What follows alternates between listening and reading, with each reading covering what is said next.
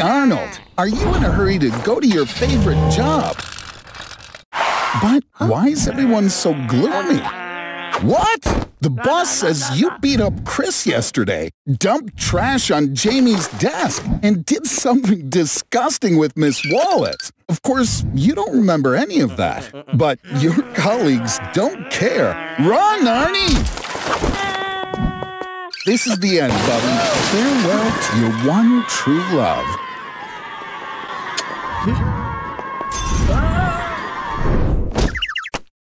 And here he is, our hero of the day. A strong blow to the head has woken up Jacob again, Arnie's other personality, or in scientific terms, his alter ego. It's called dissociative identity disorder. With this disease, power over the body of the patient is completely captured by another personality. The cause of the disorder may be trauma during childhood. The child blocks off memories of bad events and starts to consider himself someone else. Jacob, unlike timid Arnold, doesn't suffer from multiple complexes. He's fearless and sexy, and he'll stop at nothing. Even mm. somebody as petulant as Tagai is intrigued. But there is one thing. Jacob can only speak Dumi, which is a language common to only eastern Nepal. The alter ego often differs from one's main personality in the language of communication, gender, age, nationality, and even IQ. And in especially exotic cases, the alter ego can be an animal or even a religious figure. The maximum number of alter egos in one person was identified in an American criminal named Billy Milligan, who had 24 different full-fledged personalities. Billy was acquitted in court as crimes he'd committed were actually committed by one of his alter egos, unbeknownst to Billy himself. Arnold, just look at what you've done. It seems now you think you're a psycho and you need to be treated. But split personality is not schizophrenia, and there's simply no cure. What's that? An SMS from Tagai. She wants you to come to her now. Inside Arnold, there can be only one.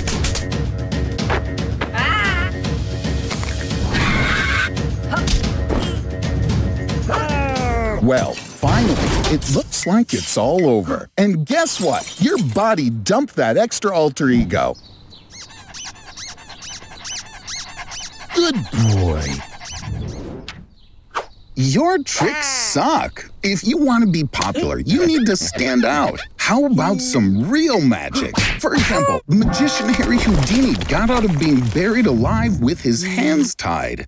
I think you know what I'm getting at, Arnie. Today, we're gonna bury you alive for the third time. And since people have seen you perform this trick a bunch of times already, you're gonna do it in a special way this time. We're gonna handcuff you, and the coffin's gonna be made out of metal. Okay, Arnie, buddy, ready? Get in. During past burials, you already learned the most important rule. You need to breathe calmly and deeply in order to conserve your oxygen. Okay, now quit being calm. We need to get the handcuffs off. It's really simple. All you need to do is break one finger on each hand so you can slip them through the cuffs. Oh, quit your belly aching, Arnie. You still got two more fingers left. Use your belt or watch to try to crack open the lid. A metal coffin has weak points all along the edges. Come on, Arnie, I was kidding. You can't break through the metal doofus. There's two meters of earth above you, which is pressing down with a mass of almost two and a half tons. So this third burial will probably be your last. Arnie.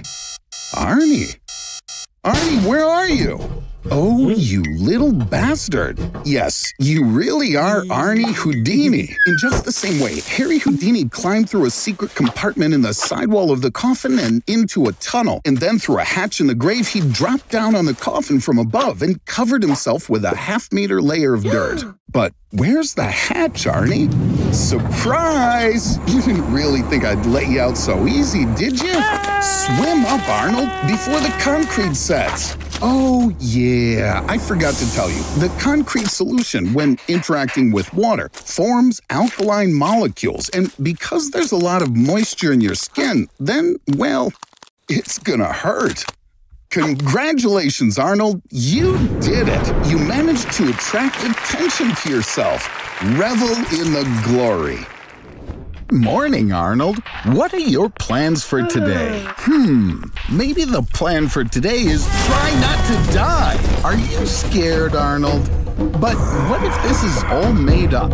What if I told you neither King Kong nor Godzilla could survive on Earth? It's pretty simple. Look, the largest man in the world ever was Robert Pershing Wadlow. His height was 2 meters 72 centimeters, and he lived for just 22 years. He suffered from a disease called gigantism. With this disease, the brain releases excessive amounts of growth hormone. Therefore, in the process of human evolution, the norms for height and weight were established, and any large deviations are considered disease. One of the biggest stresses is to the heart, which has to circulate 15 liters of blood instead of just the normal 5. And the heart often can't withstand such strenuous dynamics for too long. But what about the fact that there are other giant creatures on Earth, like whales?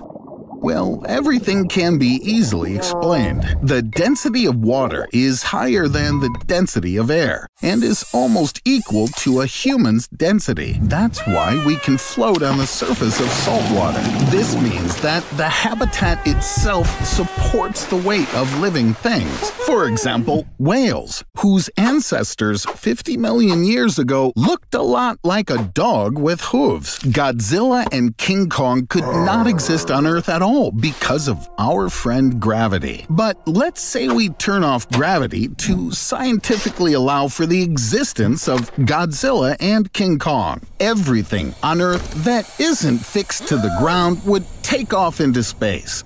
That includes people who, if caught in the open, will be shot off into the great beyond. And those lucky few who find themselves in a room somewhere can still live for some time until the houses eventually fly upward. And in the end, our planet will completely crumble into pieces.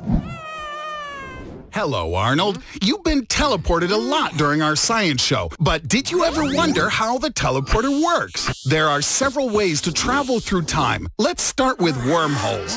Where have you been dreaming of going?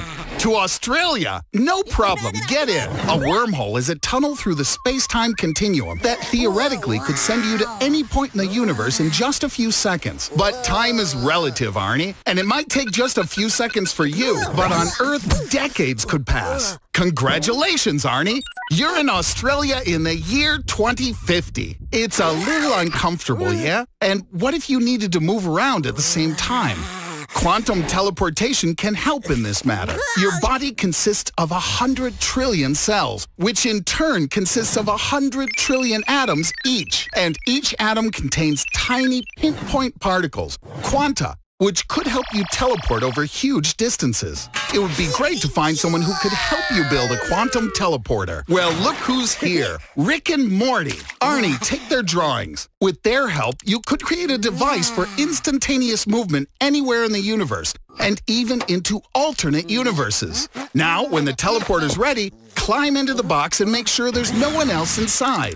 Well, so long, Arnold. In quantum teleportation, the original body dies and a duplicate is created at the destination point. No big loss in your case. Wow! I told you, during teleport, you need to be alone inside the booth. Don't touch anything in the laboratory. What have you done? Your DNA, which was hybridized with that of a scorpion, was transmitted through the satellite system and turned all the inhabitants of the planet into human-scorpion hybrids. You've destroyed Dimension C-137, you stupid idiot, Arnie. Rick and Morty would have traveled back to the original universe, where the mutants don't exist, but you can only do it a couple of times. I don't think we want to see what happens to Arnie in this universe. Better we go back to Australia. Fortunately, I saved Arnold's quantum data, and therefore have the ability to recover his useless body. Arnie, you should crawl through the wormhole in the direction of your home in 2018. And don't forget the blueprints of your body. It seems now we know how humanity will create a teleporter in 2050. I built a machine that makes things invisible for 24 hours. There are three possible approaches to invisibility. The first is perfect transparency, which sadly we cannot achieve. The second is camouflage. When the light rays emanating from the object correspond to the rays that we would expect to see in the absence of the object. This is exactly what my machine does. And the third and last approach is when an object is swathed in a metamaterial, something like an invisible hat, that transforms the path of light rays so that they seem unchanged. Now, we'll try it on a pizza. If everything works out, it will be a pizza that you won't have to share with your friends. Okay, I'm throwing the first switch. Did you know that the first three dimensional invisibility was achieved by a group from the University of California, Berkeley in 2008? They created a mesh of silver microfibers that doesn't reflect or absorb light rays. As a result, the eye sees light only from the objects behind the camouflaged entity. Now the second switch. Don't move, Arnold. Wait, what are you? Oh, you are such an imbecile. I'd smack you upside your head, but damn it, I don't know where you are. Put this hat on so I can see you. Okay, you have 24 hours. What are you gonna do? Who'd have any doubt that's where you'd go first? If my machine worked according to the principle of invisibility, you'd become blind because the invisible body's refractive index becomes equal to that of air, and the lenses in your eyes would lose the ability to reflect light rays and focus them on the retina. The retina itself also wouldn't be able to absorb visible light with its rods and cones due to its invisibility. But as I can see, your eyesight seems to be okay, you slobbering ignoramus. Okay, now that the gym is closing, can we do something else? You have mm-hmm. 18 hours left.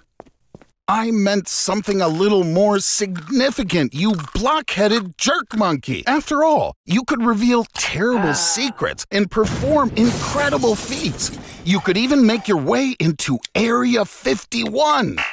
Oh, right, it's in a different state. Do you have any ideas? Are you thinking about stealing it? That's a terrible idea. In any case, you need a plan. Of course, thanks to invisibility, you'll be able to stay long after closing.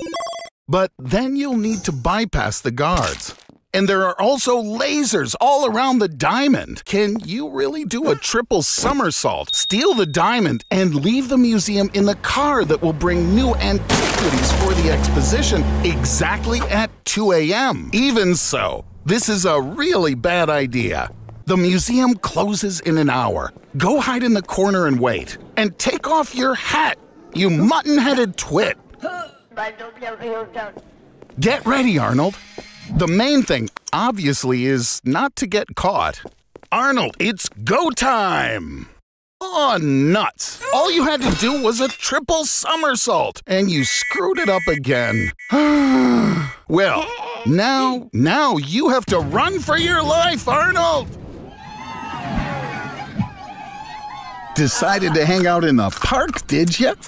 Looks like this burrito was out of your league. Quick, find something to drink. Arnold, wait. God knows what might be in this magic shop. Well, since you've successfully solved your Mexican food problem, let's go have some fun. What a huge line. It looks like you'll have to wait for a bit. Or. Arnold, this is not a good thing to do. Looks like this hmm. cute little granny needs your help. Arnold, watch out! You know, Arnold, I decided to go to the morgue and say my final goodbyes to you. Oh my god, are you alive? No, you've been resurrected. It seems that the elixir you drank worked. You are now immortal. Congratulations, Arnold. You will now be the longest living organism on Earth. Your body is now regenerating, and the term cellular senescence is now just a joke for you. Well, how are you going to use your immortality? Got it. You'll cross the road on red grope random girls. You'll also win the Kenny McCormick Lookalike Contest. That's ridiculous. You have an infinite number of years ahead of you, and you waste them on this? Arnold, you could study everything in the world, learn any martial art, and even go explore and colonize new galaxies. Arnold, how about maybe stop wasting your time? Okay, so maybe for 200 years, you're gonna binge watch every single Netflix series.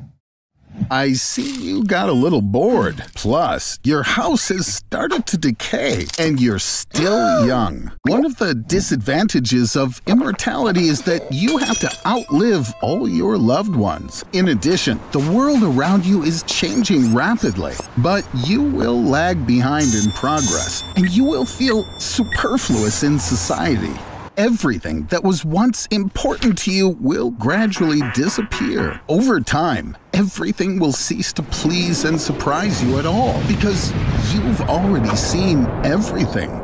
You will become deeply depressed. Arnold, you're just a magnet for trouble. Eee, that looks really bad. You need immediate hospitalization. You're not going to make it to the hospital. Your heart could stop. You need an emergency blood transfusion to maintain pressure in your circulatory system. During the Vietnam War, coconut IVs were sometimes used to treat the wounded. Amazingly, coconut water is quite similar to human blood plasma, so, what do we have? Cola. Okay, let's get to work. But first, you need to get rid of all the gas. If the gas contained in the drink gets inside your blood vessels, it'll literally tear you apart from the inside. Cola contains sugar, glucose. This is a perfect source of fast energy and allows you to really perk up. It seems to have worked. The cola has taken root in your body.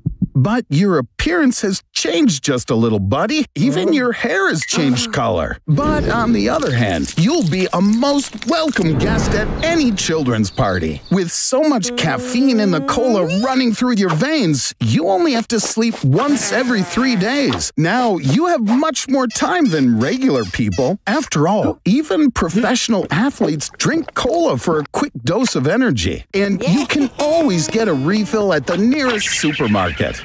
No, stop, you kamikaze nutball! Just one single Mentos could turn you into a surface to air missile. Don't worry, it won't ruin your day. Cola even helps combat mild depression. But to be honest, Arnold, cola in your blood is actually deadly. Your eyes, kidneys, nerves, and heart suffer the most. Yeah, looks like cola's not an option. So, what do you say? Let's try Pepsi next time. Get up, lazy butt! I have something for you, Arnold. You now have just 24 hours to live.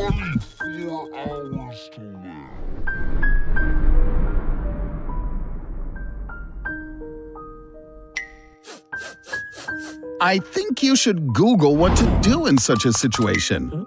Yeah. First, clear your browser history. And here are the top three ah. answers to this burning question. How would you spend the ah. last day of your life? With loved ones? I think for you, Arnold, this probably ain't the right answer. The second option is to gorge yourself on junk food. Well, you already do that every day. And finally, number three, spend the day at the ocean with a loved one. Ooh, it just got interesting.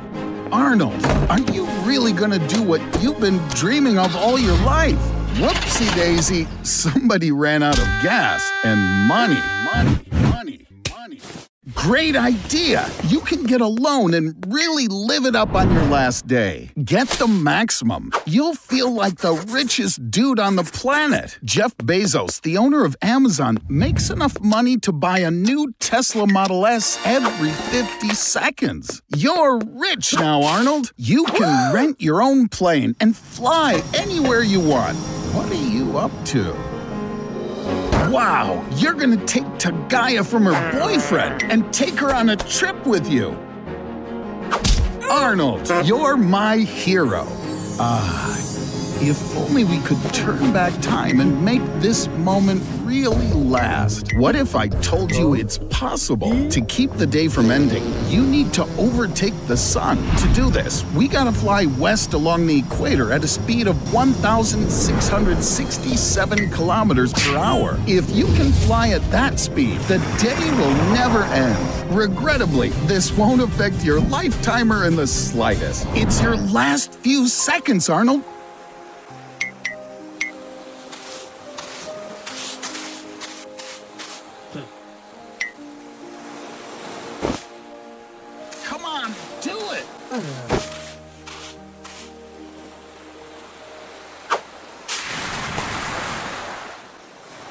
Arnold, you're alive!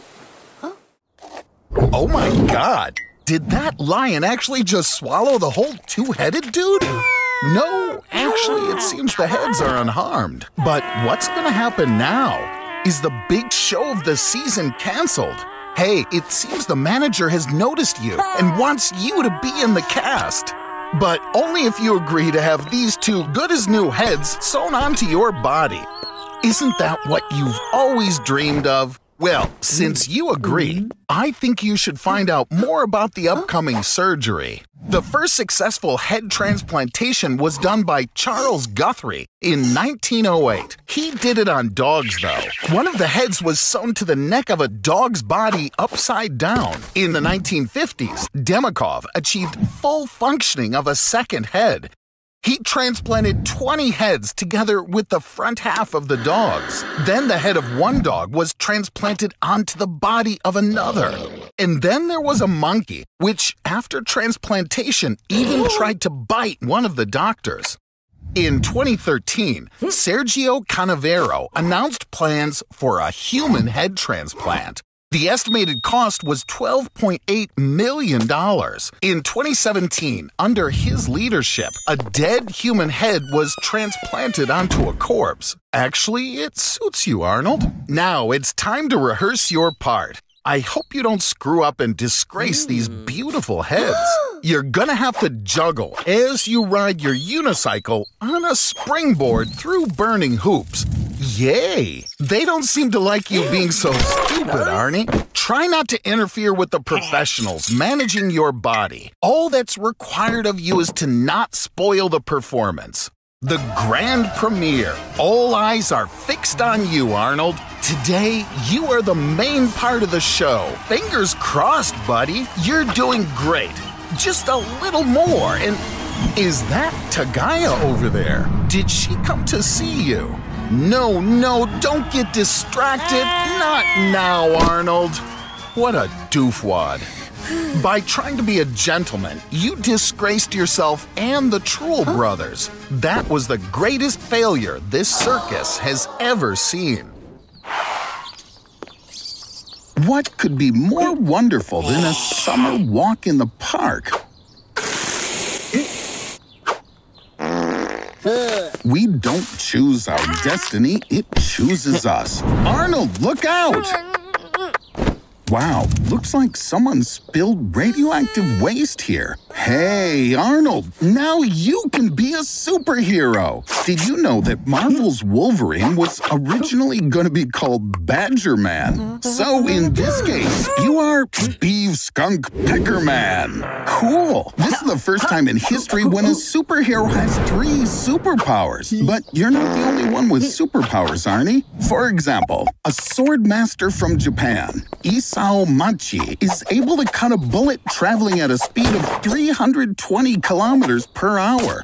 Slavisha Pajkic from Serbia can literally handle 20,000 volts of electricity, and he can also cook food by running electric current through his body.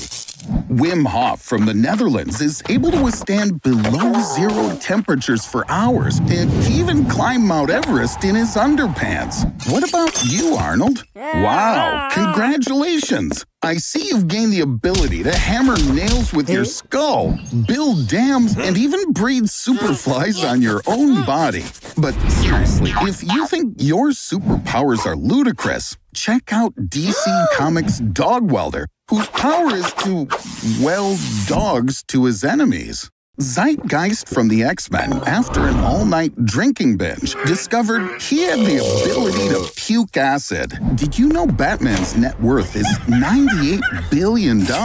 Seems like being a superhero can be a very lucrative business. In the very first copy of the Superman comic book was sold at auction for $3.5 million. And judging by the number of requests on Google, Spider Man is now more popular than the President of the United United States. Arnold, I know this is very cool, but still, the main job of a superhero is not to bask in glory, but to fight for good. Hey guys, the world is in danger. The world is doomed without you. Okay, don't say I didn't warn you.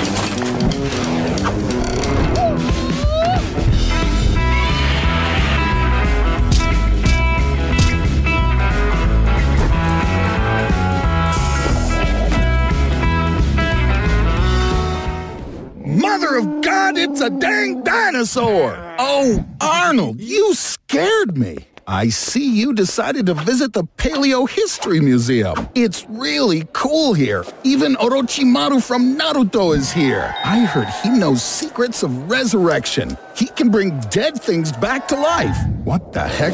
No. He's using it on the dinosaurs. Run, you dang fool! Dinosaurs are very dangerous, whether it's herbivores, carnivores, or even those radical dinosaurs. They're insanely angry, and you would be too if you hadn't eaten in 66 million years. Furthermore, the dinosaurs are hmm. getting even angrier. Now that they see what happened to their descendants over the course of evolution all the world's leaders have declared martial law. Alas, very little is really known about the true behavior of dinosaurs. It seems the best solution they've come up with is to hire a rabid turkey specialist. Yee! Attack! Dinosaurs reigned on Earth for 160 million years, but the fall of a meteorite changed the course of evolution and allowed for the development of our ancestors' mammals. Now, only the strongest will survive. But what in tarnation's going on now?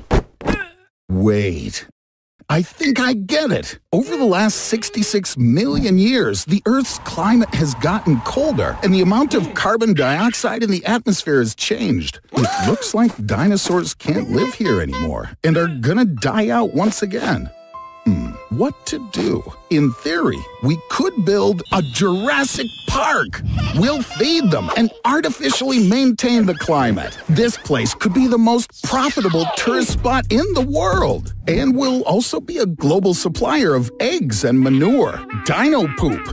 But then again, an ordinary dinosaur eats a ton of grass a day, or more than 100 kilograms of meat. More than likely, the dinosaurs will eat all the fauna in the park and then probably start eating each other until they die out again. No matter how you slice it, the dinosaurs just aren't going to be able to live in our time. Do you really want to save them, Arnie?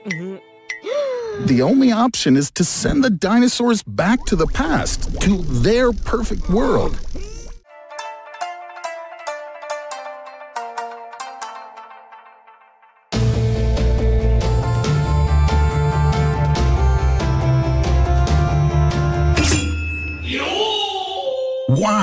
This is Seiko Chidori, former captain of the Sky Guard. As a child, he was admitted to the Heaven Corps, where he defended his country from the Shinigami, vampires, pirates, and Girls und Panzer. When all his friends turned away from him, he was left alone with a darkness inside of him. Arnold, you are now in the most popular anime genre, shonen. Shonen is a story about a hero that starts out at the bottom, then makes his way to the top, finally defeating his main opponent. You have to train hard to get stronger and understand his philosophy. Forward is the only way.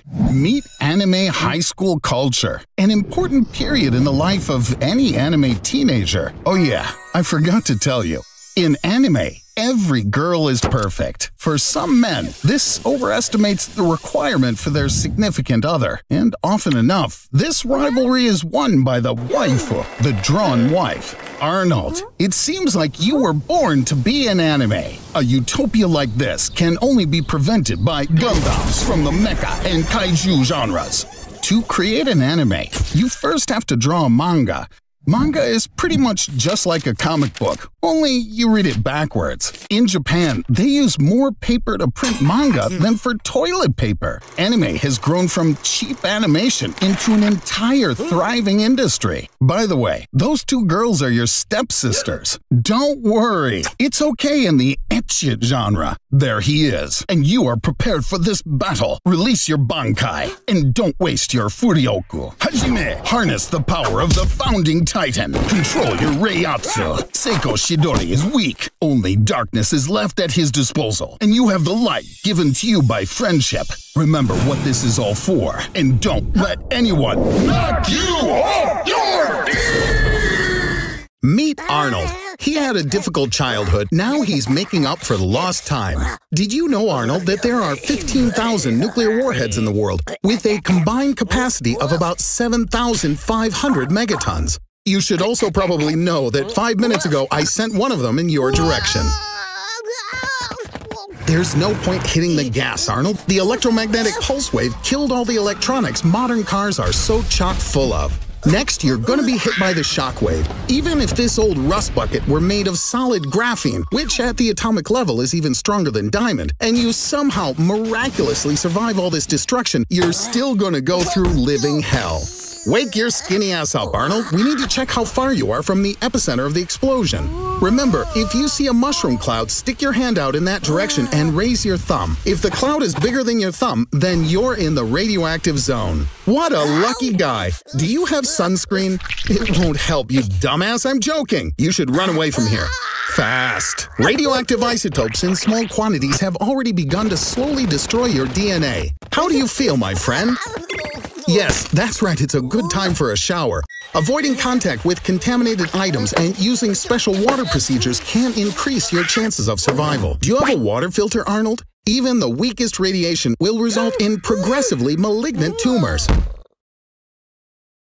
Well, congratulations. You got through a nuclear attack, and you no longer need a Halloween costume. But this isn't the end. If someone in the world launches a missile with a nuclear warhead, a domino effect will follow. All the nuclear powers of the world will let loose their dogs of war. Then comes the real apocalypse, Arnold. The era of humanity is likely to end. You're gonna die, my friend. It's time to get out of this universe.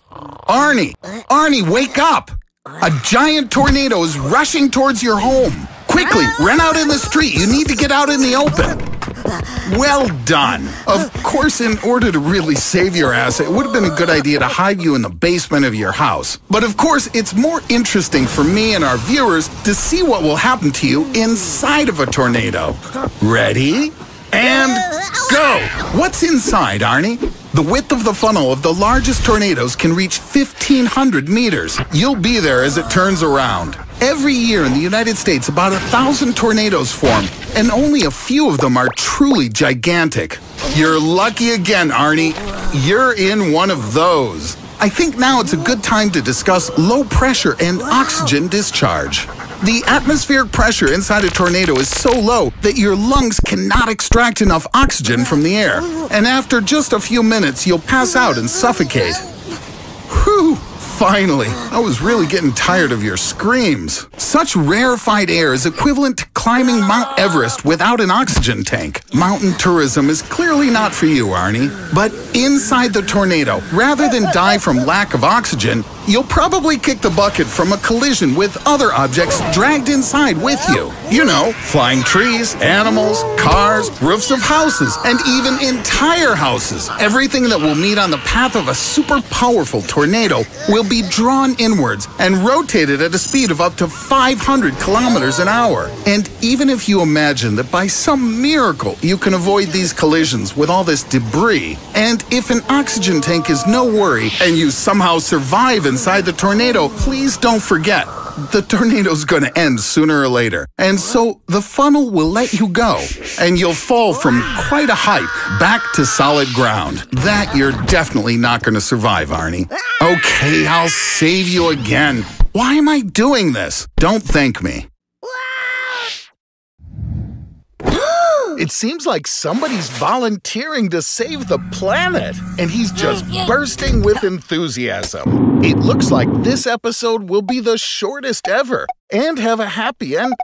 Ah, no, never mind. Same old, same old. Seems like our planet is about to be destroyed. Or maybe there's another savior. Could it be Arnold? Excellent! We'll pick an outfit for you.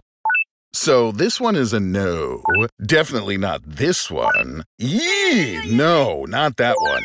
Now this one. This is what you need. Although we could just copy what Project DART from SpaceX did. It's planned that in 2022, a spacecraft weighing 500 kilograms will ram into an asteroid named Didymos at a speed of 6 kilometers per second. The autopilot hasn't been installed yet, so you're gonna have to fly manually and become a hero.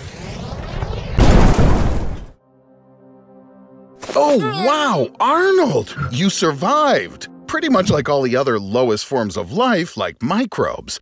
But now there is a small issue with water. After a meteor 100 kilometers in diameter hit the Earth, the shockwave destroyed almost all life within a radius of 100,000 square kilometers. There was a huge release of sulfur, and dust and ash from all the destruction rose into the upper atmosphere and blocked access from the sun's mm. rays. You must be hungry. It's good that you kept your space food in the rocket. There wasn't any food. That's terrible, because there's no food left on Earth. It's good that you're in a spacesuit since it's minus 50 degrees outside, and you don't want to walk here for very long. Watch out!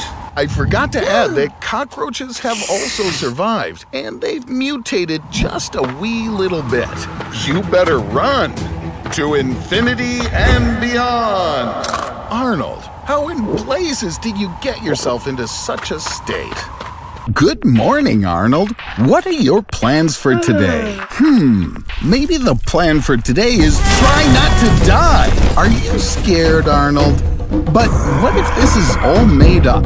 What if I told you neither King Kong nor Godzilla could survive on Earth? It's pretty simple. Look, the largest man in the world ever was Robert Pershing Wadlow. His height was 2 meters 72 centimeters, and he lived for just 22 years. He suffered from a disease called gigantism. With this disease, the brain releases excessive amounts of growth hormone. Therefore, in the process of human evolution, the norms for height and weight were established, and any large deviations are considered disease. One of the biggest stresses is to the heart, which has to circulate 15 liters of blood instead of just the normal 5. And the heart often can't withstand such strenuous dynamics for too long. But what about the fact that there are other giant creatures on Earth, like whales?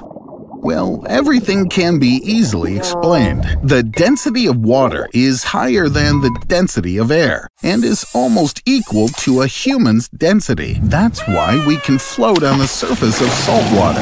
This means that the habitat itself supports the weight of living things. For example, whales, whose ancestors 50 million years ago looked a lot like a dog with hooves. Godzilla and King Kong could not exist on Earth at all because of our friend gravity. But let's say we turn off gravity to scientifically allow for the existence of Godzilla and King Kong. Everything on Earth that isn't fixed to the ground would take off into space. That includes people who, if caught in the open, will be shot off into the great beyond. And those lucky few who find themselves in a room somewhere can still live for some time until the houses eventually fly upward. And in the end, our planet will completely crumble into pieces. Therefore, in order to destroy the Earth, you don't need to wait for a fight between two giants. You can simply turn off gravity.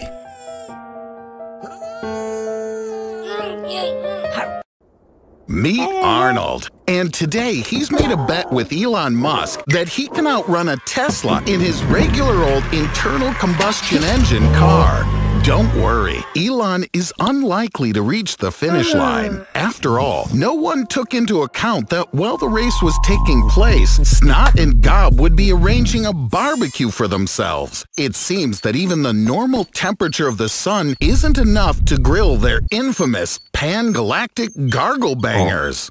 Ah, now that's much better. Oops. Solar flares like these are not good because they usually disable all the power plants and electrical appliances on the Earth. This will definitely negatively affect all vital processes on the planet, particularly in medicine, or such absolutely crucial needs like social networks, likes, and reposts. Only Satanists won't be affected. It might even benefit them. And here's our ultra-fast turtle. Like everything electric, Elon's car broke down.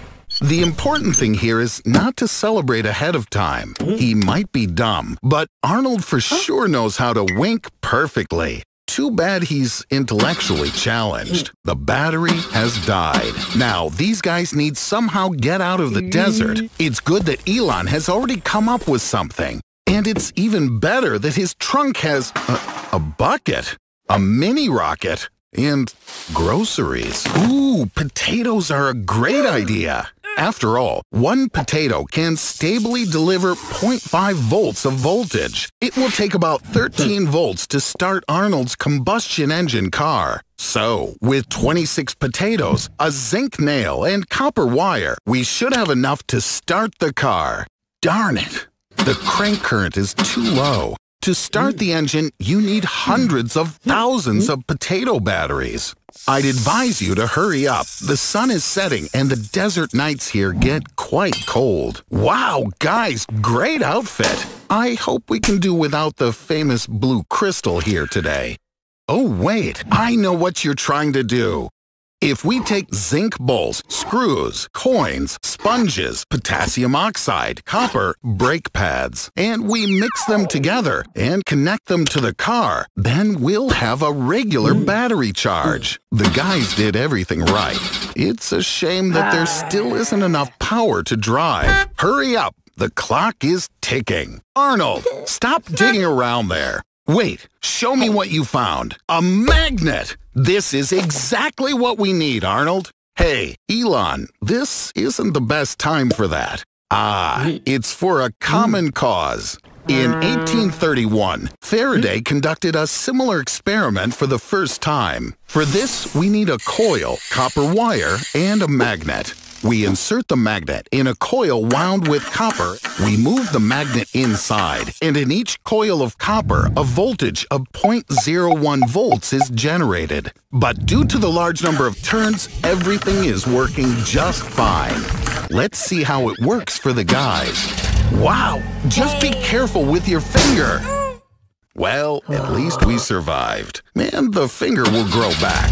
Arnold, leave the Tesla here. The mountain's other name is Chomolungma, and it's the highest point on planet Earth. By the way, just saying, but you owe me $50,000. This is the average price for an expedition up here. To survive at the top, you need top-level equipment. After all, there's very little oxygen, and it's extremely cold. Go down, quickly, at least a kilometer. Hurry up, Arnold, but move as slowly as possible. Oxygen is only one-third the normal here. Try to save your energy. Lack of air causes the brain to misperceive time. Crawling five meters in three hours sounds a little too slow to me. Fortunately, the wind at the top reaches 200 meters per second, and it can help us. You can fly eight kilometers in just three minutes. But be careful, the ledges may get in your way. Lucky ah! you, mm. you fell into the trash. The government pays $2 for every kilogram of garbage collected. I see you're trying to pay me my $50,000 back. Arnold, try not to breathe so much. At a temperature of minus 60 degrees Celsius, your lungs will begin to dry out. Mountain coughs are so bad they can even break your ribs. I'm sorry, Arnold, but climbers can't remove corpses from Mount Everest. It's impossible. Moreover, corpses are used as height markers for mountain peaks. Well, Arnold, at least you found something useful to do. I see you're really happy to be here, buddy, especially after such fiercely cold conditions. Uh, I think perhaps you're enjoying it a little too much. Hello, Arnold. It looks like you started hallucinating from a lack of oxygen, and someone brought you to the campfire. I'm glad that you woke up, but there are still six kilometers ahead of us. Unfortunately, I don't think you have the strength left to reach home. But wait, Arnold, I have an idea. You can repeat the feat of Marco Siffredi. In 2001, he descended Mount Everest on a snowboard. I believe in you, ah. Arnold.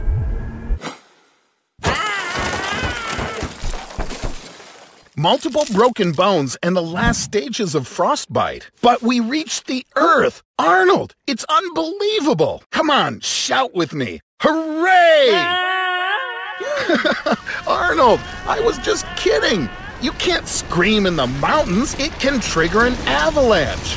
Don't worry, Arnold. I'm not going to leave you here. You still owe me $50,000. Arnold, come on. This isn't fair. Okay, I'm gonna go get a shovel. Meet Arnold. Today he'll go to the Amazon to get acquainted with the local inhabitants. Which ones? Piranhas!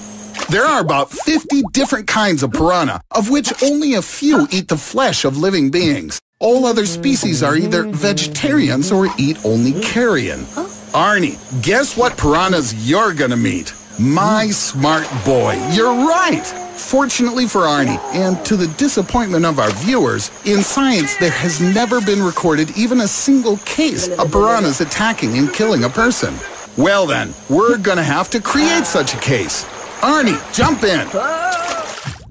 As you can see, you're absolutely uninteresting to them. And what's more, they're even afraid of you. Aggressiveness in piranhas depends on several factors. The first is heat. Add temperature, please. Thank you. This hell will drive anyone crazy. During a drought, the water level in the river drops and finding food becomes much more difficult. This leads to a second huge factor, hunger. Starving piranhas are ready to eat even their sick, weak relatives. And where does that leave you, Artie? The third factor that affects their aggressiveness is the need to protect their brood. Mom and dad don't like it when their kids are disturbed. Add a small bloody cut as an appetizer and you, Arnie, are ready to meet the piranhas. The structure of their jaws allows them to tear out large chunks of meat from their prey. Razor-sharp teeth, 4 to 5 millimeters long, can bite through tendons and even small bones. Arnie, you can forget about your fingers and toes. In just a few minutes, you'll have a perfectly clean skeleton. One of the largest representatives of piranhas weighs up to one kilogram. But how big should the jaws be so that they can eat Arnold, including all of his bones? Let's increase the size of the piranha teeth by six times. Such teeth can easily cut the bones into tiny little fragments.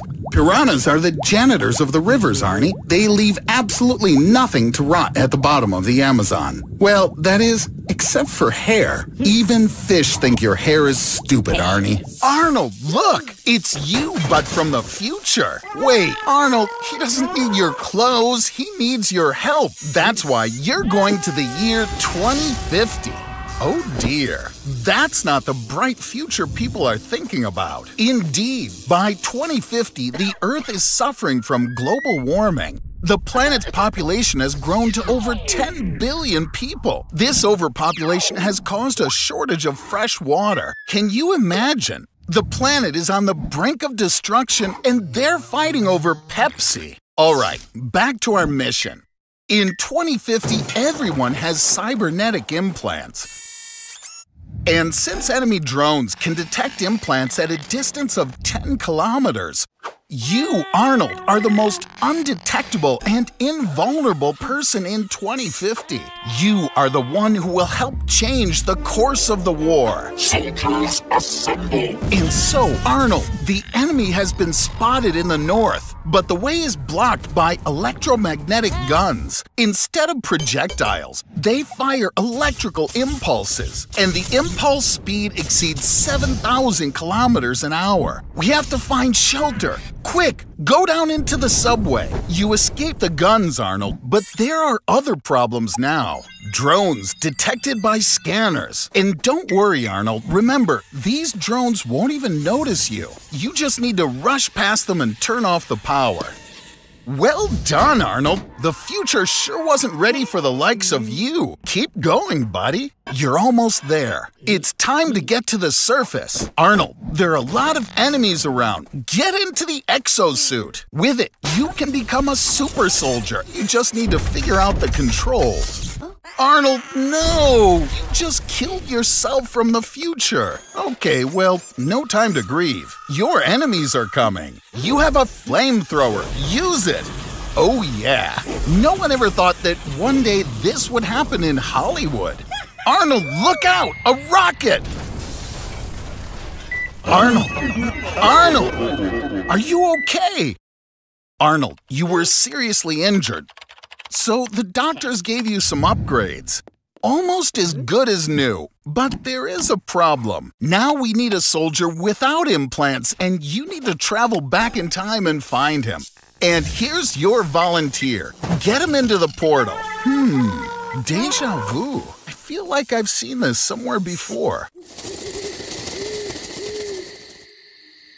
Meet Arnold. He's now a Transylvanian delicacy stuffed with rice. Sorry, Arnold, I'm not a big fan of such gory scenarios. So let's take a look at some interesting information. Let's wish Arnold's new friends a big bon appetit. Now, we should probably get to know them a little better. So, werewolves are called lycanthropes. That's the name they got from ancient Greece. The author of the term is Herodotus, a historian from 2,500 years ago, who, when describing Scythia, mentioned people who could instantly turn into wolves. As for vampires, the word vampire first appeared in the Oxford English Dictionary back in 1734. Arnold, you're alive! I'm so happy. But wait, what's that on your neck? No. You gotta be kidding me! You're actually the first person ever to get bitten by both a vampire and a werewolf at the same time. I'm already wondering just oh. what the heck you're gonna look like. Well, you try to figure out how that's gonna work. Moreover, back in medieval times, redheads were considered vampires. Ooh, Frankie has already added you to his friend list. That's sweet. He's also assembled from a bunch of random crap, just like you. Everyone knows about the ancient animosity that exists between vampires and werewolves. But I would have never guessed that I'd see such a thing in a single body. Oh, so you're getting hungry now. And you need food for two. Go, search for your victim. The perfect victim. Bon appetit, Arnie. Wait, Arnold, where are you? What did you expect? You can't go against the call of the wild. Just remember to clean up after your dog. Way to be a bloodsucker. With your moves, Arnold, you need to start thinking about going vegan. Ooh, I forgot to warn you. A double creature gets a double hunt. You need to put aside your differences, because you've got common enemies now. Prayer ain't gonna help you, buddy. And of course, garlic is deadly to you now, you moron. You're not the first victim of the hunt. In the 16th century, the French Parliament passed a law to exterminate all shapeshifters. As a result, from 1520 to 1630, more than 30,000 people were killed in France who were thought to be werewolves. Lucky you, Arnold. The guys from Greenpeace are always on the uh. lookout. Yeah, yeah, yeah. You decided to visit the Paleo History Museum. It's really cool here. Even Orochimaru from Naruto is here. I heard he knows secrets of resurrection. He can bring dead things back to life. What the heck? No. He's using it on the dinosaurs. Run, you dang fool! Dinosaurs are very dangerous, whether it's herbivores, carnivores, or even those radical dinosaurs. They're insanely angry, and you would be too if you hadn't eaten in 66 million years. Furthermore, the dinosaurs are getting even angrier now that they see what happened to their descendants over the course of evolution. Dinosaurs reigned on Earth for 160 million years, but the fall of a meteorite changed the course of evolution and allowed for the development of our ancestors' mammals. Now, only the strongest will survive. But what in tarnation's going on now? Wait. I think I get it. Over the last 66 million years, the Earth's climate has gotten colder, and the amount of carbon dioxide in the atmosphere has changed. It looks like dinosaurs can't live here anymore, and are gonna die out once again. Hmm, what to do? In theory, we could build a Jurassic Park. We'll feed them and artificially maintain the climate. This place could be the most profitable tourist spot in the world. And we'll also be a global supplier of eggs and manure, dino poop. But then again, an ordinary dinosaur eats a ton of grass a day, or more than 100 kilograms of meat. More than likely, the dinosaurs will eat all the fauna in the park and then probably start eating each other until they die out again. No matter how you slice it, the dinosaurs just aren't going to be able to live in our time. Do you really want to save them, Arnie? The only option is to send the dinosaurs back to the past, to their perfect world. Time to say goodbye, Arnie. At least there, you know they're gonna be better off. Ah!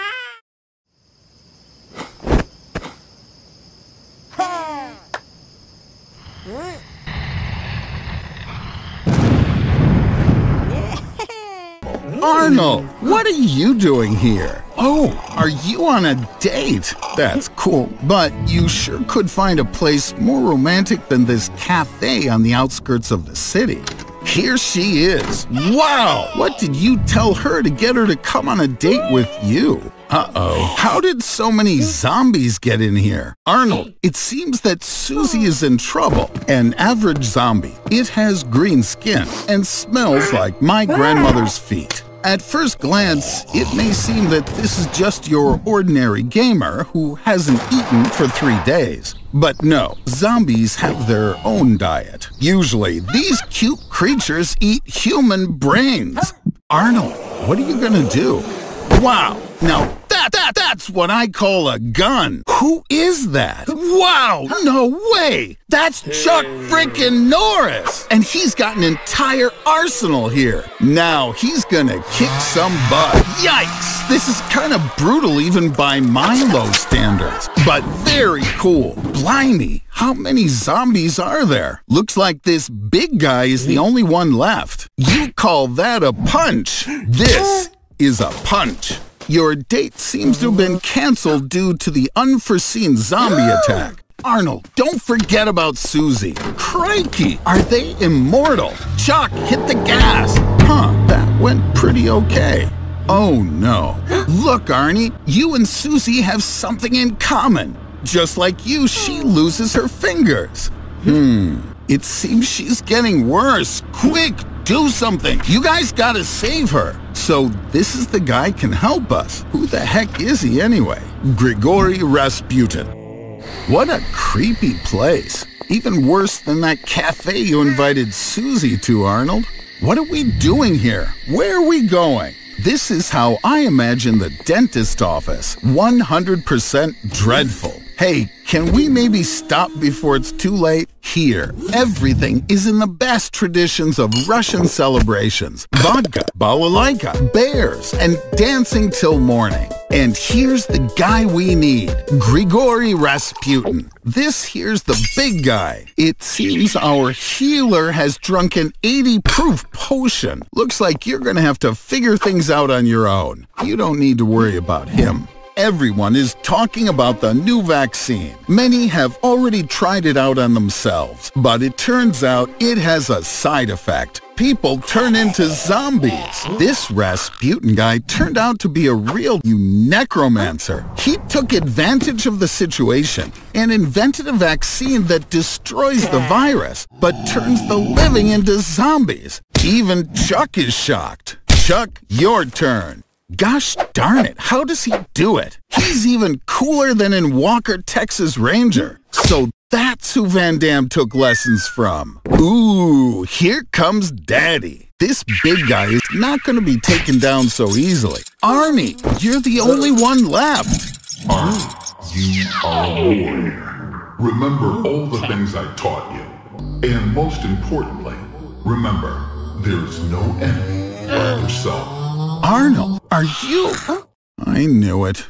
Goodbye, Arnold. You oh. were a nice guy. Eh. Ooh, now I see. What a twist! Arnold, I congratulate you. Now that you're finally getting married, though to a zombie. Although you're a zombie yourself. But what's the difference? Even zombies can love too. Today, you're going to become one of the few who visited the surface of a lava lake, and the only one to get out of there alive. Although, all bets are off with your luck, Arnie. All right then. Three, two, one. Open your eyes or you'll miss everything. You only have one nanosecond. You're in Africa at 613 meters above sea level, in the vent of the seething volcano Erta Ale. Impressive, ain't it? The air temperature at the surface of the fire lake reaches 2200 degrees Fahrenheit. That's hot enough to melt cast iron. Hey, chill out, Arnold. In one nanosecond, nothing's gonna happen, even with you. I mean, if you really run out of luck and stay there longer, your lungs will burst into flames at your first breath. Your skin will peel off. The only sensible course of action will be to plunge into the lava lake completely so that you pass out due to a pain shock and within 90 seconds wake up in a better place. Not much of a prospect, huh? So stay put, bud, and Arnold, take your finger out of the lava. Oh, great. What now, Arnie? Want me to teleport you to the summit so you can enjoy the view? Earth 2020, and you're now the happiest human alive. Because you're the only human alive. Everyone else on the planet disintegrated when a dark matter experiment went awry. What are your plans, Arnold? Hey, where are you going? I wonder how long you can survive. With no one to work at power plants, there's no more electricity, and that means no heat, no fridge, and no clean water. Maybe you should look up some survival tips on the internet. Oh, wait, there's no internet anymore. You're just going to have to figure out how to survive on your own. Water. Bottled water has a shelf life of about two years, and you can sterilize river water with strong alcohol. What about food? The only food products with an unlimited shelf life are rice, powdered milk, and honey. And to be honest, I think it's unlikely you're ever going to master the art of hunting. To diversify your diet, you're going to have to move to Mexico. It's warmer there and you can take up farming. You're also going to need to acquire some medical skills so you don't die the first time you cut yourself. And even after solving all these basic survival issues, you'll have to try not to lose your mind from the absolute and unrelenting loneliness. Well, looks like you made it, Arnold. Alone, and without all those pesky people who produce foodstuffs, build houses, manage water treatment facilities, monitor sensors at nuclear power plants, and control space stations. Wake up, Arnold. Megalodon has swallowed you. Knock, knock, Arnold. Follow the white rabbit.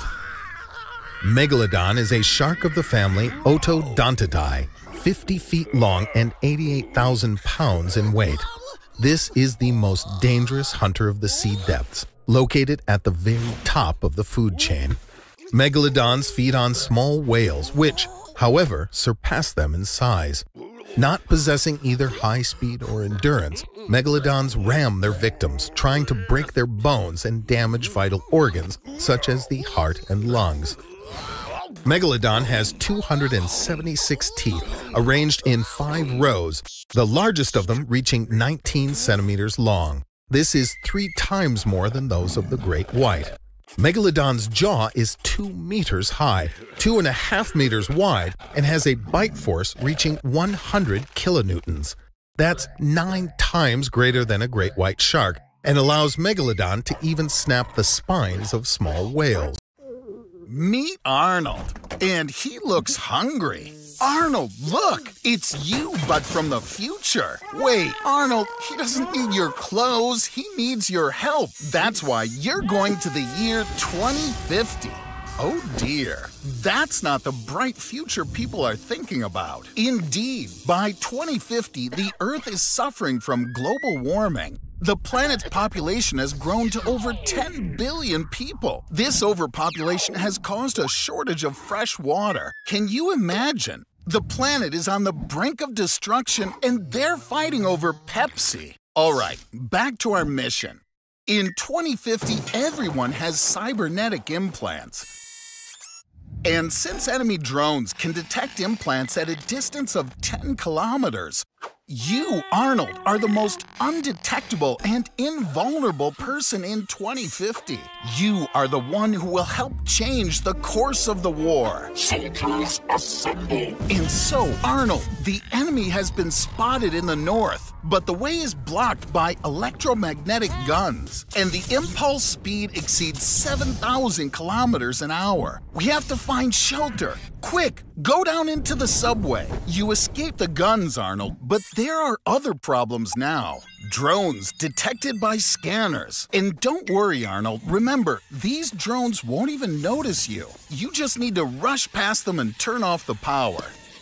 Well done, Arnold. The future sure wasn't ready for the likes of you. Keep going, buddy. You're almost there. It's time to get to the surface. Arnold, there are a lot of enemies around. Get into the exosuit. With it, you can become a super soldier and travel long distances without getting tired. And all physical activity becomes 20 times easier than it was before. You're unstoppable now, Arnold. Now you just need to figure out the controls. Oh. Arnold, no! You just killed yourself from the future. Okay, well, no time to grieve. Your enemies are coming. You have a flamethrower. Use it. Oh, yeah. No one ever thought that one day this would happen in Hollywood. Arnold, look out! A rocket! Arnold! Arnold! Are you okay? Arnold, you were seriously injured. So the doctors gave you some upgrades. Almost as good as new. But there is a problem. Now we need a soldier without implants, and you need to travel back in time and find him. And here's your volunteer. Get him into the portal. Hmm, deja vu. I feel like I've seen this somewhere before. Hello, Arnold. Hey, when did you manage to get to the seaside? So, what's the whole beach set for anyway? Ah, is this to get Bertha's attention? Wow, it actually worked. She invited you to visit her. But, hey, buddy, do you have enough money for a ticket? I have an idea. You can fly to Bertha in extra super duper economy class. And instead of the usual tablet and pillow, you're gonna need food, water, and a porta potty. Don't worry, Arnold, you're not the first one to travel like this. Reginald Reg Spiers, without any money, got all the way to another continent in just three days. Nowadays, warehouses are like cities with their own laws and regulations. The probability of losing a package is reduced to a minimum. Robots work on the conveyors by reading special barcodes. This reduces the risk of human error. In 2019, China set a world delivery record with 345 million packages delivered in just one day. The worst thing that can happen to a package is that it can get detained in a port at customs. I agree. For the person inside, this ain't like staying at the Ritz. Finding yourself in a confined space under the blazing hot sun is a difficult task to endure.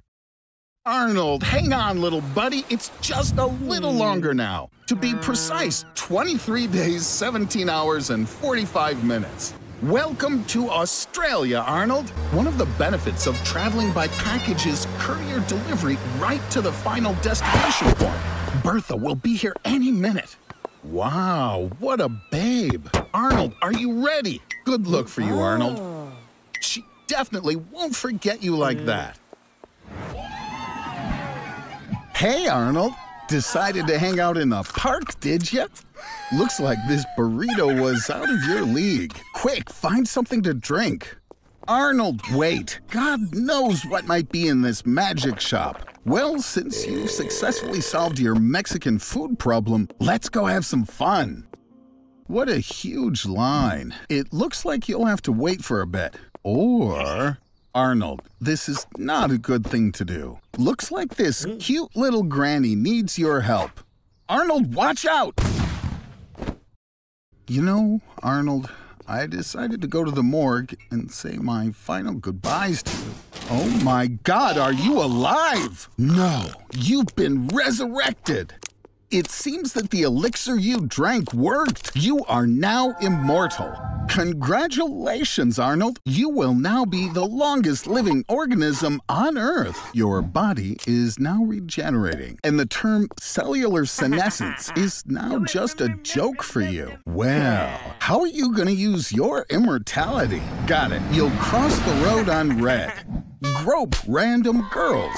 You'll also win the Kenny McCormick Lookalike Contest. That's ridiculous. You have an infinite number of years ahead of you, and you waste them on this? Arnold, you could study everything in the world, learn any martial art, and even go explore and colonize new galaxies. Arnold, how about maybe stop wasting your time? Okay, so maybe for 200 years, you're gonna binge watch every single Netflix series. I see you got a little bored. Plus, your house has started to decay and you're still young. One of the disadvantages of immortality is that you have to outlive all your loved ones. In addition, the world around you is changing rapidly, but you will lag behind in progress and you will feel superfluous in society. Everything that was once important to you will gradually disappear. Over time, everything will cease to please and surprise you at all because you've already seen everything. You will become deeply depressed.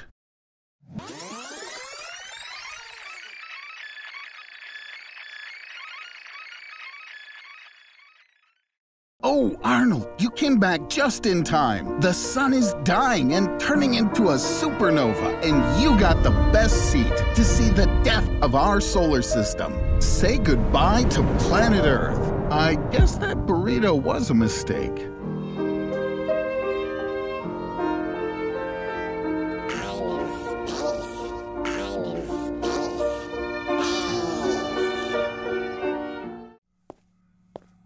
Okay, Arnold. Oh. I built a machine that makes things invisible for 24 hours. There are three possible approaches to invisibility. The first is perfect transparency, which sadly we cannot achieve. The second is camouflage.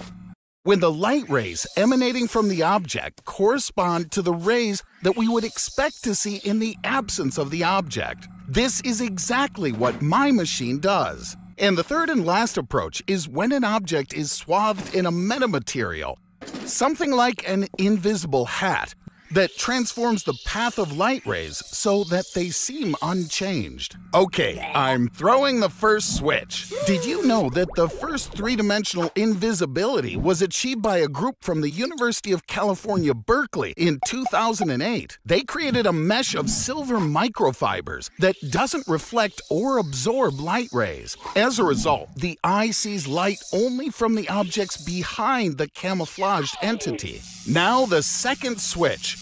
Don't move, Arnold. Wait, what are you? Oh, you are such an imbecile. I'd smack you upside your head, but damn it, I don't know where you are. Put this hat on so I can see you. Okay, you have 24 hours. What are you gonna do? Who'd have any doubt that's where you'd go first? If my machine worked according to the principle of invisibility, you'd become blind because the invisible body's refractive index becomes equal to that of air, and the lenses in your eyes would lose the ability to reflect light rays and focus them on the retina. The retina itself also wouldn't be able to absorb visible light with its rods and cones due to its invisibility. But as I can see, your eyesight seems to be okay, you slobbering ignoramus. Okay, now that the gym is closing, can we do something else? You have mm-hmm. 18 hours left. I meant something a little more significant, you blockheaded jerk monkey. After all, you could reveal terrible ah. secrets and perform incredible feats. You could even make your way into Area 51. Oh, right, it's in a different state. Do you have any ideas? Are you thinking about stealing it? That's a terrible idea. In any case, you need a plan. Of course, thanks to invisibility, you'll be able to stay long after closing. But then you'll need to bypass the guards.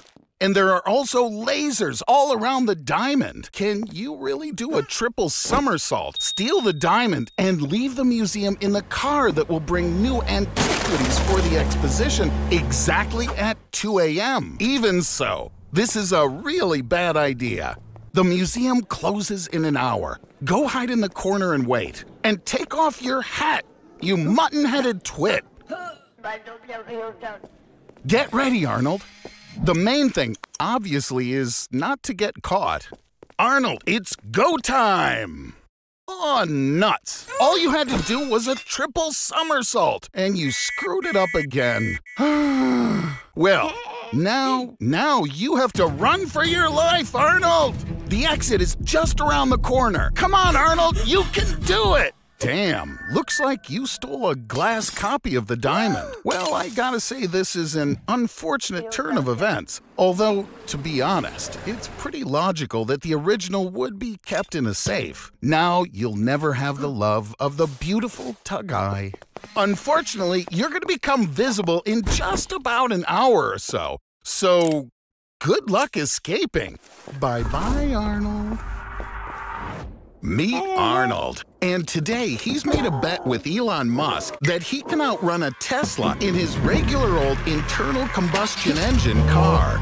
Don't worry, Elon is unlikely to reach the finish line. After all, no one took into account that while the race was taking place, Snot and Gob would be arranging a barbecue for themselves. It seems that even the normal temperature of the sun isn't enough to grill their infamous pan-galactic gargle bangers. Ah, now that's much better. Oops. Solar flares like these are not good because they usually disable all the power plants and electrical appliances on the Earth. This will definitely negatively affect all vital processes on the planet. And here's our ultra-fast turtle. Like everything electric, Elon's car broke down.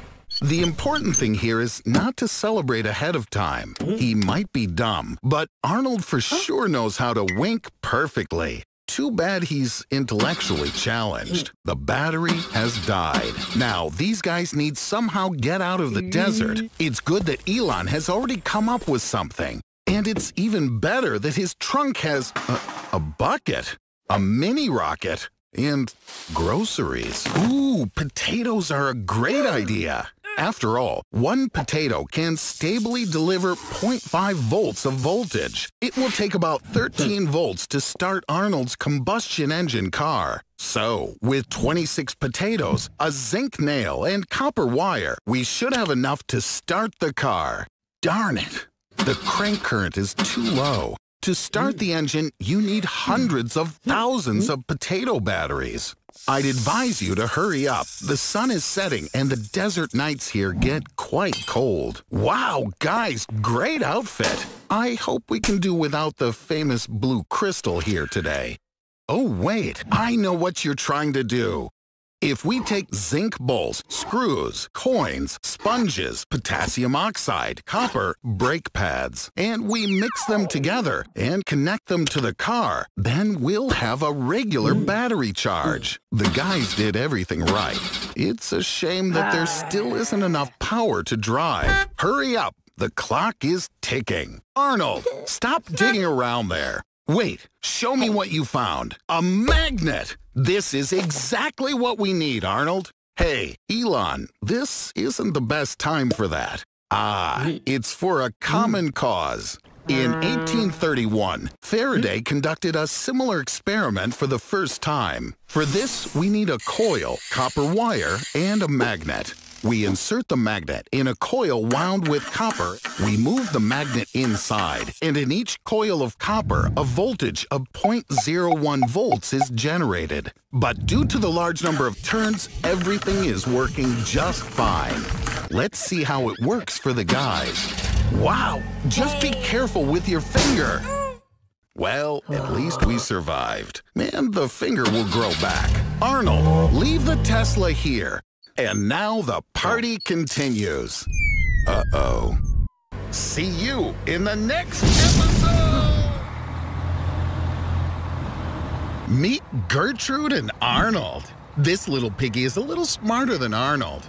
And no, not because it has a Neuralink chip in its brain, but because she came here by bus, unlike our redheaded fool who parked his car with the mafia for $50 an hour. At this conference, Elon Musk will demonstrate the process of installing an advanced microchip into the brain of these cute little monkeys, and in the near future, into the brain of a person. Arnold, stop teasing the primates with your keys. See?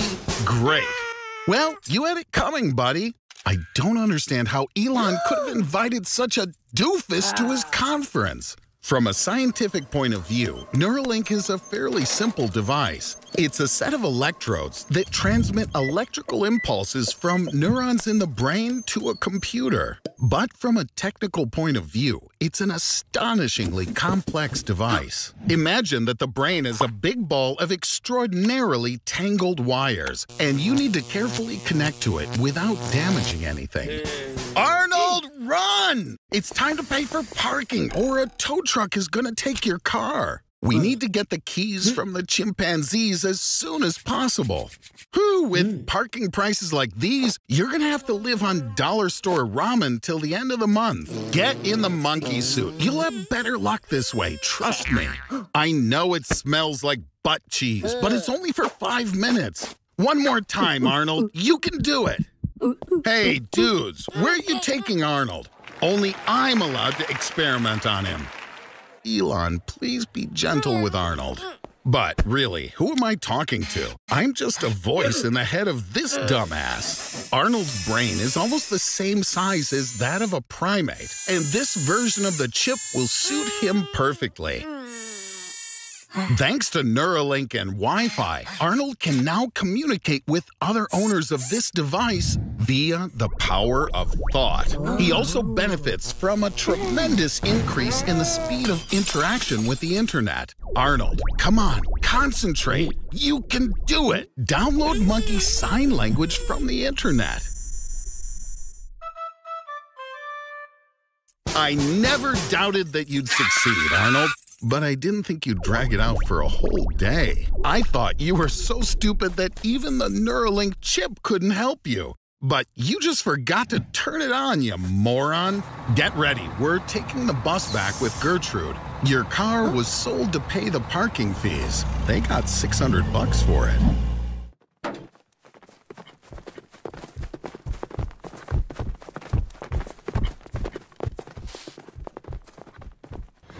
Hello, Arnold. You've been teleported a lot during our science show, but did you ever wonder how the teleporter works? There are several ways to travel through time. Let's start with wormholes. Where have you been dreaming of going? To Australia? No problem. Get in. A wormhole is a tunnel through the space-time continuum that theoretically could send you to any point in the universe in just a few seconds. But time is relative, Arnie, and it might take just a few seconds for you, but on Earth, decades could pass. Congratulations, Arnie. You're in Australia in the year 2050. It's a little uncomfortable, yeah? And what if you needed to move around at the same time? Quantum teleportation can help in this matter. Your body consists of 100 trillion cells, which in turn consists of 100 trillion atoms each. And each atom contains tiny pinpoint particles, quanta, which could help you teleport over huge distances. It would be great to find someone who could help you build a quantum teleporter. Well, look who's here. Rick and Morty. Arnie, take their drawings. With their help, you could create a device for instantaneous movement anywhere in the universe, and even into alternate universes. Now, when the teleporter's ready, climb into the box and make sure there's no one else inside. Well, so long, Arnold. In quantum teleportation, the original body dies and a duplicate is created at the destination point. No big loss in your case. Wow. I told you, during teleport, you need to be alone inside the booth. Don't touch anything in the laboratory. What have you done? Your DNA, which was hybridized with that of a scorpion, was transmitted through the satellite system and turned all the inhabitants of the planet into human-scorpion hybrids. You've destroyed Dimension C-137, you stupid idiot, Arnie. Rick and Morty would have traveled back to the original universe, where the mutants don't exist, but you can only do it a couple of times. I don't think we want to see what happens to Arnie in this universe. Better we go back to Australia. Fortunately, I saved Arnold's quantum data, and therefore have the ability to recover his useless body. Arnie, you should crawl through the wormhole in the direction of your home in 2018. And don't forget the blueprints of your body. It seems now we know how humanity will create a teleporter in 2050. He's already packed his stuff, fed his fish, and is ready to go on a top secret journey. Right in front of you is the new generation of the DeLorean. I've upgraded this Tesla so you can now travel not only to another city, but also to another year. 1986, for example. It worked! We're at the Chernobyl nuclear power plant just a few minutes before the disaster. Arnold, bring the camera. You're gonna shoot the explosion on it, and I'll post the video on YouTube. I'd say at least 20 million views are guaranteed. Hmm, is the battery already dead? Put it on charge. It's a European outlet, doofknuckle. You need an adapter. Or I guess not already. So, it's all because of you. It doesn't matter. You need to get out of here, fast. There's a power bank in the glove box. Plug it into the car. Damn it, it takes at least 60 seconds to charge. Get out the protective suit. Just by looking at the area, you'd never know that you're in a radiation zone. But in fact, the radiation here is cosmic. That's not quite what I expected. Maybe you swapped bags with someone. With radiation above 500 Roentgens, your hair and nails fall out instantly. Your skin turns red, and all those diseases you've got get worse. But you're lucky, Arnold. You won't feel much pain because you'll fall into a coma in three, two, oh, you're already out. This is due to the fact that the radiation here is 20,000 roentgens per hour, and this technology can't handle that onslaught. The battery should be enough to get you back to the year 2020. Go! What a trip that turned out to be. Hmm. I think you may need a visit to the oncologist. Arnold, do you know just how nincompoopian you look right now? I wonder who took your protective suit. Hmm.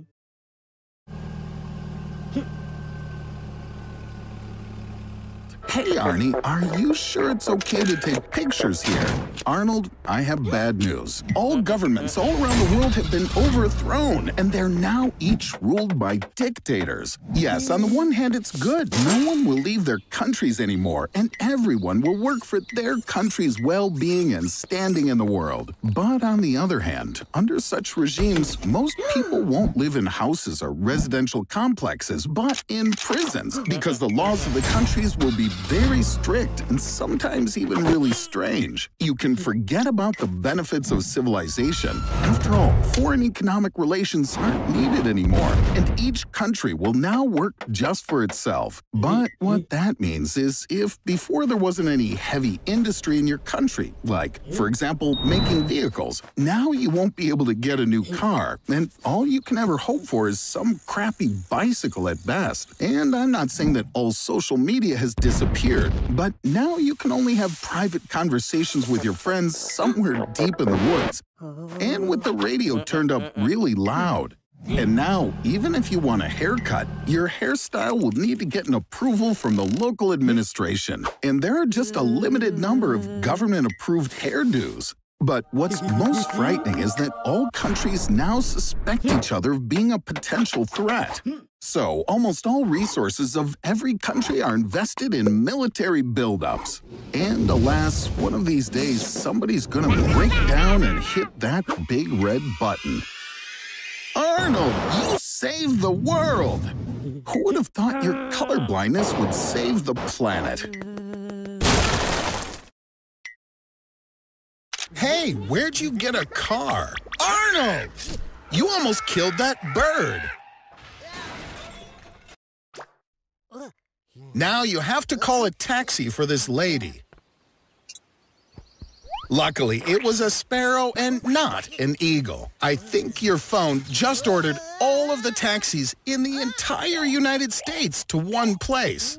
In the USA, about 230,000 people are registered as taxi drivers, more than half of whom are Uber drivers. All these cars lined up in a row will create a traffic jam with a length of 800 kilometers. One third of New York State will be paralyzed. It'll become difficult to breathe on the streets due to emissions increasing to double the usual amount. And because of that, you'll start coughing, feel nauseous, and might even suffer a stroke. Don't place your hopes on an ambulance, since it can't save you, or the other 3,000 patients who call an ambulance every day. You can take a chance and try to take the subway to the hospital, but the 6 million people who normally drive their cars are already on the subway. So today, there are about 11 million evil, angry, late people down there. Hey, he's the one who caused all the traffic jams. Criminals have already robbed half of the shops in the city because police can't respond to most crimes. Arnold, I think you'd better get out of the country altogether. There's a place for you on just about any plane leaving New York. People can't get to the airport, and planes are flying half empty. And from this company are losing more than $10,000 per flight. Does an Arnold always pay his debts? All the taxi drivers together spent about $15 million just on gas to come pick you up. How in the world will you pay? Arnold, do you really have the money?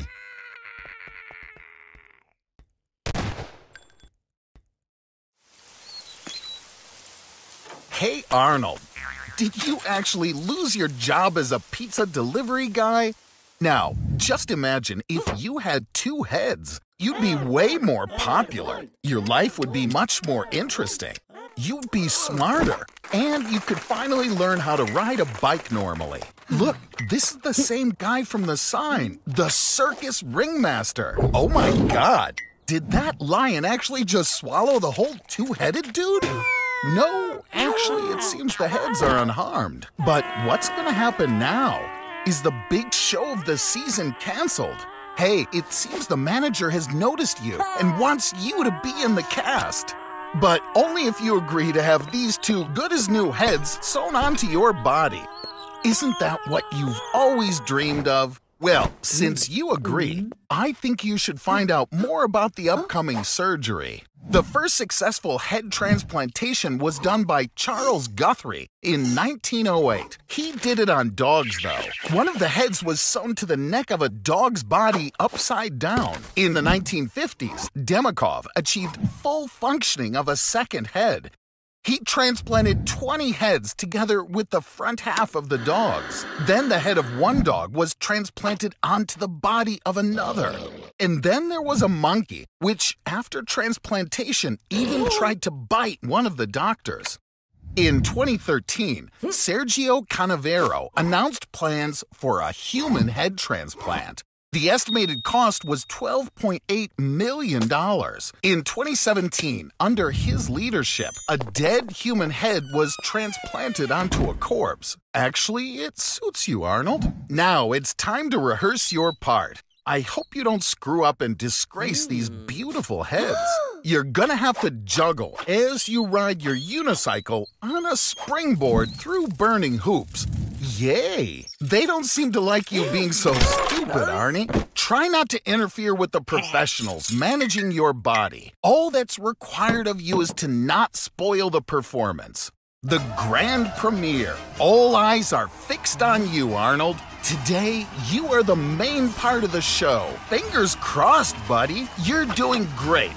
Just a little more. And is that Tagaya over there? Did she come to see you? No, no, don't get distracted. Not now, Arnold. What a doofwad. By trying to be a gentleman, you disgraced yourself and the Trull brothers. That was the greatest failure this circus has ever seen. Psst. Arnold! Arnold! Wake up!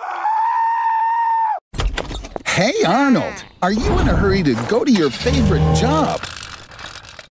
But why is everyone so gloomy? What? The boss says you beat up Chris yesterday, dumped trash on Jamie's desk, and did something disgusting with Miss Wallace. Of course, you don't remember any of that, but your colleagues don't care. Run, Arnie! This is the end, buddy.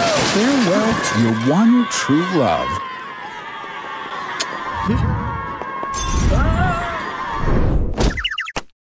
And here he is, our hero of the day. A strong blow to the head has woken up Jacob again, Arnie's other personality, or in scientific terms, his alter ego.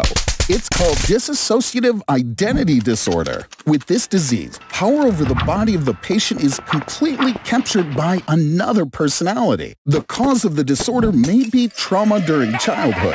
The child blocks off memories of bad events and starts to consider himself someone else. Jacob, unlike timid Arnold, doesn't suffer from multiple complexes. He's fearless and sexy, and he'll stop at nothing. Even somebody as petulant as Tagai is intrigued. But there is one thing. Jacob can only speak Dumi, which is a language common to only eastern Nepal.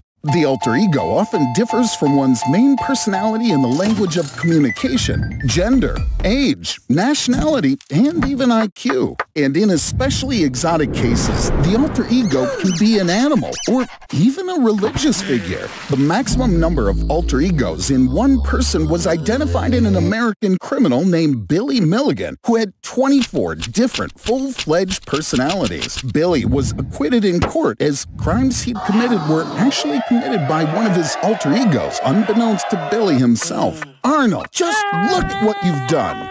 It seems now you think you're a psycho and you need to be treated. But split personality is not schizophrenia, and there's simply no cure. What's that? An SMS from Tagai. She wants you to come to her now. Inside Arnold, there can be only one.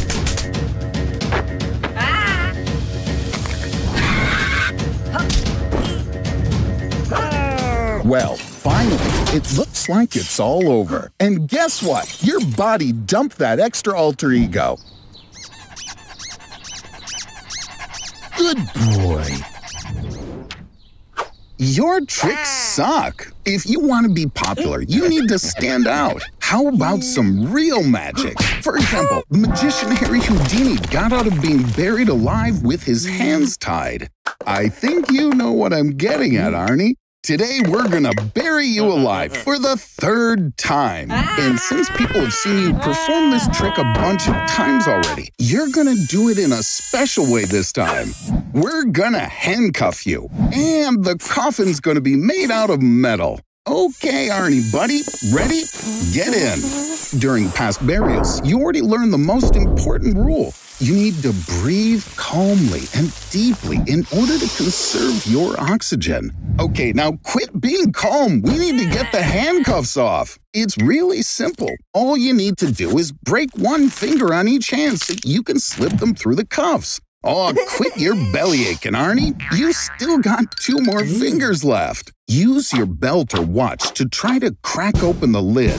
A metal coffin has weak points all along the edges. Come on, Arnie, I was kidding. You can't break through the metal doofus. There's two meters of earth above you, which is pressing down with a mass of almost two and a half tons. So this third burial will probably be your last. Arnie.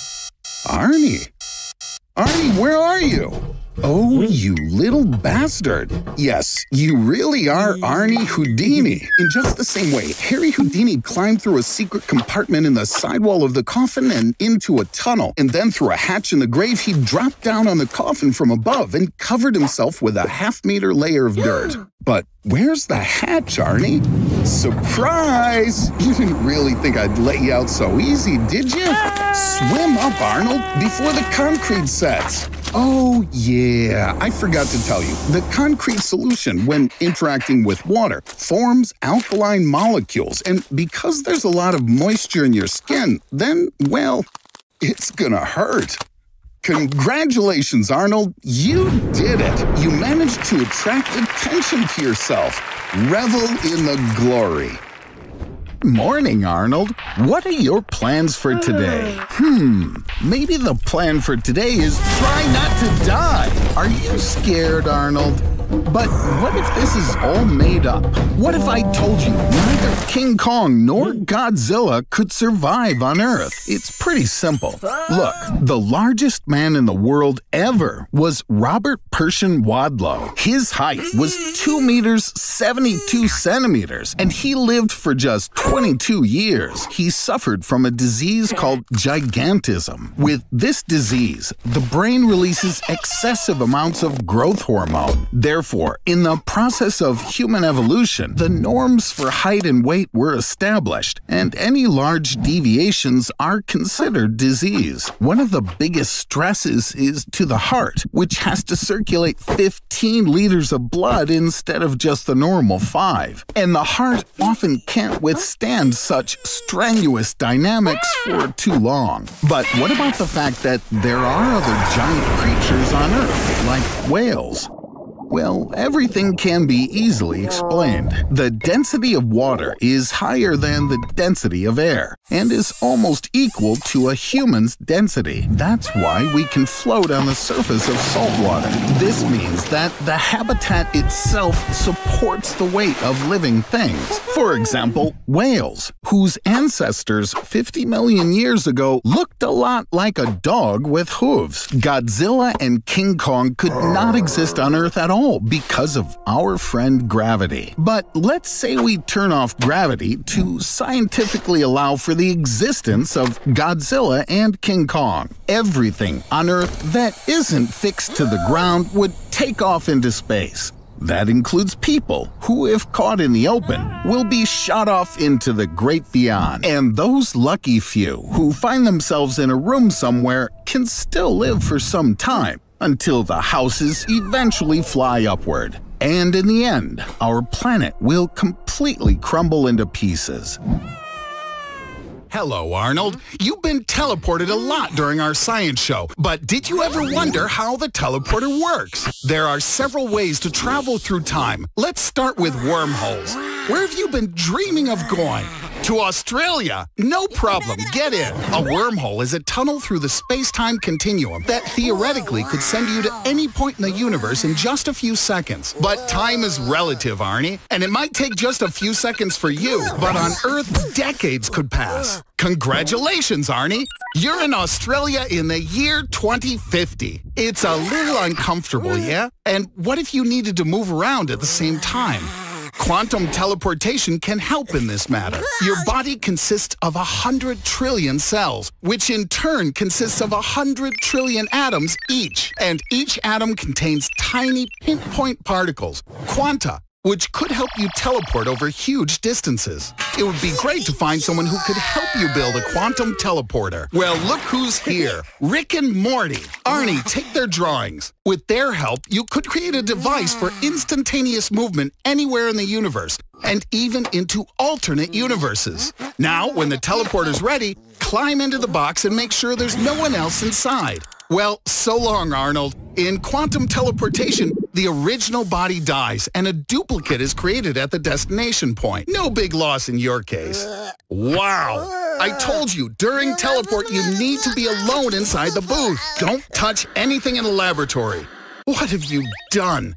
Your DNA, which was hybridized with that of a scorpion, was transmitted through the satellite system and turned all the inhabitants of the planet into human-scorpion hybrids. You've destroyed Dimension C-137, you stupid idiot, Arnie. Rick and Morty would have traveled back to the original universe, where the mutants don't exist, but you can only do it a couple of times. I don't think we want to see what happens to Arnie in this universe. Better we go back to Australia. Fortunately, I saved Arnold's quantum data, and therefore have the ability to recover his useless body. Arnie, you should crawl through the wormhole in the direction of your home in 2018. And don't forget the blueprints of your body.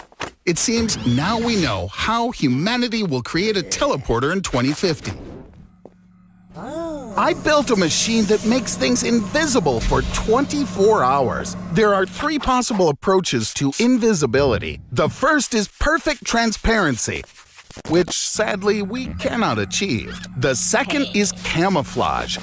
When the light rays emanating from the object correspond to the rays that we would expect to see in the absence of the object. This is exactly what my machine does. And the third and last approach is when an object is swathed in a metamaterial, something like an invisible hat, that transforms the path of light rays so that they seem unchanged. Now, we'll try it on a pizza. If everything works out, it will be a pizza that you won't have to share with your friends. Okay, I'm throwing the first switch. Did you know that the first three dimensional invisibility was achieved by a group from the University of California, Berkeley in 2008? They created a mesh of silver microfibers that doesn't reflect or absorb light rays. As a result, the eye sees light only from the objects behind the camouflaged entity. Now the second switch. Don't move, Arnold. Wait, what are you? Oh, you are such an imbecile. I'd smack you upside your head, but damn it, I don't know where you are. Put this hat on so I can see you. Okay, you have 24 hours. What are you gonna do? Who'd have any doubt that's where you'd go first? If my machine worked according to the principle of invisibility, you'd become blind because the invisible body's refractive index becomes equal to that of air, and the lenses in your eyes would lose the ability to reflect light rays and focus them on the retina. The retina itself also wouldn't be able to absorb visible light with its rods and cones due to its invisibility. But as I can see, your eyesight seems to be okay, you slobbering ignoramus. Okay, now that the gym is closing, can we do something else? You have mm-hmm. 18 hours left. I meant something a little more significant, you blockheaded jerk monkey. After all, you could reveal terrible ah. secrets and perform incredible feats. You could even make your way into Area 51. Oh, right, it's in a different state. Do you have any ideas? Are you thinking about stealing it? That's a terrible idea. In any case, you need a plan. Of course, thanks to invisibility, you'll be able to stay long after closing. But then you'll need to bypass the guards. And there are also lasers all around the diamond. Can you really do a triple somersault, steal the diamond, and leave the museum in the car that will bring new antiquities for the exposition exactly at 2 a.m.? Even so, this is a really bad idea. The museum closes in an hour. Go hide in the corner and wait. And take off your hat, you mutton headed twit. Get ready, Arnold. The main thing, obviously, is not to get caught. Arnold, it's go time! Oh, nuts! All you had to do was a triple somersault, and you screwed it up again. well, now, now you have to run for your life, Arnold! Decided to hang out in the park, did ya? Looks like this burrito was out of your league. Quick, find something to drink. Arnold, wait. God knows what might be in this magic shop. Well, since you've successfully solved your Mexican food problem, let's go have some fun. What a huge line. It looks like you'll have to wait for a bit. Or. Arnold, this is not a good thing to do. Looks like this cute little granny needs your help. Arnold, watch out! You know, Arnold, I decided to go to the morgue and say my final goodbyes to you. Oh my god, are you alive? No, you've been resurrected. It seems that the elixir you drank worked. You are now immortal. Congratulations, Arnold. You will now be the longest living organism on Earth. Your body is now regenerating, and the term cellular senescence is now just a joke for you. Well, how are you going to use your immortality? Got it. You'll cross the road on red grope random girls. You'll also win the Kenny McCormick Lookalike Contest. That's ridiculous. You have an infinite number of years ahead of you, and you waste them on this? Arnold, you could study everything in the world, learn any martial art, and even go explore and colonize new galaxies. Arnold, how about maybe stop wasting your time? Okay, so maybe for 200 years, you're gonna binge watch every single Netflix series. I see you got a little bored. Plus, your house has started to decay and you're still young. One of the disadvantages of immortality is that you have to outlive all your loved ones. In addition, the world around you is changing rapidly, but you will lag behind in progress and you will feel superfluous in society everything that was once important to you will gradually disappear. Over time, everything will cease to please and surprise you at all because you've already seen everything. You will become deeply depressed. Arnold, you're just a magnet for trouble. That looks really bad. You need immediate hospitalization. You're not going to make it to the hospital. Your heart could stop. You need an emergency blood transfusion to maintain pressure in your circulatory system. During the Vietnam War, coconut IVs were sometimes used to treat the wounded. Amazingly, coconut water is quite similar to human blood plasma. So, what do we have? Cola. Okay, let's get to work. But first, you need to get rid of all the gas. If the gas contained in the drink gets inside your blood vessels, it'll literally tear you apart from the inside. Cola contains sugar, glucose. This is a perfect source of fast energy and allows you to really perk up. It seems to have worked. The cola has taken root in your body. But your appearance has changed just a little, buddy. Even oh. your hair has changed color. But on the other hand, you'll be a most welcome guest at any children's party. With so much caffeine in the cola mm. running through your veins, you only have to sleep once every three days. Now, you have much more time than regular people. After all, even professional athletes drink cola for a quick dose of energy. And you can always get a refill at the nearest supermarket. No, stop, you kamikaze nutball! Just one single Mentos could turn you into a surface to air missile. Don't worry, it won't ruin your day. Cola even helps combat mild depression. But To be honest, Arnold, cola in your blood is actually deadly. Your eyes, kidneys, nerves, and heart suffer the most. Yeah, looks like cola's not an option. So, what do you say? Let's try Pepsi next time.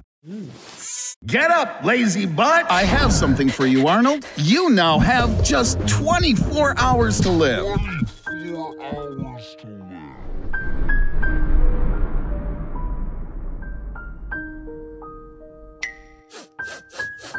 I think you should Google what to do in such a situation. Yeah. First, clear your browser history. And here are the top three ah. answers to this burning question How would you spend the ah. last day of your life? With loved ones? I think for you, Arnold, this probably ain't the right answer. The second option is to gorge yourself on junk food. Well, you already do that every day. And finally, number three, spend the day at the ocean with a loved one. Ooh, it just got interesting. Arnold, are you really gonna do what you've been dreaming of all your life? Whoopsie daisy, somebody ran out of gas and money. Money, money, money. Great idea! You can get a loan and really live it up on your last day. Get the maximum. You'll feel like the richest dude on the planet. Jeff Bezos, the owner of Amazon, makes enough money to buy a new Tesla Model S every 50 seconds. You're rich now, Arnold. You can rent your own plane and fly anywhere you want. What are you up to? Wow, you're gonna take Tagaya from her boyfriend and take her on a trip with you. Arnold, you're my hero. Ah, if only we could turn back time and make this moment really last. What if I told you it's possible to keep the day from ending? You need to overtake the sun. To do this, we gotta fly west along the equator at a speed of 1,667 kilometers per hour. If you can fly at that speed, the day will never end. Regrettably, this won't affect your lifetimer in the slightest. It's your last few seconds, Arnold.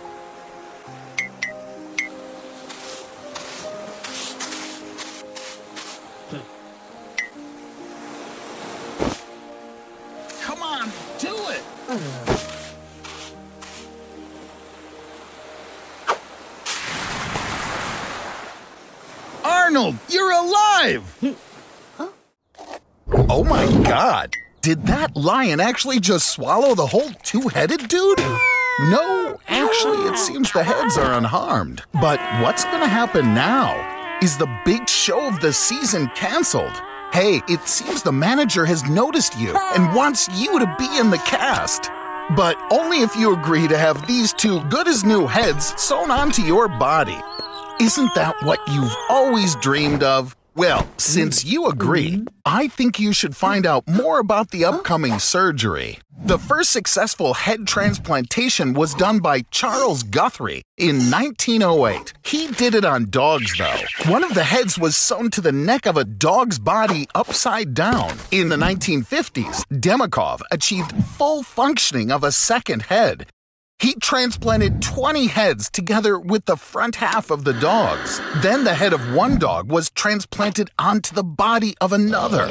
And then there was a monkey, which, after transplantation, even tried to bite one of the doctors. In 2013, hmm. Sergio Canavero announced plans for a human head transplant. The estimated cost was $12.8 million. In 2017, under his leadership, a dead human head was transplanted onto a corpse. Actually, it suits you, Arnold. Now it's time to rehearse your part. I hope you don't screw up and disgrace these hmm. beautiful heads. You're gonna have to juggle as you ride your unicycle on a springboard through burning hoops. Yay! They don't seem to like you being so stupid, Arnie. Try not to interfere with the professionals managing your body. All that's required of you is to not spoil the performance. The grand premiere. All eyes are fixed on you, Arnold. Today, you are the main part of the show. Fingers crossed, buddy. You're doing great. Just a little more, and is that Tagaya over there? Did she come to see you? No, no, don't get distracted. Not now, Arnold. What a doofwad. By trying to be a gentleman, you disgraced yourself and the Troll brothers. That was the greatest failure this circus has ever seen. What could be more wonderful than a summer walk in the park? Eh. We don't choose our destiny, it chooses us. Arnold, look out! Wow, looks like someone spilled radioactive waste here. Hey, Arnold, now you can be a superhero. Did you know that Marvel's Wolverine was originally going to be called Badger Man? So in this case, you are Beef Skunk Pecker Man. Cool. This is the first time in history when a superhero has three superpowers. But you're not the only one with superpowers, Arnie. For example, a sword master from Japan, Isao Machi, is able to cut a bullet traveling at a speed of 320 kilometers per hour. Slavisha Pajkic from Serbia can literally handle 20,000 volts of electricity, and he can also cook food by running electric current through his body. Wim Hof from the Netherlands is able to withstand below zero temperatures for hours and even climb Mount Everest in his underpants. What about you, Arnold? Wow, congratulations! I see you've gained the ability to hammer nails with your skull, build dams, and even breed superflies on your own body. But seriously, if you think your superpowers are ludicrous, check out DC Comics Dog Welder, whose power is to weld dogs to his enemies. Zeitgeist from the X Men, after an all night drinking binge, discovered he had the ability to puke acid. Did you know Batman's net worth is $98 billion? Seems like being a superhero can be a very lucrative business. And the very first copy of the Superman comic book was sold at auction for $3.5 million. And judging by the number of requests on Google, Spider Man is now more popular than the President of the United States. Arnold, I know this is very cool, but still, the main job of a superhero is not to bask in glory, but to fight for good. Hey guys, the world is in danger. The world is doomed without you. Okay, don't say I didn't warn you.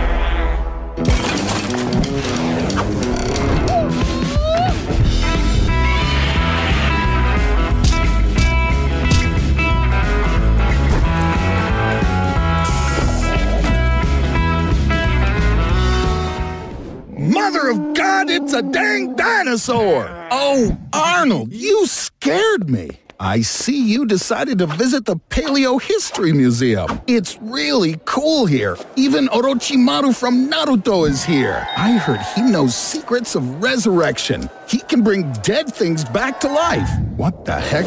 No. He's using it on the dinosaurs. Run, you dang fools! Dinosaurs are very dangerous, whether it's herbivores, carnivores, or even those radical dinosaurs. They're insanely angry, and you would be too if you hadn't eaten in 66 million years. Furthermore, the dinosaurs are hmm. getting even angrier now that they see what happened to their hmm. descendants over the course of evolution. All the world's leaders have declared martial law. Alas, very little is really known about the true behavior of dinosaurs. It seems the best solution they've come up with is to hire a rabid turkey specialist. Yee! Attack! Dinosaurs reigned on Earth for 160 million years, but the fall of a meteorite changed the course of evolution and allowed for the development of our ancestors' mammals. Now, only the strongest will survive. But what in tarnation's going on now? Wait. I think I get it. Over the last 66 million years, the Earth's climate has gotten colder and the amount of carbon dioxide in the atmosphere has changed. It looks like dinosaurs can't live here anymore and are gonna die out once again. Hmm, what to do? In theory, we could build a Jurassic Park. We'll feed them and artificially maintain the climate. This place could be the most profitable tourist spot in the world. And we'll also be a global supplier of eggs and manure, dino poop. But then again, an ordinary dinosaur eats a ton of grass a day, or more than 100 kilograms of meat.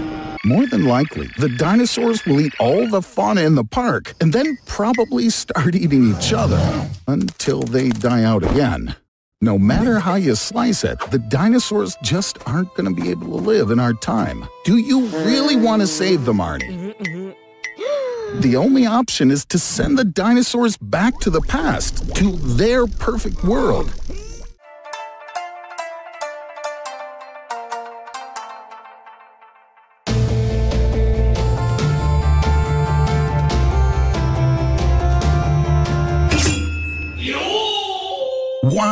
This is Seiko Chidori, former captain of the Sky Guard. As a child, he was admitted to the Heaven Corps, where he defended his country from the Shinigami, vampires, pirates, and Girls und Panzer. When all his friends turned away from him, he was left alone with a darkness inside of him. Arnold, you are now in the most popular anime genre, shonen. Shonen is a story about a hero that starts out at the bottom, then makes his way to the top, finally defeating his main opponent. You have to train hard to get stronger and understand his philosophy. Forward is the only way.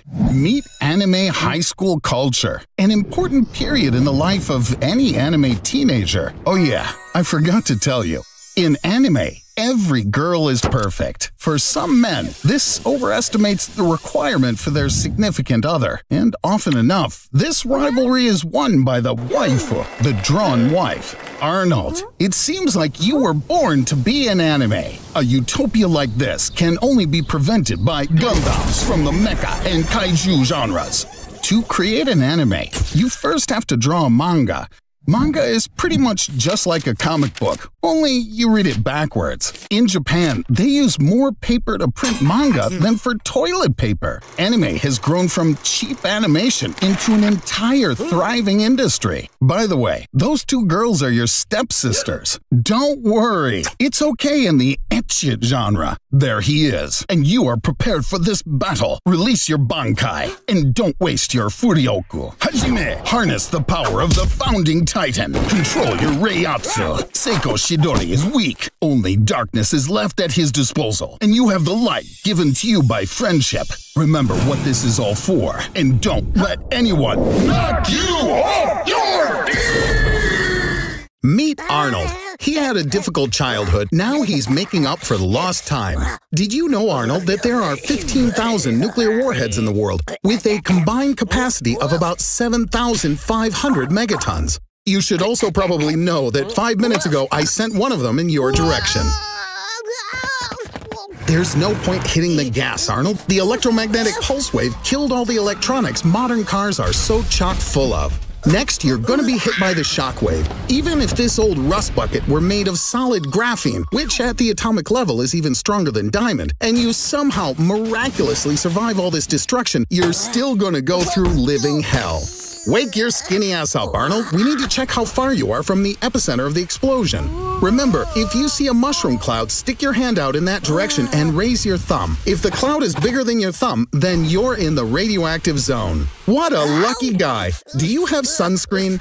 It won't help, you dumbass. I'm joking. You should run away from here. Fast. Radioactive isotopes in small quantities have already begun to slowly destroy your DNA. How do you feel, my friend? Yes, that's right, it's a good time for a shower. Avoiding contact with contaminated items and using special water procedures can increase your chances of survival. Do you have a water filter, Arnold? Even the weakest radiation will result in progressively malignant tumors.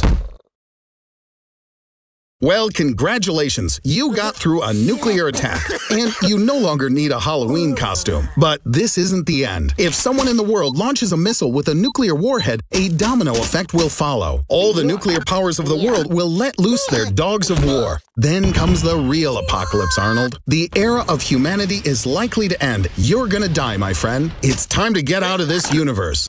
Arnie! Arnie, wake up!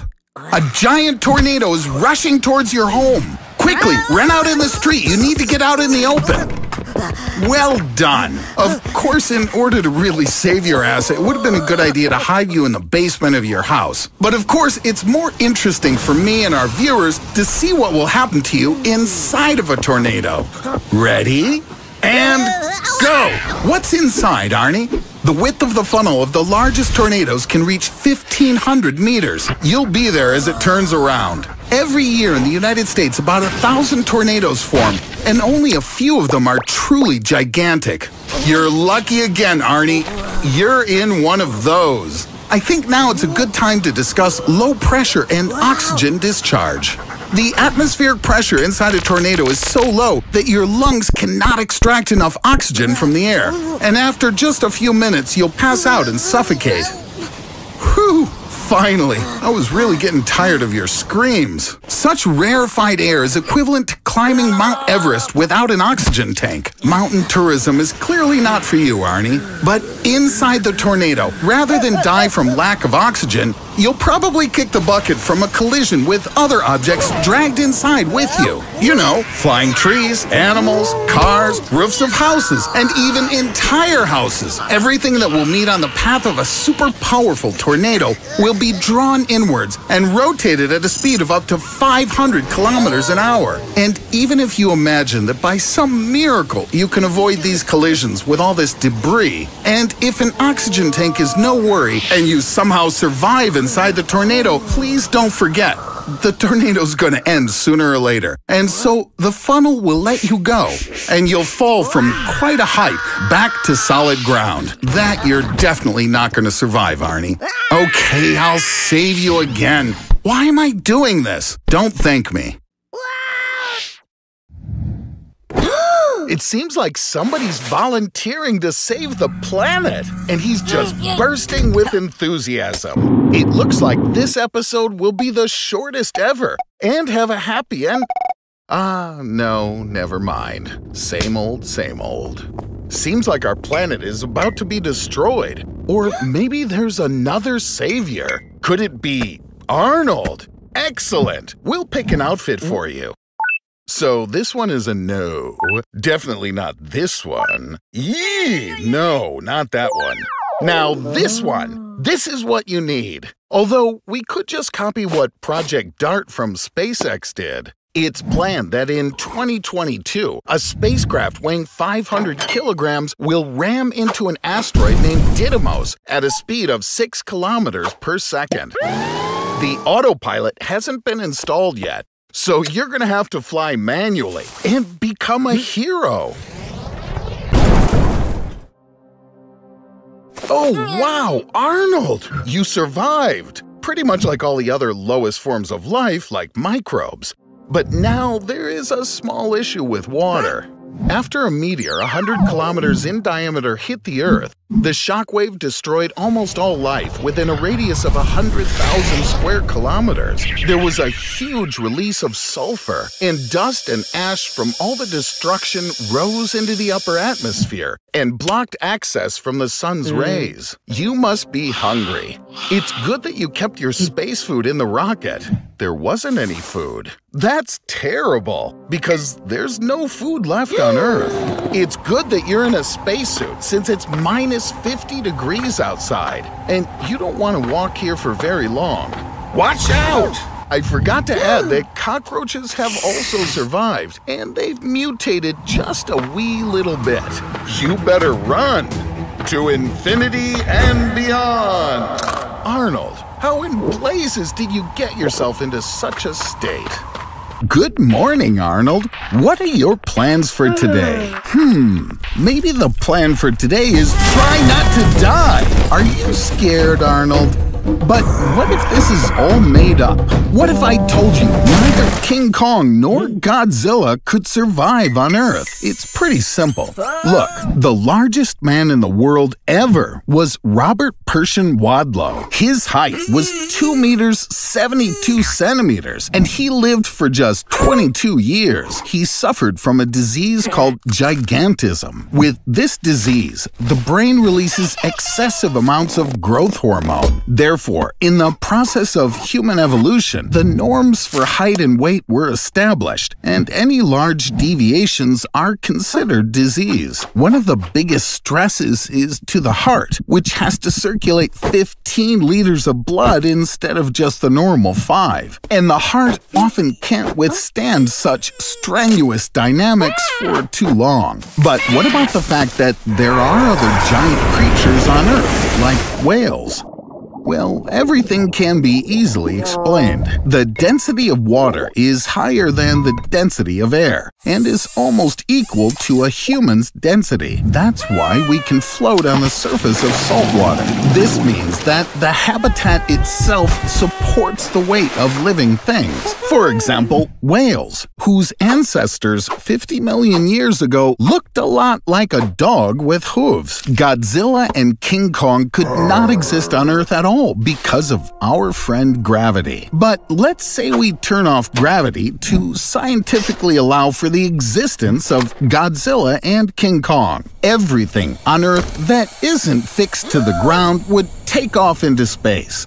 That includes people who, if caught in the open, will be shot off into the great beyond. And those lucky few who find themselves in a room somewhere can still live for some time until the houses eventually fly upward. And in the end, our planet will completely crumble into pieces. Therefore, in order to destroy the Earth, you don't need to wait for a fight between two giants. You can simply turn off gravity.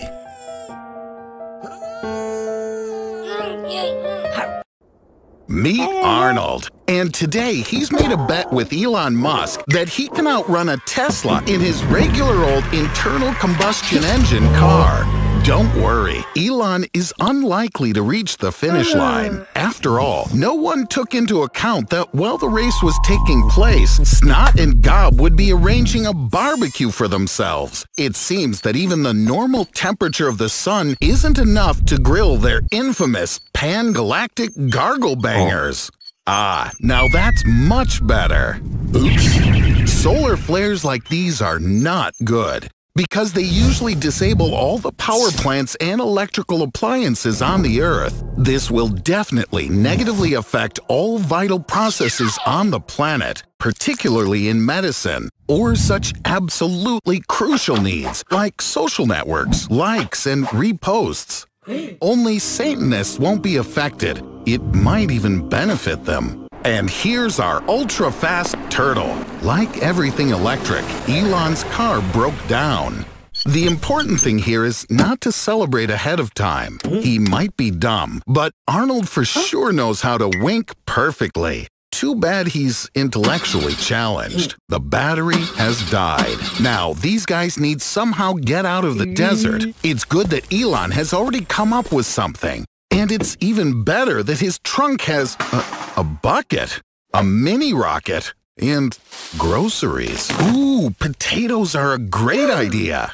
After all, one potato can stably deliver 0.5 volts of voltage. It will take about 13 volts to start Arnold's combustion engine car. So, with 26 potatoes, a zinc nail, and copper wire, we should have enough to start the car.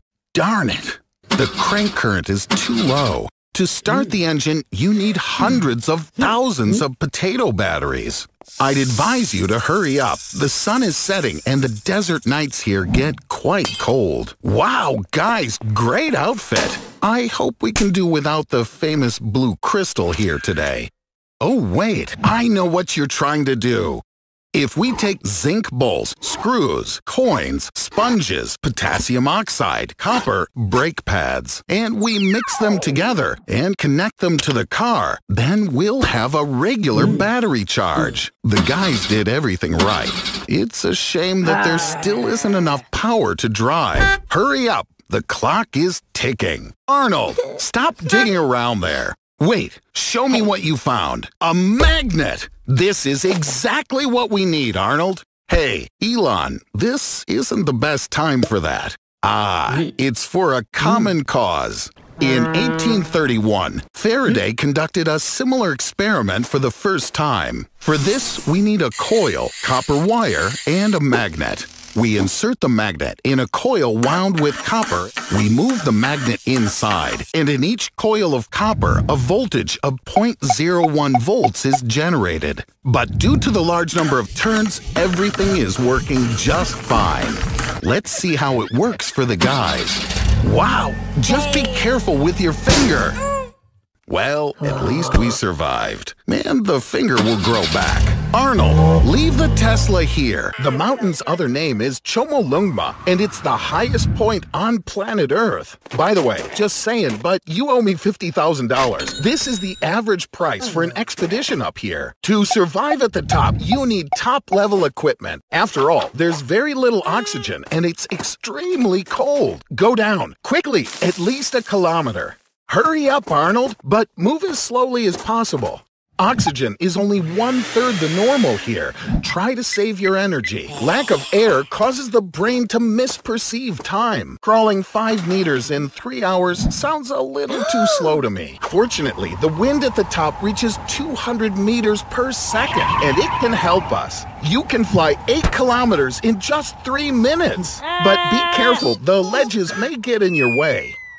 Lucky you, mm. you fell into the trash. The government pays $2 for every kilogram of garbage collected. I see you're trying to pay me my $50,000 back. Arnold, try not to breathe so much. At a temperature of minus 60 degrees Celsius, your lungs will begin to dry out. Mountain coughs are so bad they can even break your ribs.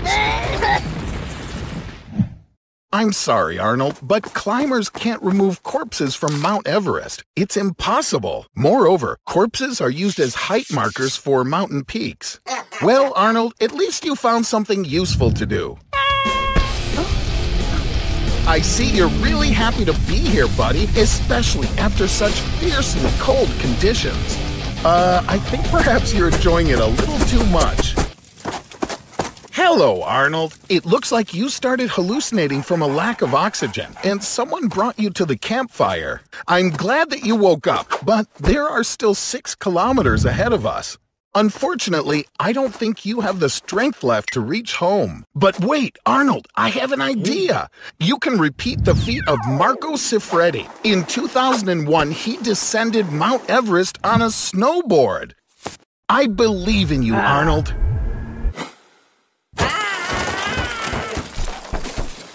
Multiple broken bones, and the last stages of frostbite. But we reached the Earth! Arnold, it's unbelievable! Come on, shout with me. Hooray! Arnold, I was just kidding.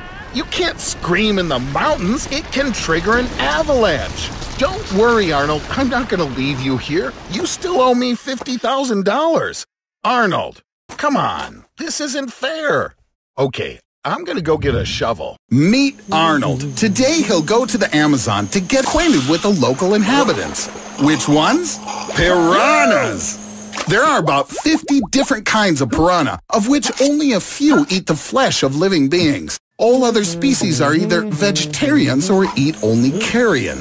Arnie, guess what piranhas you're gonna meet? My smart boy, you're right! Fortunately for Arnie, and to the disappointment of our viewers, in science there has never been recorded even a single case of piranhas attacking and killing a person. Well then, we're gonna have to create such a case. Arnie, jump in! As you can see, you're absolutely uninteresting to them. And what's more, they're even afraid of you. Aggressiveness in piranhas depends on several factors. The first is heat. Add temperature, please. Thank you.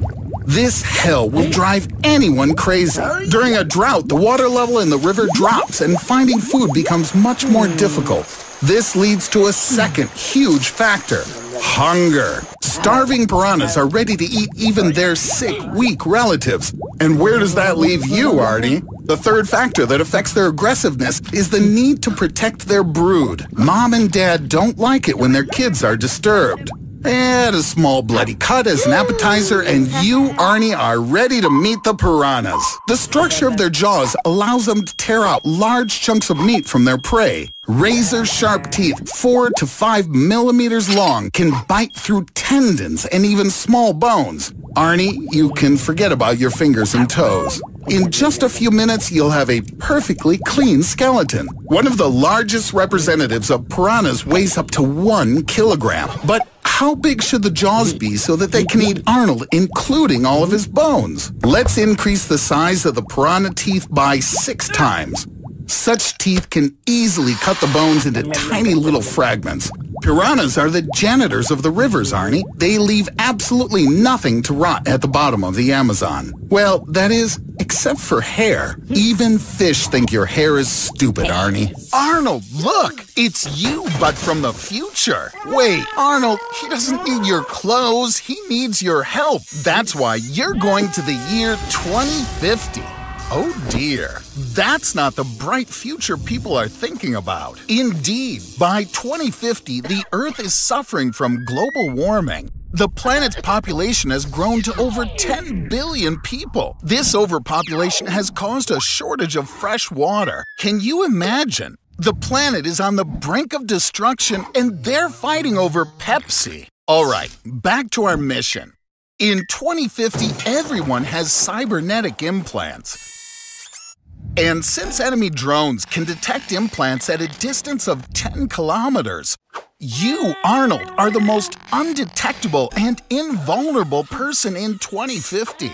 You are the one who will help change the course of the war. Soldiers assemble! And so, Arnold, the enemy has been spotted in the north, but the way is blocked by electromagnetic guns. Instead of projectiles, they fire electrical impulses, and the impulse speed exceeds 7,000 kilometers an hour. We have to find shelter. Quick, go down into the subway. You escaped the guns, Arnold, but there are other problems now. Drones detected by scanners. And don't worry, Arnold. Remember, these drones won't even notice you. You just need to rush past them and turn off the power.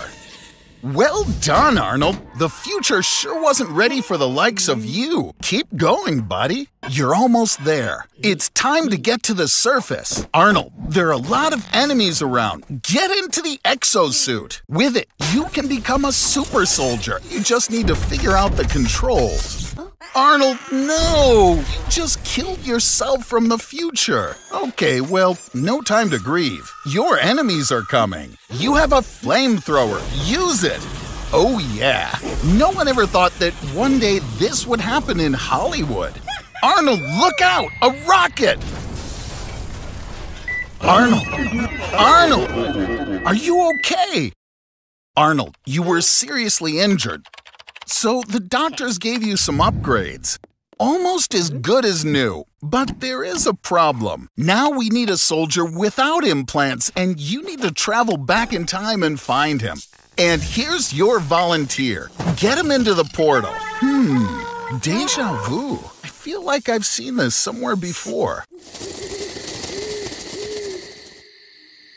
Meet Arnold. He's now a Transylvanian delicacy stuffed with rice. Sorry, Arnold, I'm not a big fan of such gory scenarios. So let's take a look at some interesting information. Let's wish Arnold's new friends a big bon appetit. Now, we should probably get to know them a little better. So, werewolves are called lycanthropes. That's the name they got from ancient Greece. The author of the term is Herodotus, a historian from 2,500 years ago, who, when describing Scythia, mentioned people who could instantly turn into wolves. As for vampires, the word vampire first appeared in the Oxford English Dictionary back in 1734. Arnold, you're alive! I'm so happy. But wait, what's that on your neck? No. You gotta be kidding me! You're actually the first person ever to get bitten by both a vampire and a werewolf at the same time. I'm already wondering just oh. what the heck you're gonna look like. Well, you try to figure out how that's gonna work. Moreover, back in medieval times, redheads were considered vampires. Ooh! Frankie has already added you to his friend list. That's sweet. He's also assembled from a bunch of random crap, just like you. Everyone knows about the ancient animosity that exists between vampires and werewolves. But I would have never guessed that I'd see such a thing in a single body. Oh, so you're getting hungry now. And you need food for two. Go, search for your victim. The perfect victim. Bon appetit, Arnie. Wait, Arnold, where are you? What did you expect? You can't go against the call of the wild. Just remember to clean up after your dog. Way to be a bloodsucker. With your moves, Arnold, you need to start thinking about going vegan. Ooh, I forgot to warn you. A double creature gets a double hunt. You need to put aside your differences, because you've got common enemies now. Prayer ain't gonna help you, buddy. And of course, garlic is deadly to you now, you moron. You're not the first ah. victim of the hunt.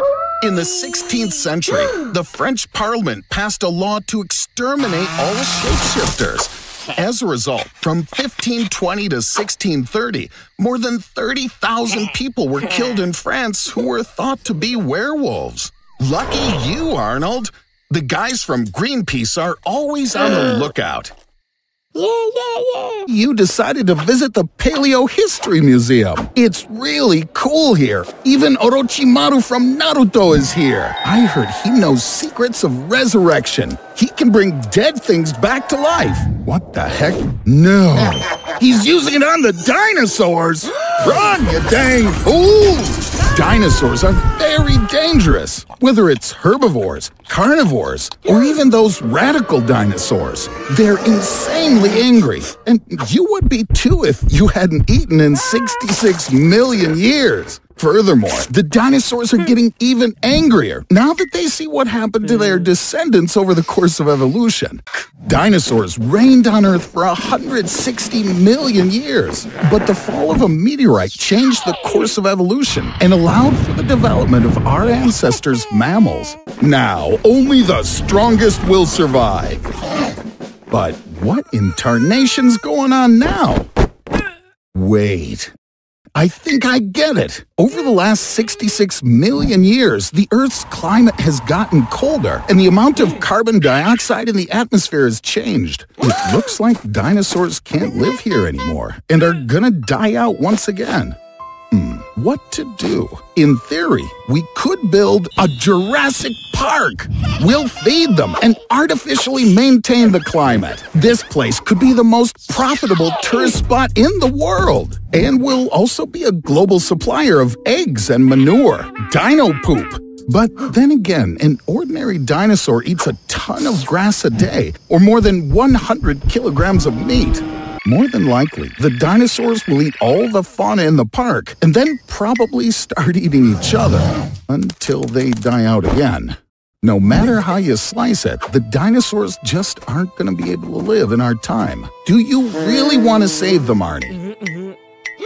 The only option is to send the dinosaurs back to the past, to their perfect world.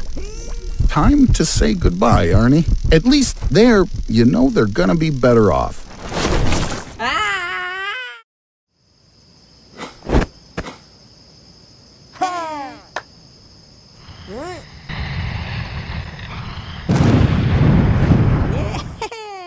Arnold, what are you doing here? Oh, are you on a date? That's cool, but you sure could find a place more romantic than this cafe on the outskirts of the city.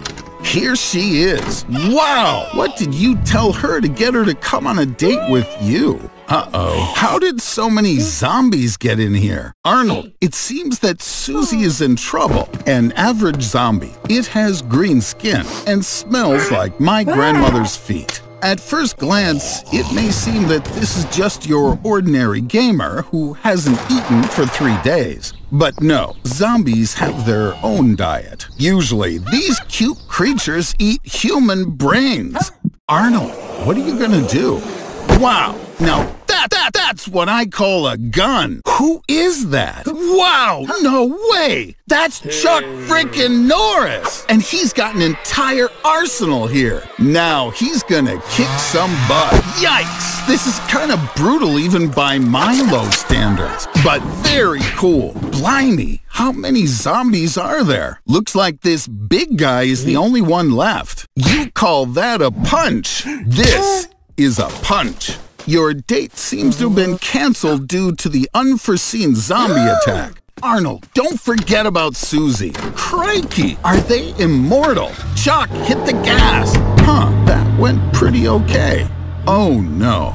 Look, Arnie, you and Susie have something in common. Just like you, she loses her fingers. Hmm, it seems she's getting worse. Quick, do something. You guys gotta save her. So this is the guy can help us. Who the heck is he anyway? Grigory Rasputin. What a creepy place. Even worse than that cafe you invited Susie to, Arnold.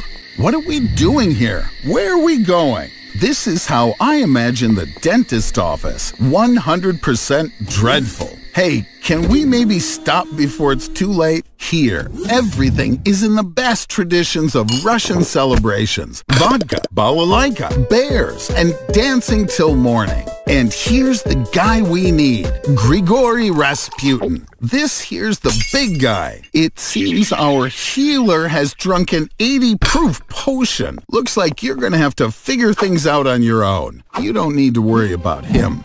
Everyone is talking about the new vaccine. Many have already tried it out on themselves, but it turns out it has a side effect. People turn into zombies. This Rasputin guy turned out to be a real necromancer. He took advantage of the situation and invented a vaccine that destroys the virus, but turns the living into zombies. Even Chuck is shocked. Chuck, your turn.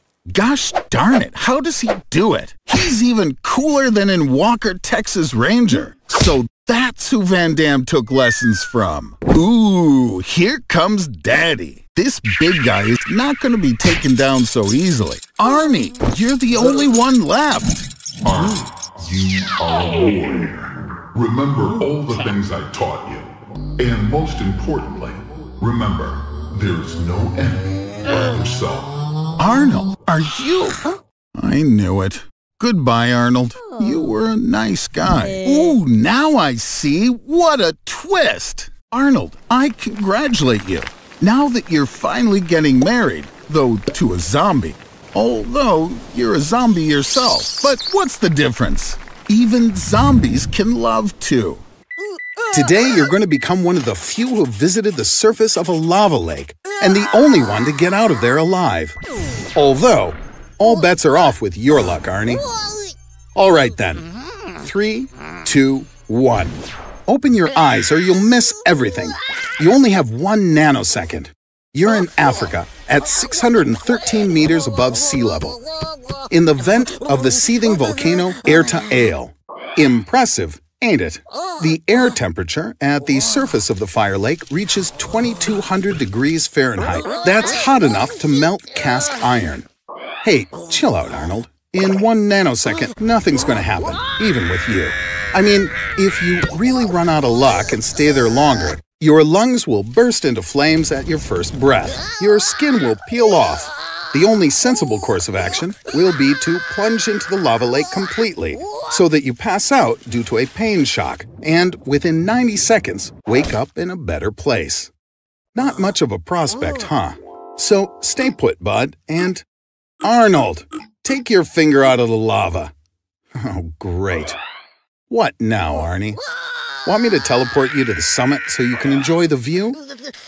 Earth 2020, and you're now the happiest human alive. Because you're the only human alive. Everyone else on the planet disintegrated when a dark matter experiment went awry. What are your plans, Arnold? Hey, where are you going? I wonder how long you can survive. With no one to work at power plants, there's no more electricity, and that means no heat, no fridge, and no clean water. Maybe you should look up some survival tips on the internet. Oh, wait, there's no internet anymore. You're just going to have to figure out how to survive on your own. Water. Bottled water has a shelf life of about two years, and you can sterilize river water with strong alcohol. What about food? The only food products with an unlimited shelf life are rice, powdered milk, and honey. And to be honest, I think it's unlikely you're ever going to master the art of hunting. To diversify your diet, you're going to have to move to Mexico. It's warmer there and you can take up farming. You're also going to need to acquire some medical skills so you don't die the first time you cut yourself. And even after solving all these basic survival issues, you'll have to try not to lose your mind from the absolute and unrelenting loneliness. Well, looks like you made it, Arnold. Alone, and without all those pesky people who produce foodstuffs, build houses, manage water treatment facilities, monitor sensors at nuclear power plants, and control space stations. Wake up, Arnold. Megalodon has swallowed you. Knock knock, Arnold. Follow the white rabbit. Megalodon is a shark of the family Otodontidae, 50 feet long and 88,000 pounds in weight. This is the most dangerous hunter of the sea depths, located at the very top of the food chain. Megalodons feed on small whales, which, however, surpass them in size. Not possessing either high speed or endurance, megalodons ram their victims, trying to break their bones and damage vital organs such as the heart and lungs. Megalodon has 276 teeth, arranged in five rows, the largest of them reaching 19 centimeters long. This is three times more than those of the great white. Megalodon's jaw is 2 meters high, 2.5 meters wide, and has a bite force reaching 100 kilonewtons. That's nine times greater than a great white shark and allows Megalodon to even snap the spines of small whales. Meet Arnold, and he looks hungry. Arnold, look! It's you, but from the future. Wait, Arnold, he doesn't need your clothes, he needs your help. That's why you're going to the year 2050. Oh dear, that's not the bright future people are thinking about. Indeed, by 2050, the Earth is suffering from global warming. The planet's population has grown to over 10 billion people. This overpopulation has caused a shortage of fresh water. Can you imagine? The planet is on the brink of destruction and they're fighting over Pepsi. All right, back to our mission. In 2050, everyone has cybernetic implants. And since enemy drones can detect implants at a distance of 10 kilometers, you, Arnold, are the most undetectable and invulnerable person in 2050. You are the one who will help change the course of the war. Soldiers assemble! And so, Arnold, the enemy has been spotted in the north, but the way is blocked by electromagnetic guns, and the impulse speed exceeds 7,000 kilometers an hour. We have to find shelter. Quick, go down into the subway. You escaped the guns, Arnold, but there are other problems now. Drones detected by scanners. And don't worry, Arnold. Remember, these drones won't even notice you. You just need to rush past them and turn off the power. Well done, Arnold. The future sure wasn't ready for the likes of you. Keep going, buddy. You're almost there. It's time to get to the surface. Arnold, there are a lot of enemies around. Get into the exosuit. With it, you can become a super soldier and travel long distances without getting tired. And all physical activity becomes 20 times easier than it was before. You're unstoppable now, Arnold. Now you just need to figure out the controls. Arnold, no! You just killed yourself from the future. Okay, well, no time to grieve. Your enemies are coming. You have a flamethrower. Use it. Oh, yeah. No one ever thought that one day this would happen in Hollywood.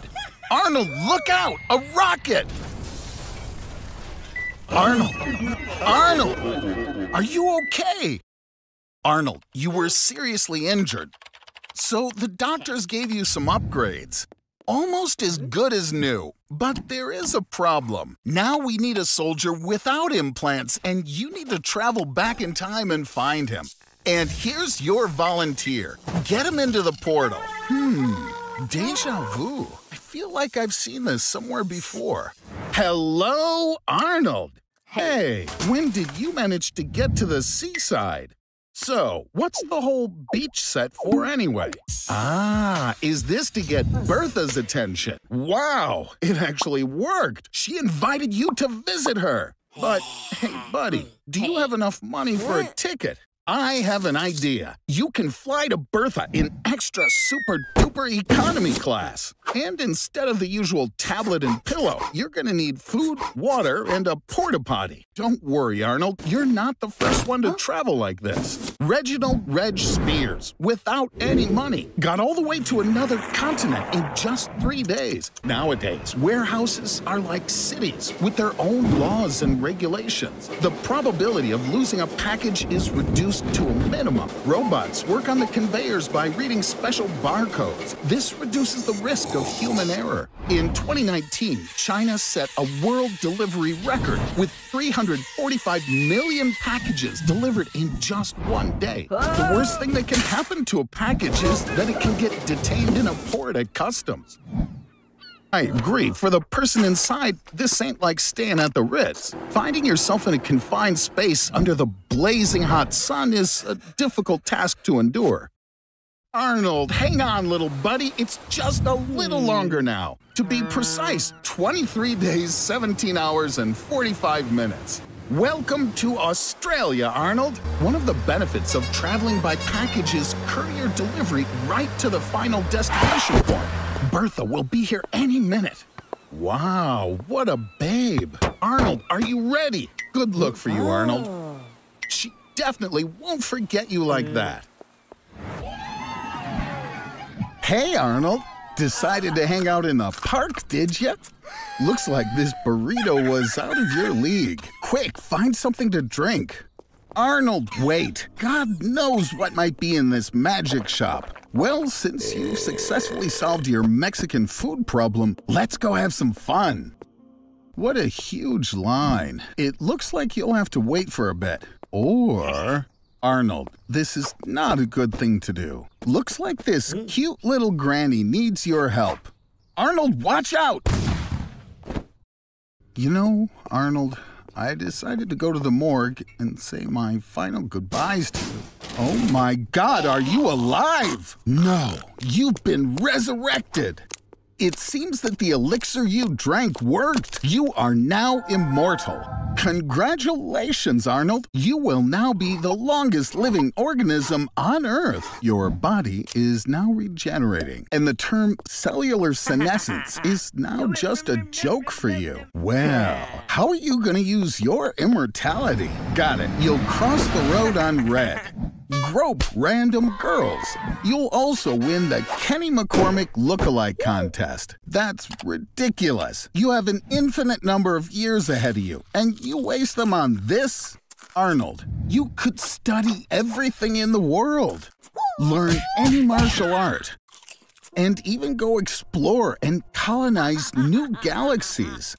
Arnold, how about maybe stop wasting your time? Okay, so maybe for 200 years, you're gonna binge watch every single Netflix series. I see you got a little bored. Plus, your house has started to decay and you're still young. One of the disadvantages of immortality is that you have to outlive all your loved ones. In addition, the world around you is changing rapidly, but you will lag behind in progress and you will feel superfluous in society. Everything that was once important to you will gradually disappear. Over time, everything will cease to please and surprise you at all because you've already seen everything. You will become deeply depressed.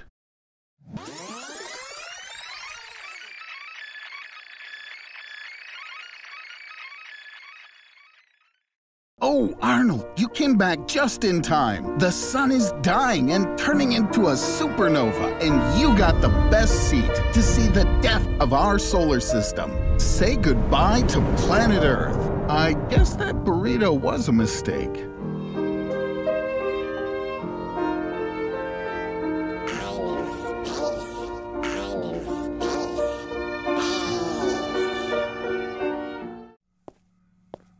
Okay, Arnold. Oh. I built a machine that makes things invisible for 24 hours. There are three possible approaches to invisibility. The first is perfect transparency, which sadly we cannot achieve. The second is camouflage. When the light rays emanating from the object correspond to the rays that we would expect to see in the absence of the object. This is exactly what my machine does. And the third and last approach is when an object is swathed in a metamaterial, something like an invisible hat, that transforms the path of light rays so that they seem unchanged. Okay, I'm throwing the first switch. Did you know that the first three-dimensional invisibility was achieved by a group from the University of California, Berkeley in 2008? They created a mesh of silver microfibers that doesn't reflect or absorb light rays. As a result, the eye sees light only from the objects behind the camouflaged entity. Now the second switch. Don't move, Arnold. Wait, what are you? Oh, you are such an imbecile. I'd smack you upside your head, but damn it, I don't know where you are. Put this hat on so I can see you. Okay, you have 24 hours. What are you gonna do? Who'd have any doubt that's where you'd go first? If my machine worked according to the principle of invisibility, you'd become blind because the invisible body's refractive index becomes equal to that of air, and the lenses in your eyes would lose the ability to reflect light rays and focus them on the retina. The retina itself also wouldn't be able to absorb visible light with its rods and cones due to its invisibility. But as I can see, your eyesight seems to be okay, you slobbering ignoramus. Okay, now that the gym is closing, can we do something else? You have mm-hmm. 18 hours left. I meant something a little more significant, you blockheaded jerk monkey. After all, you could reveal terrible ah. secrets and perform incredible feats. You could even make your way into Area 51. Oh, right, it's in a different state. Do you have any ideas? Are you thinking about stealing it? That's a terrible idea. In any case, you need a plan. Of course, thanks to invisibility, you'll be able to stay long after closing. But then you'll need to bypass the guards. And there are also lasers all around the diamond. Can you really do a triple somersault, steal the diamond, and leave the museum in the car that will bring new antiquities for the exposition exactly at 2 a.m.? Even so, this is a really bad idea. The museum closes in an hour. Go hide in the corner and wait. And take off your hat, you mutton headed twit. Get ready, Arnold. The main thing, obviously, is not to get caught. Arnold, it's go time! Oh, nuts! All you had to do was a triple somersault, and you screwed it up again. well, now, now you have to run for your life, Arnold! The exit is just around the corner. Come on, Arnold, you can do it! Damn, looks like you stole a glass copy of the diamond. Well, I gotta say, this is an unfortunate turn of events. Although, to be honest, it's pretty logical that the original would be kept in a safe. Now you'll never have the love of the beautiful Tugai. Unfortunately, you're gonna become visible in just about an hour or so. So, good luck escaping. Bye bye, Arnold. Meet Arnold. And today he's made a bet with Elon Musk that he can outrun a Tesla in his regular old internal combustion engine car. Don't worry, Elon is unlikely to reach the finish line. After all, no one took into account that while the race was taking place, Snot and Gob would be arranging a barbecue for themselves. It seems that even the normal temperature of the sun isn't enough to grill their infamous pan-galactic gargle bangers. Ah, now that's much better. Oops. Solar flares like these are not good because they usually disable all the power plants and electrical appliances on the Earth. This will definitely negatively affect all vital processes on the planet. And here's our ultra-fast turtle. Like everything electric, Elon's car broke down. The important thing here is not to celebrate ahead of time. Mm-hmm. He might be dumb, but Arnold for sure knows how to wink perfectly. Too bad he's intellectually challenged. Mm. The battery has died. Now, these guys need somehow get out of the mm. desert. It's good that Elon has already come up with something. And it's even better that his trunk has a, a bucket, a mini rocket, and groceries. Ooh, potatoes are a great idea. After all, one potato can stably deliver 0.5 volts of voltage. It will take about 13 volts to start Arnold's combustion engine car. So, with 26 potatoes, a zinc nail, and copper wire, we should have enough to start the car. Darn it! The crank current is too low. To start the engine, you need hundreds of thousands of potato batteries. I'd advise you to hurry up. The sun is setting and the desert nights here get quite cold. Wow, guys, great outfit. I hope we can do without the famous blue crystal here today. Oh, wait, I know what you're trying to do. If we take zinc bolts, screws, coins, sponges, potassium oxide, copper, brake pads, and we mix them together and connect them to the car, then we'll have a regular mm. battery charge. The guys did everything right. It's a shame that there ah. still isn't enough power to drive. Hurry up! The clock is ticking. Arnold, stop digging around there. Wait, show me what you found. A magnet! This is exactly what we need, Arnold. Hey, Elon, this isn't the best time for that. Ah, it's for a common cause. In 1831, Faraday conducted a similar experiment for the first time. For this, we need a coil, copper wire, and a magnet. We insert the magnet in a coil wound with copper. We move the magnet inside, and in each coil of copper, a voltage of 0.01 volts is generated. But due to the large number of turns, everything is working just fine. Let's see how it works for the guys. Wow! Just be careful with your finger. Well, at least we survived. And the finger will grow back. Arnold, leave the Tesla here. And now the party continues. Uh-oh. See you in the next episode! Meet Gertrude and Arnold. This little piggy is a little smarter than Arnold. And no, not because it has a Neuralink chip in its brain, but because she came here by bus, unlike our red-headed fool who parked his car with the mafia for $50 an hour. At this conference, Elon Musk will demonstrate the process of installing an advanced microchip into the brain of these cute little monkeys, and in the near future, into the brain of a person. Arnold, stop teasing the primates with your keys. See? Great. Well, you had it coming, buddy. I don't understand how Elon could have invited such a doofus to his ah. conference. From a scientific point of view, Neuralink is a fairly simple device. It's a set of electrodes that transmit electrical impulses from neurons in the brain to a computer. But from a technical point of view, it's an astonishingly complex device. Imagine that the brain is a big ball of extraordinarily tangled wires, and you need to carefully connect to it without damaging anything. Arnold, run! It's time to pay for parking, or a tow truck is gonna take your car. We hmm. need to get the keys hmm. from the chimpanzees as soon as possible. Who, with hmm. parking prices like these, you're gonna have to live on dollar store ramen till the end of the month. Get in the monkey suit. You'll have better luck this way, trust me. I know it smells like butt cheese, but it's only for five minutes. One more time, Arnold. You can do it. Hey, dudes, where are you taking Arnold? Only I'm allowed to experiment on him. Elon, please be gentle with Arnold.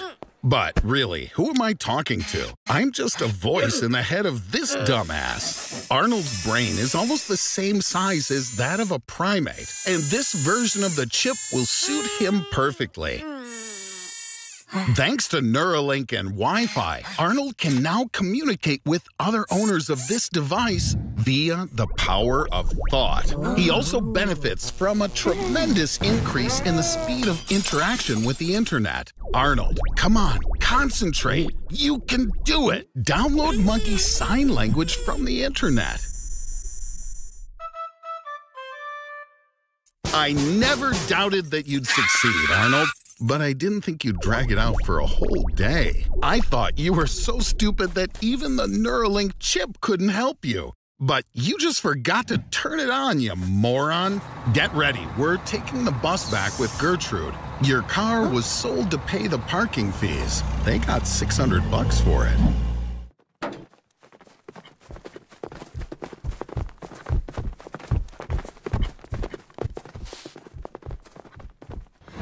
Hello, Arnold. You've been teleported a lot during our science show, but did you ever wonder how the teleporter works? There are several ways to travel through time. Let's start with wormholes. Where have you been dreaming of going?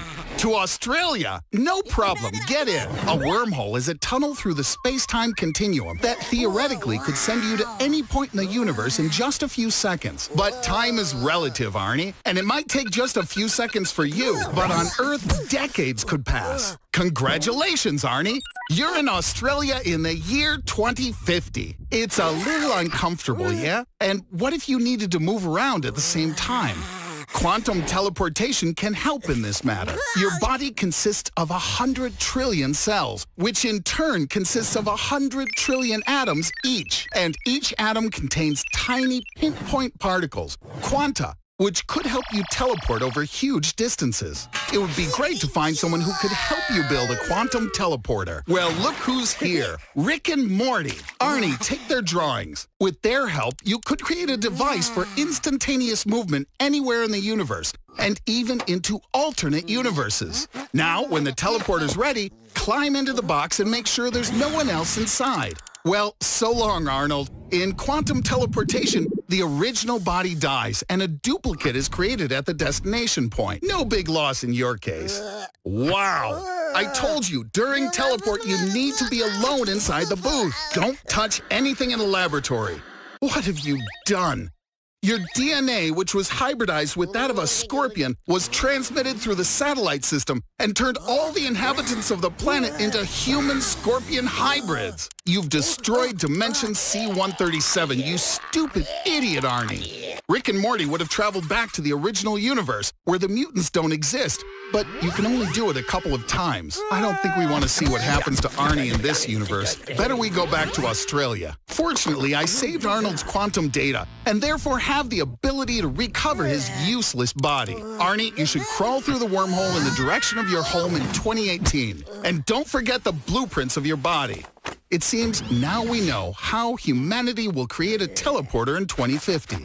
He's already packed his stuff, fed his fish, and is ready to go on a top secret journey. Right in front of you is the new generation of the DeLorean. I've upgraded this Tesla so you can now travel not only to another city, but also to another year. 1986, for example. It worked! We're at the Chernobyl nuclear power plant just a few minutes before the disaster. Arnold, bring the camera. You're gonna shoot the explosion on it, and I'll post the video on YouTube. I'd say at least 20 million views are guaranteed. Hmm, is the battery already dead? Put it on charge. It's a European outlet, doof knuckle. You need an adapter. Or I guess not already. So, it's all because of you. It doesn't matter. You need to get out of here, fast. There's a power bank in the glove box. Plug it into the car. Damn it, it takes at least 60 seconds to charge. Get out the protective suit. Just by looking at the area, you'd never know that you're in a radiation zone. But in fact, the radiation here is cosmic. That's not quite what I expected. Maybe you swapped bags with someone. With radiation above 500 Roentgens, your hair and nails fall out instantly. Your skin turns red, and all those diseases you've got get worse. But you're lucky, Arnold. You won't feel much pain because you'll fall into a coma in three, two, oh, you're already out. This is due to the fact that the radiation here is 20,000 Roentgens per hour, and this technology can't handle that onslaught. The battery should be enough to get you back to the year 2020. Go! What a trip that turned out to be. Hmm. I think you may need a visit to the oncologist. Arnold, do you know just how nincompoopian you look right now? I wonder who took your protective suit. Hmm.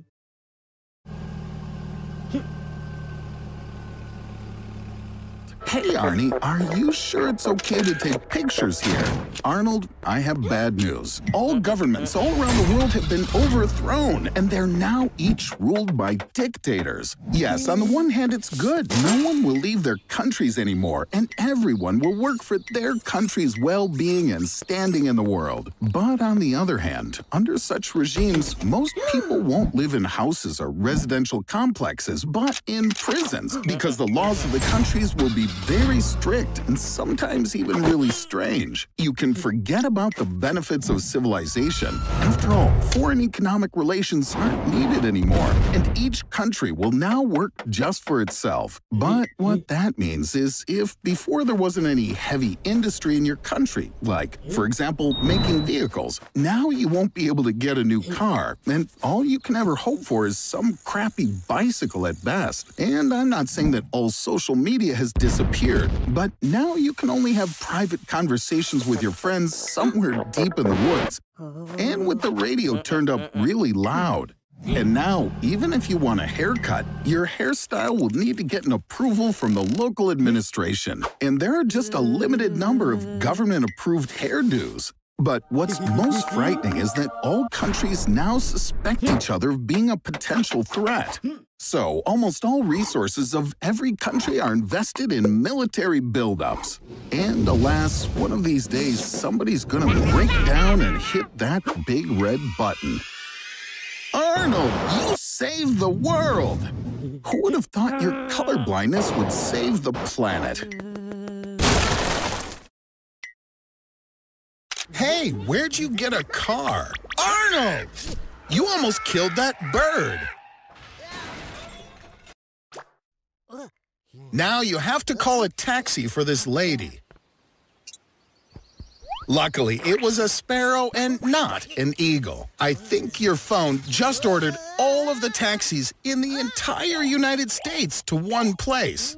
In the USA, about 230,000 people are registered as taxi drivers, more than half of whom are Uber drivers. All these cars lined up in a row will create a traffic jam with a length of 800 kilometers. One third of New York State will be paralyzed. It'll become difficult to breathe on the streets due to emissions increasing to double the usual amount. And because of that, you'll start coughing, feel nauseous, and might even suffer a stroke. Don't place your hopes on an ambulance since it can't save you or the other 3,000 patients who call an ambulance every day. You can take a chance and try to take the subway to the hospital, but the 6 million people who normally drive their cars are already on the subway. So today, there are about 11 million evil, angry, late people down there. Hey, he's the one who caused all the traffic jams. Criminals have already robbed half of the shops in the city because police can't respond to most crimes. Arnold, I think you'd better get out of the country altogether. There's a place for you on just about any plane leaving New York. People can't get to the airport, and planes are flying half empty. And from this company are losing more than $10,000 per flight. Doesn't Arnold always pay his debts? All the taxi drivers together spent about $15 million just on gas to come pick you up. How in the world will you pay? Arnold, do you really have the money?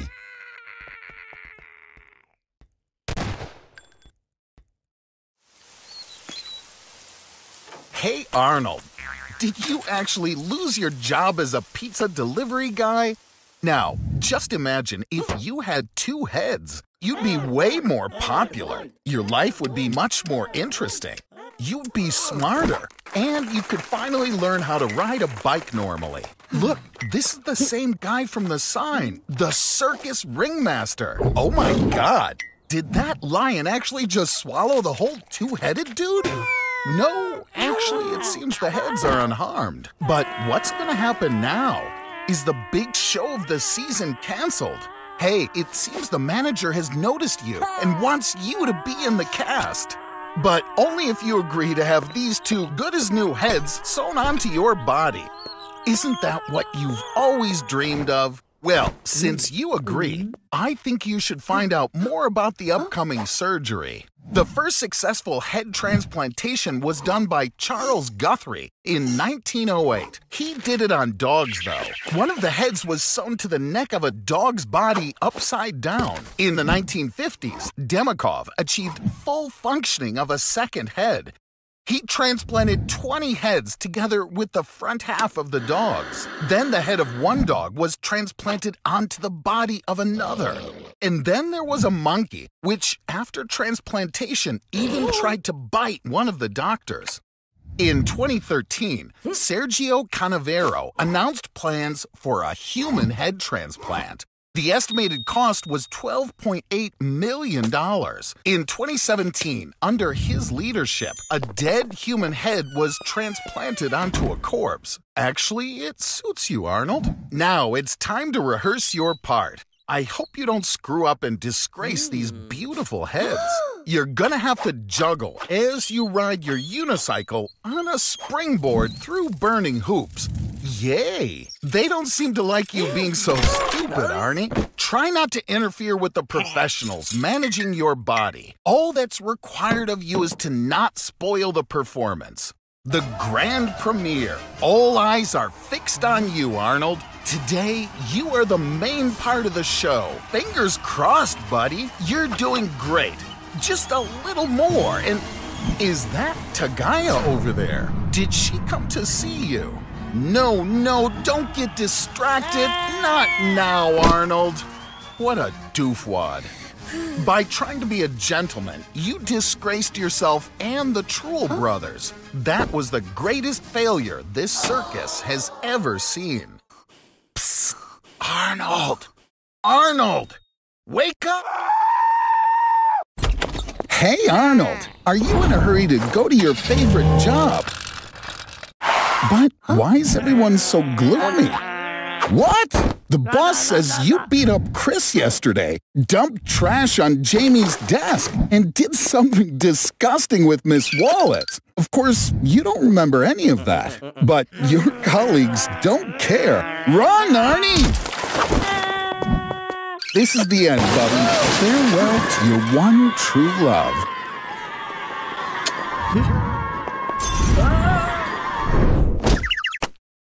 And here he is, our hero of the day. A strong blow to the head has woken up Jacob again, Arnie's other personality, or in scientific terms, his alter ego. It's called dissociative identity disorder. With this disease, power over the body of the patient is completely captured by another personality. The cause of the disorder may be trauma during childhood. The child blocks off memories of bad events and starts to consider himself someone else. Jacob, unlike timid Arnold, doesn't suffer from multiple complexes. He's fearless and sexy, and he'll stop at nothing. Even somebody as petulant as Tagai is intrigued. But there is one thing. Jacob can only speak Dumi, which is a language common to only eastern Nepal. The alter ego often differs from one's main personality in the language of communication, gender, age, nationality, and even IQ. And in especially exotic cases, the alter ego can be an animal or even a religious figure. The maximum number of alter egos in one person was identified in an American criminal named Billy Milligan, who had 24 different full-fledged personalities. Billy was acquitted in court as crimes he'd committed were actually committed committed by one of his alter egos, unbeknownst to Billy himself. Arnold, just look at what you've done. It seems now you think you're a psycho and you need to be treated. But split personality is not schizophrenia, and there's simply no cure. What's that? An SMS from Tagai. She wants you to come to her now. Inside Arnold, there can be only one.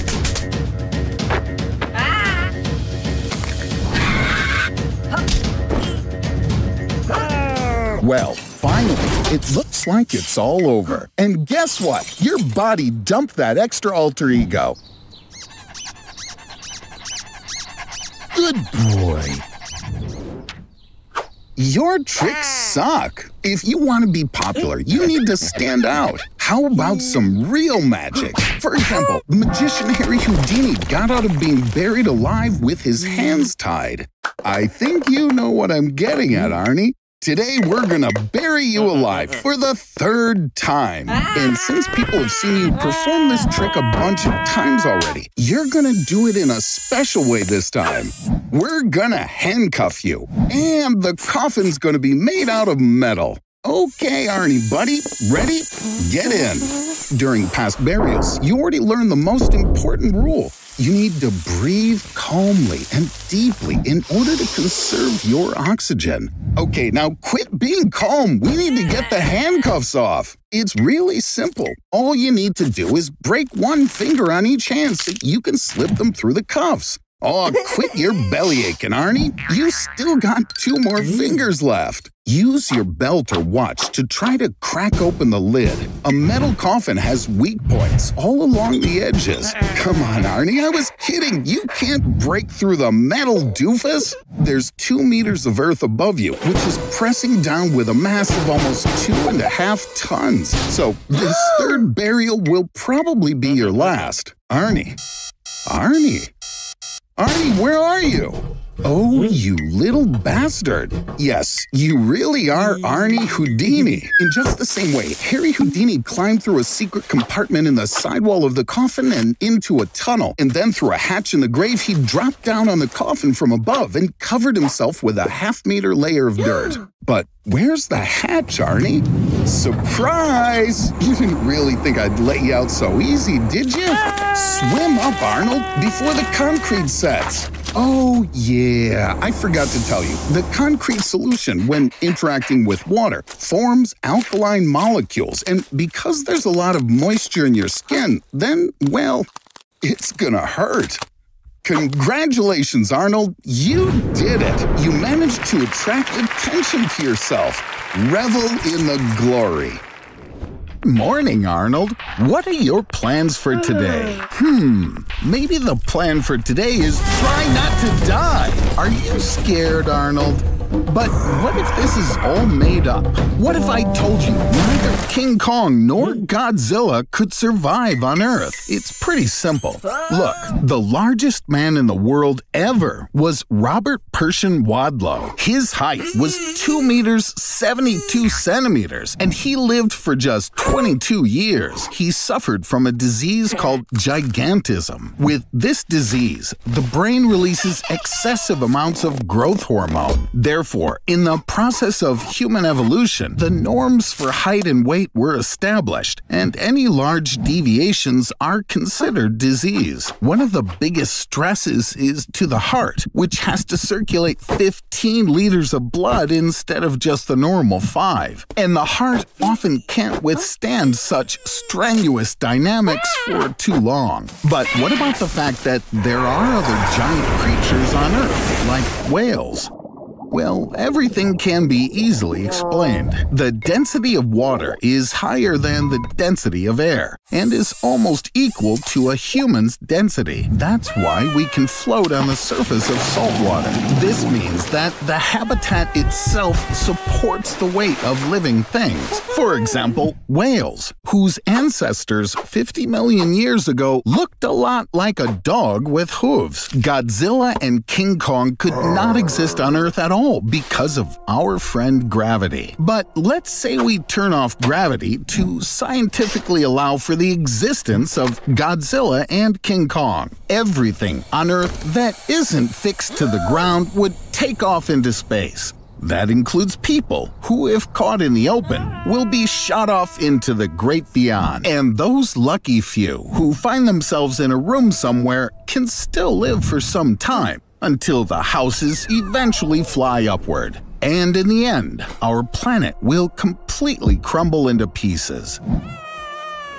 Hello, Arnold. You've been teleported a lot during our science show, but did you ever wonder how the teleporter works? There are several ways to travel through time. Let's start with wormholes. Where have you been dreaming of going?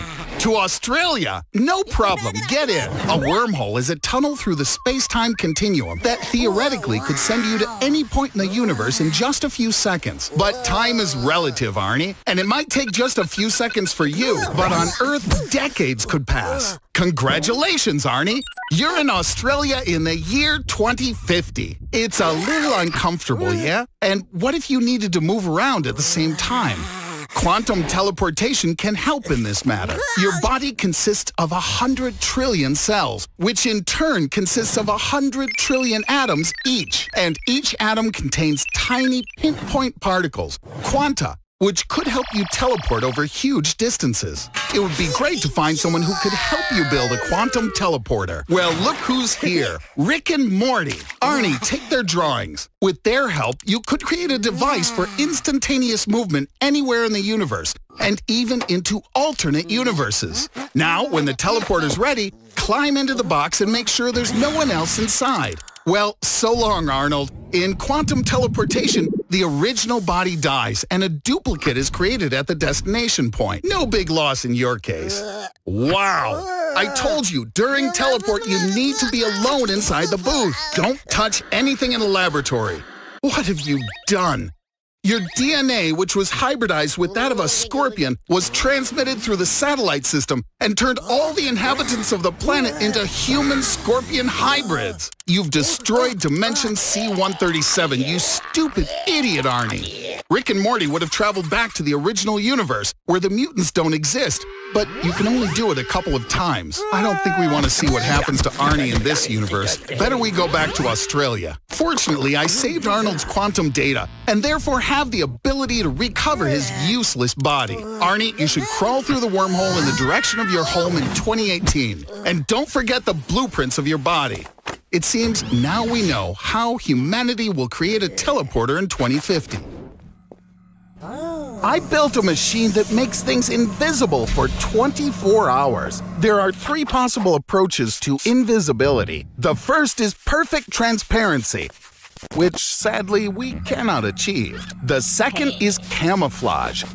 When the light rays emanating from the object correspond to the rays that we would expect to see in the absence of the object. This is exactly what my machine does. And the third and last approach is when an object is swathed in a metamaterial, something like an invisible hat, that transforms the path of light rays so that they seem unchanged. Now, we'll try it on a pizza. If everything works out, it will be a pizza that you won't have to share with your friends. Okay, I'm throwing the first switch. Did you know that the first three-dimensional invisibility was achieved by a group from the University of California, Berkeley in 2008? They created a mesh of silver microfibers that doesn't reflect or absorb light rays. As a result, the eye sees light only from the objects behind the camouflaged entity. Now the second switch. Don't move, Arnold.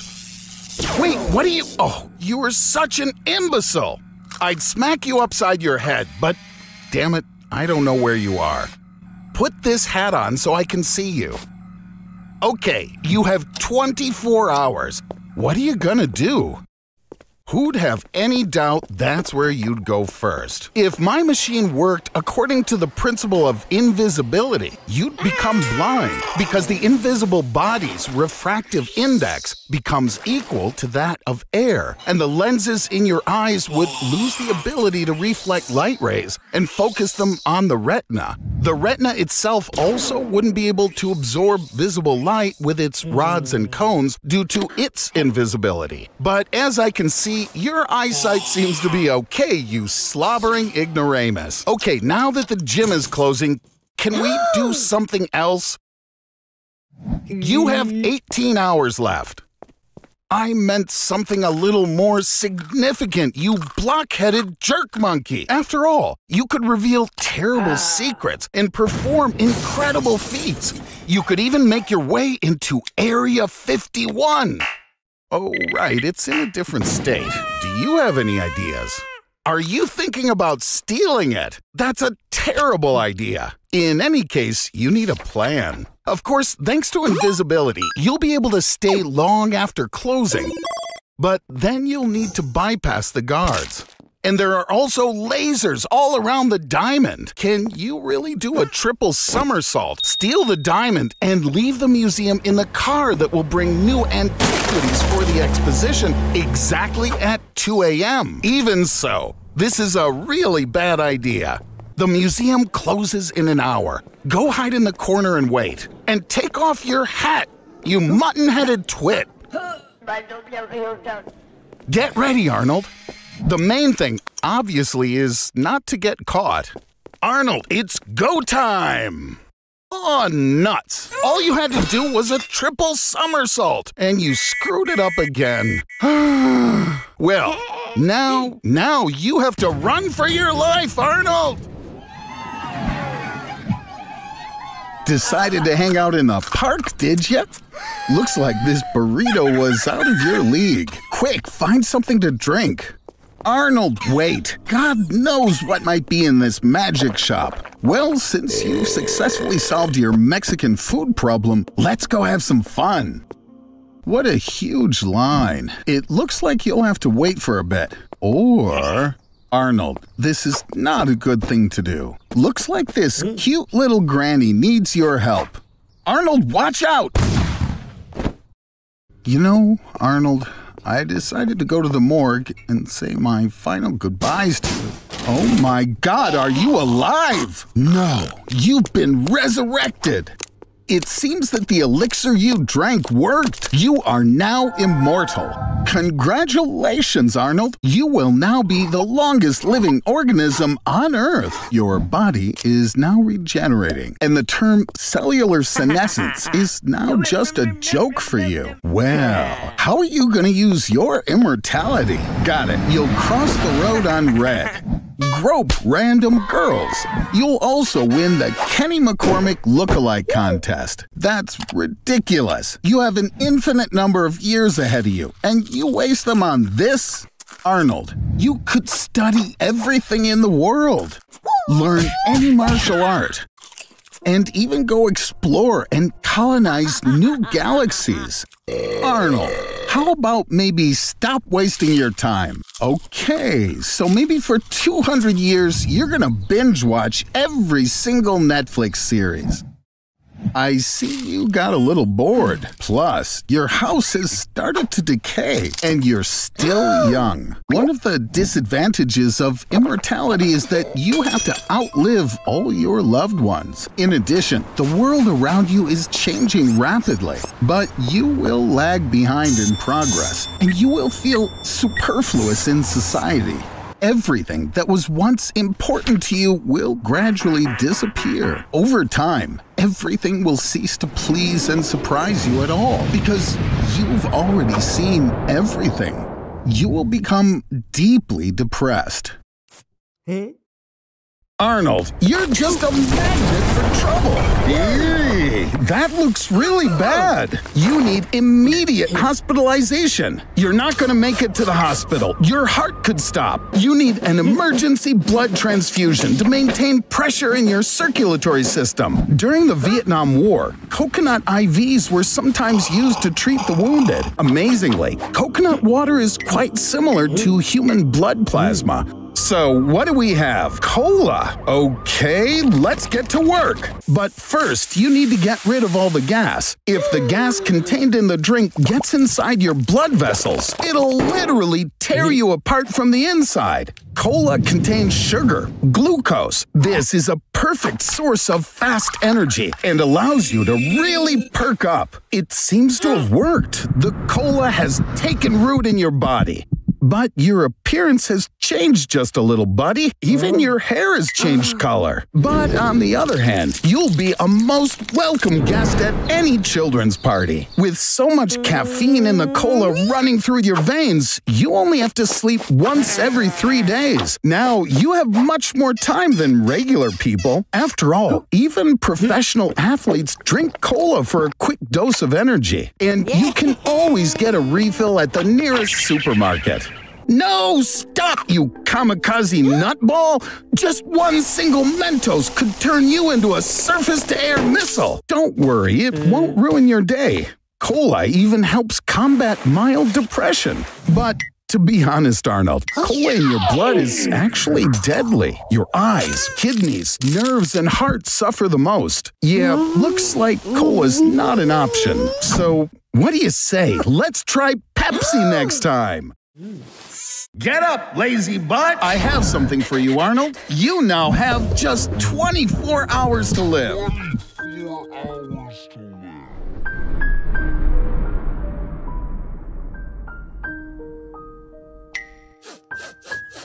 I think you should Google what to do in such a situation. Yeah. First, clear your browser history. And here are the top three ah. answers to this burning question How would you spend the last day of your life? With loved ones? I think for you, Arnold, this probably ain't the right answer. The second option is to gorge yourself on junk food. Well, you already do that every day. And finally, number three, spend the day at the ocean with a loved one. Ooh, it just got interesting. Arnold, are you really gonna do what you've been dreaming of all your life?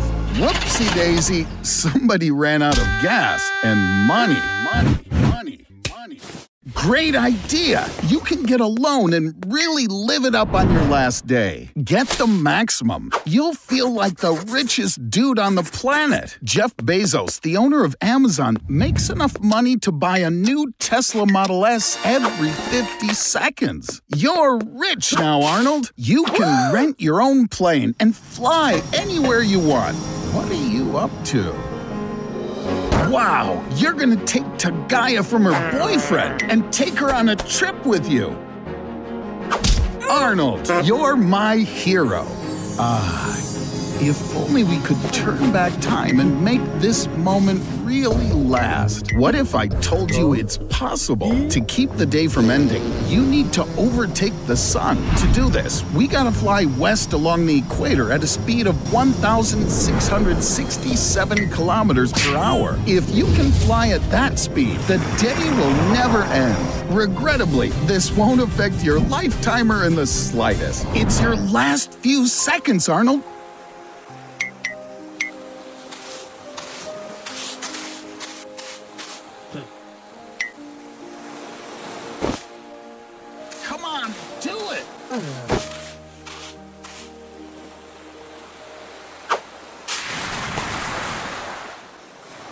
Arnold, you're alive! Oh my god! Did that lion actually just swallow the whole two headed dude? No, actually, it seems the heads are unharmed. But what's gonna happen now? Is the big show of the season canceled? Hey, it seems the manager has noticed you and wants you to be in the cast. But only if you agree to have these two good as new heads sewn onto your body. Isn't that what you've always dreamed of? Well, since you agree, I think you should find out more about the upcoming surgery. The first successful head transplantation was done by Charles Guthrie in 1908. He did it on dogs, though. One of the heads was sewn to the neck of a dog's body upside down. In the 1950s, Demikhov achieved full functioning of a second head. He transplanted 20 heads together with the front half of the dogs. Then the head of one dog was transplanted onto the body of another. And then there was a monkey, which, after transplantation, even tried to bite one of the doctors. In 2013, hmm. Sergio Canavero announced plans for a human head transplant. The estimated cost was $12.8 million. In 2017, under his leadership, a dead human head was transplanted onto a corpse. Actually, it suits you, Arnold. Now it's time to rehearse your part. I hope you don't screw up and disgrace these hmm. beautiful heads. You're gonna have to juggle as you ride your unicycle on a springboard through burning hoops. Yay! They don't seem to like you being so stupid, Arnie. Try not to interfere with the professionals managing your body. All that's required of you is to not spoil the performance. The grand premiere. All eyes are fixed on you, Arnold. Today, you are the main part of the show. Fingers crossed, buddy. You're doing great. Just a little more. And is that Tagaya over there? Did she come to see you? No, no, don't get distracted. Not now, Arnold. What a doofwad. By trying to be a gentleman, you disgraced yourself and the Troll brothers. That was the greatest failure this circus has ever seen. What could be more wonderful than a summer walk in the park? We don't choose our destiny, it chooses us. Arnold, look out! Wow, looks like someone spilled radioactive waste here. Hey, Arnold, now you can be a superhero. Did you know that Marvel's Wolverine was originally going to be called Badger Man? So in this case, you are Beef Skunk Pecker Man. Cool. This is the first time in history when a superhero has three superpowers. But you're not the only one with superpowers, Arnie. For example, a sword master from Japan, Isao Machi, is able to cut a bullet traveling at a speed of 320 kilometers per hour. Slavisha Pajkic from Serbia can literally handle 20,000 volts of electricity, and he can also cook food by running electric current through his body. Wim Hof from the Netherlands is able to withstand below zero temperatures for hours and even climb Mount Everest in his underpants. What about you, Arnold? Wow, congratulations! I see you've gained the ability to hammer nails with your hmm? skull, build dams, and even breed superflies on your own body. But seriously, if you think your superpowers are ludicrous, check out DC Comics Dog Welder, whose power is to weld dogs to his enemies. Zeitgeist from the X Men, after an all night drinking binge, discovered he had the ability to puke acid. Did you know Batman's net worth is $98 billion? Seems like being a superhero can be a very lucrative business. And the very first copy of the Superman comic book was sold at auction for $3.5 million. And judging by the number of requests on Google, Spider Man is now more popular than the President of the United United States. Arnold, I know this is very cool, but still, the main job of a superhero is not to bask in glory, but to fight for good. Hey guys, the world is in danger. The world is doomed without you. Okay, don't say I didn't warn you.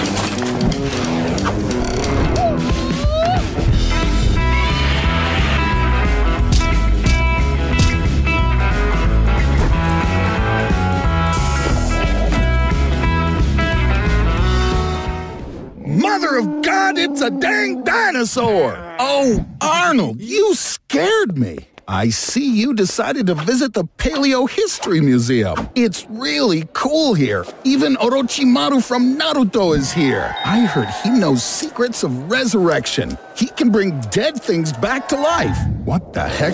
No. He's using it on the dinosaurs.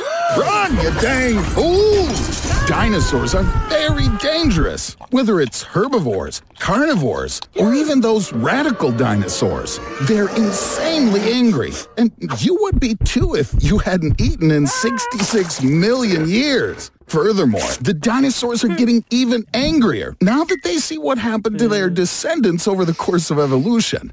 All the world's leaders have declared martial law. Alas, hmm. very little is really known about the true behavior of dinosaurs. It seems the best solution they've come up with is to hire a rabid turkey specialist. Yee! Attack! Dinosaurs reigned on Earth for 160 million years, but the fall of a meteorite changed the course of evolution and allowed for the development of our ancestors' mammals. Now, only the strongest will survive. But what in tarnation's going on now? Wait. I think I get it. Over the last 66 million years, the Earth's climate has gotten colder, and the amount of carbon dioxide in the atmosphere has changed. It looks like dinosaurs can't live here anymore and are gonna die out once again. What to do? In theory, we could build a Jurassic Park. We'll feed them and artificially maintain the climate. This place could be the most profitable tourist spot in the world. And we'll also be a global supplier of eggs and manure, dino poop. But then again, an ordinary dinosaur eats a ton of grass a day, or more than 100 kilograms of meat. More than likely, the dinosaurs will eat all the fauna in the park and then probably start eating each other until they die out again. No matter how you slice it, the dinosaurs just aren't going to be able to live in our time. Do you really want to save them, Arnie? The only option is to send the dinosaurs back to the past, to their perfect world.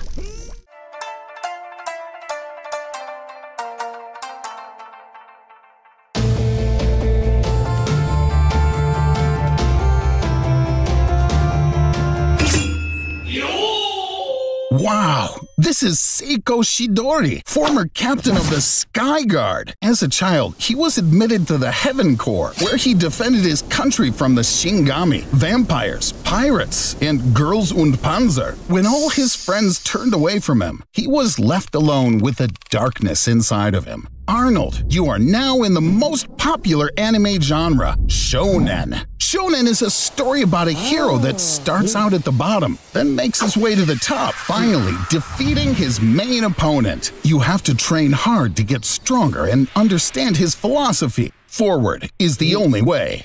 Meet anime high school culture, an important period in the life of any anime teenager. Oh yeah, I forgot to tell you. In anime, every girl is perfect. For some men, this overestimates the requirement for their significant other, and often enough, this rivalry is won by the waifu, the drawn wife. Arnold, it seems like you were born to be an anime. A utopia like this can only be prevented by Gundams from the mecha and kaiju genres. To create an anime, you first have to draw a manga, Manga is pretty much just like a comic book, only you read it backwards. In Japan, they use more paper to print manga than for toilet paper. Anime has grown from cheap animation into an entire thriving industry. By the way, those two girls are your stepsisters. Don't worry, it's okay in the ecchi genre. There he is, and you are prepared for this battle. Release your Bankai, and don't waste your Furioku. Hajime, harness the power of the founding Titan. Control your Reiatsu. Seiko Chidori is weak. Only darkness is left at his disposal, and you have the light given to you by friendship. Remember what this is all for, and don't let anyone knock you off your feet! Meet Arnold. He had a difficult childhood. Now he's making up for lost time. Did you know, Arnold, that there are 15,000 nuclear warheads in the world with a combined capacity of about 7,500 megatons? You should also probably know that five minutes ago I sent one of them in your direction. There's no point hitting the gas, Arnold. The electromagnetic pulse wave killed all the electronics modern cars are so chock full of. Next, you're gonna be hit by the shockwave. Even if this old rust bucket were made of solid graphene, which at the atomic level is even stronger than diamond, and you somehow miraculously survive all this destruction, you're still gonna go through living hell.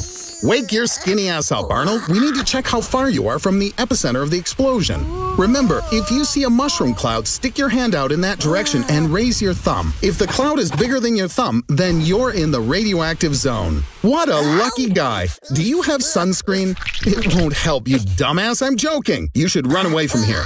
Fast. Radioactive isotopes in small quantities have already begun to slowly destroy your DNA. How do you feel, my friend? Yes, that's right, it's a good time for a shower. Avoiding contact with contaminated items and using special water procedures can increase your chances of survival. Do you have a water filter, Arnold? Even the weakest radiation will result in progressively malignant tumors. Well, congratulations. You got through a nuclear attack, and you no longer need a Halloween costume. But this isn't the end. If someone in the world launches a missile with a nuclear warhead, a domino effect will follow. All the nuclear powers of the world will let loose their dogs of war. Then comes the real apocalypse, Arnold. The era of humanity is likely to end. You're gonna die, my friend. It's time to get out of this universe. Arnie! Arnie, wake up! A giant tornado is rushing towards your home. Quickly, run out in the street. You need to get out in the open. Well done. Of course, in order to really save your ass, it would have been a good idea to hide you in the basement of your house. But of course, it's more interesting for me and our viewers to see what will happen to you inside of a tornado. Ready? And go! What's inside, Arnie? The width of the funnel of the largest tornadoes can reach 1,500 meters. You'll be there as it turns around. Every year in the United States, about a thousand tornadoes form, and only a few of them are truly gigantic. You're lucky again, Arnie. You're in one of those. I think now it's a good time to discuss low pressure and oxygen discharge. The atmospheric pressure inside a tornado is so low that your lungs cannot extract enough oxygen from the air. And after just a few minutes, you'll pass out and suffocate. Whew! Finally, I was really getting tired of your screams. Such rarefied air is equivalent to climbing Mount Everest without an oxygen tank. Mountain tourism is clearly not for you, Arnie. But inside the tornado, rather than die from lack of oxygen, you'll probably kick the bucket from a collision with other objects dragged inside with you. You know, flying trees, animals, cars, roofs of houses, and even entire houses. Everything that will meet on the path of a super powerful tornado will be drawn inwards and rotated at a speed of up to 500 kilometers an hour. And even if you imagine that by some miracle you can avoid these collisions with all this debris, and if an oxygen tank is no worry and you somehow survive inside the tornado, please don't forget the tornado's gonna end sooner or later. And so the funnel will let you go, and you'll fall from quite a height back to solid ground. That you're definitely not gonna survive, Arnie. Okay, save you again. Why am I doing this? Don't thank me. It seems like somebody's volunteering to save the planet, and he's just bursting with enthusiasm. It looks like this episode will be the shortest ever and have a happy end. Ah, no, never mind. Same old, same old. Seems like our planet is about to be destroyed. Or maybe there's another savior. Could it be Arnold? Excellent! We'll pick an outfit for you. So this one is a no. Definitely not this one. Yee! No, not that one. Now this one. This is what you need. Although we could just copy what Project DART from SpaceX did. It's planned that in 2022, a spacecraft weighing 500 kilograms will ram into an asteroid named Didymos at a speed of 6 kilometers per second. The autopilot hasn't been installed yet, so you're going to have to fly manually and become a hero. Oh, wow, Arnold! You survived! Pretty much like all the other lowest forms of life, like microbes. But now there is a small issue with water. After a meteor 100 kilometers in diameter hit the Earth, the shockwave destroyed almost all life within a radius of 100,000 square kilometers. There was a huge release of sulfur, and dust and ash from all the destruction rose into the upper atmosphere and blocked access from the sun's mm. rays. You must be hungry. It's good that you kept your space food in the rocket. There wasn't any food. That's terrible, because there's no food left on Earth. It's good that you're in a spacesuit since it's minus 50 degrees outside, and you don't want to walk here for very long. Watch out!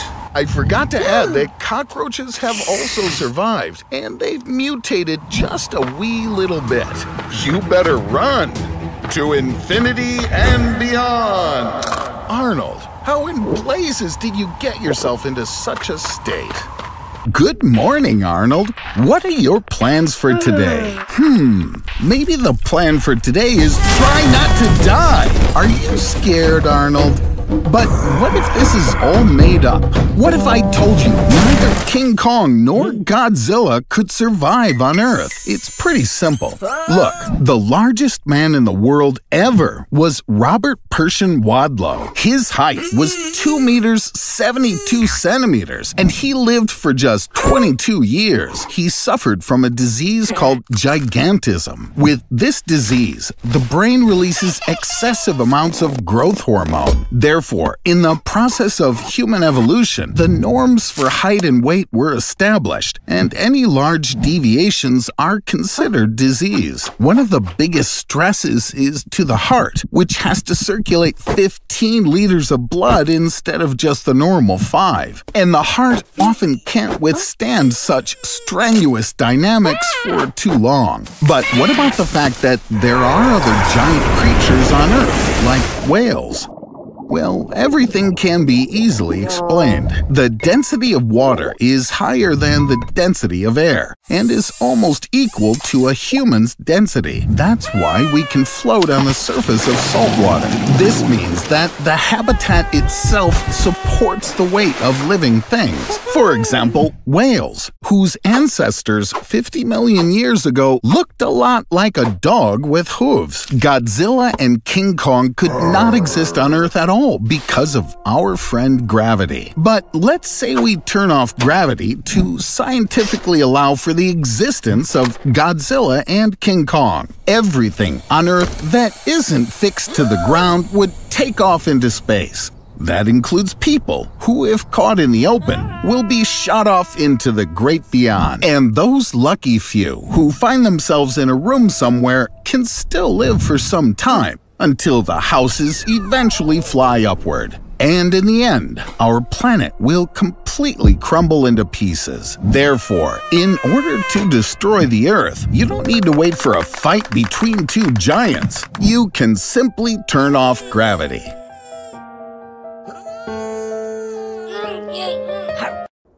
Meet Arnold. And today he's made a bet with Elon Musk that he can outrun a Tesla in his regular old internal combustion engine car. Don't worry, Elon is unlikely to reach the finish line. After all, no one took into account that while the race was taking place, Snot and Gob would be arranging a barbecue for themselves. It seems that even the normal temperature of the sun isn't enough to grill their infamous pan-galactic gargle bangers. Ah, now that's much better. Oops. Solar flares like these are not good because they usually disable all the power plants and electrical appliances on the Earth. This will definitely negatively affect all vital processes on the planet, particularly in medicine, or such absolutely crucial needs like social networks, likes, and reposts. Only Satanists won't be affected. It might even benefit them. And here's our ultra-fast turtle. Like everything electric, Elon's car broke down. The important thing here is not to celebrate ahead of time. He might be dumb, but Arnold for sure knows how to wink perfectly. Too bad he's intellectually challenged. The battery has died. Now, these guys need somehow get out of the desert. Mm. It's good that Elon has already come up with something. And it's even better that his trunk has a, a bucket, a mini rocket, and groceries. Ooh, potatoes are a great idea. After all, one potato can stably deliver 0.5 volts of voltage. It will take about 13 volts to start Arnold's combustion engine car. So, with 26 potatoes, a zinc nail, and copper wire, we should have enough to start the car. Darn it! The crank current is too low. To start the engine, you need hundreds of thousands of potato batteries.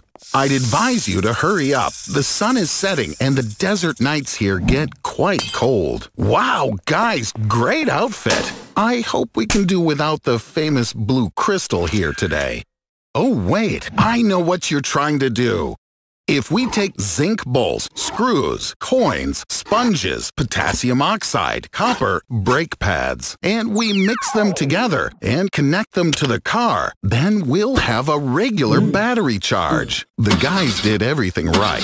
It's a shame that there ah. still isn't enough power to drive. Hurry up! The clock is ticking. Arnold, stop digging around there. Wait, show me what you found. A magnet! This is exactly what we need, Arnold. Hey, Elon, this isn't the best time for that. Ah, mm. it's for a common mm. cause. In 1831, Faraday mm. conducted a similar experiment for the first time. For this, we need a coil, copper wire, and a magnet. We insert the magnet in a coil wound with copper. We move the magnet inside, and in each coil of copper, a voltage of 0.01 volts is generated. But due to the large number of turns, everything is working just fine. Let's see how it works for the guys. Wow! Just be careful with your finger. Well, at least we survived. And the finger will grow back. Arnold, leave the Tesla here. The mountain's other name is Chomolungma, and it's the highest point on planet Earth. By the way, just saying, but you owe me $50,000. This is the average price for an expedition up here. To survive at the top, you need top-level equipment. After all, there's very little oxygen, and it's extremely cold. Go down, quickly, at least a kilometer. Hurry up, Arnold, but move as slowly as possible. Oxygen is only one-third the normal here. Try to save your energy. Lack of air causes the brain to misperceive time. Crawling five meters in three hours sounds a little too slow to me. Fortunately, the wind at the top reaches 200 meters per second, and it can help us. You can fly eight kilometers in just three minutes. But be careful, the ledges may get in your way. Lucky ah! you, mm. you fell into the trash. The government pays $2 for every kilogram of garbage collected. I see you're trying to pay me my $50,000 back. Arnold, try not to breathe so much. At a temperature of minus 60 degrees Celsius, your lungs will begin to dry out. Mountain coughs are so bad they can even break your ribs. I'm sorry, Arnold, but climbers can't remove corpses from Mount Everest. It's impossible. Moreover, corpses are used as height markers for mountain peaks. Well, Arnold, at least you found something useful to do. I see you're really happy to be here, buddy, especially after such fiercely cold conditions. Uh, I think perhaps you're enjoying it a little too much. Hello, Arnold. It looks like you started hallucinating from a lack of oxygen, and someone brought you to the campfire. I'm glad that you woke up, but there are still six kilometers ahead of us. Unfortunately, I don't think you have the strength left to reach home. But wait, Arnold, I have an idea. You can repeat the feat of Marco Siffredi. In 2001, he descended Mount Everest on a snowboard. I believe in you, ah. Arnold.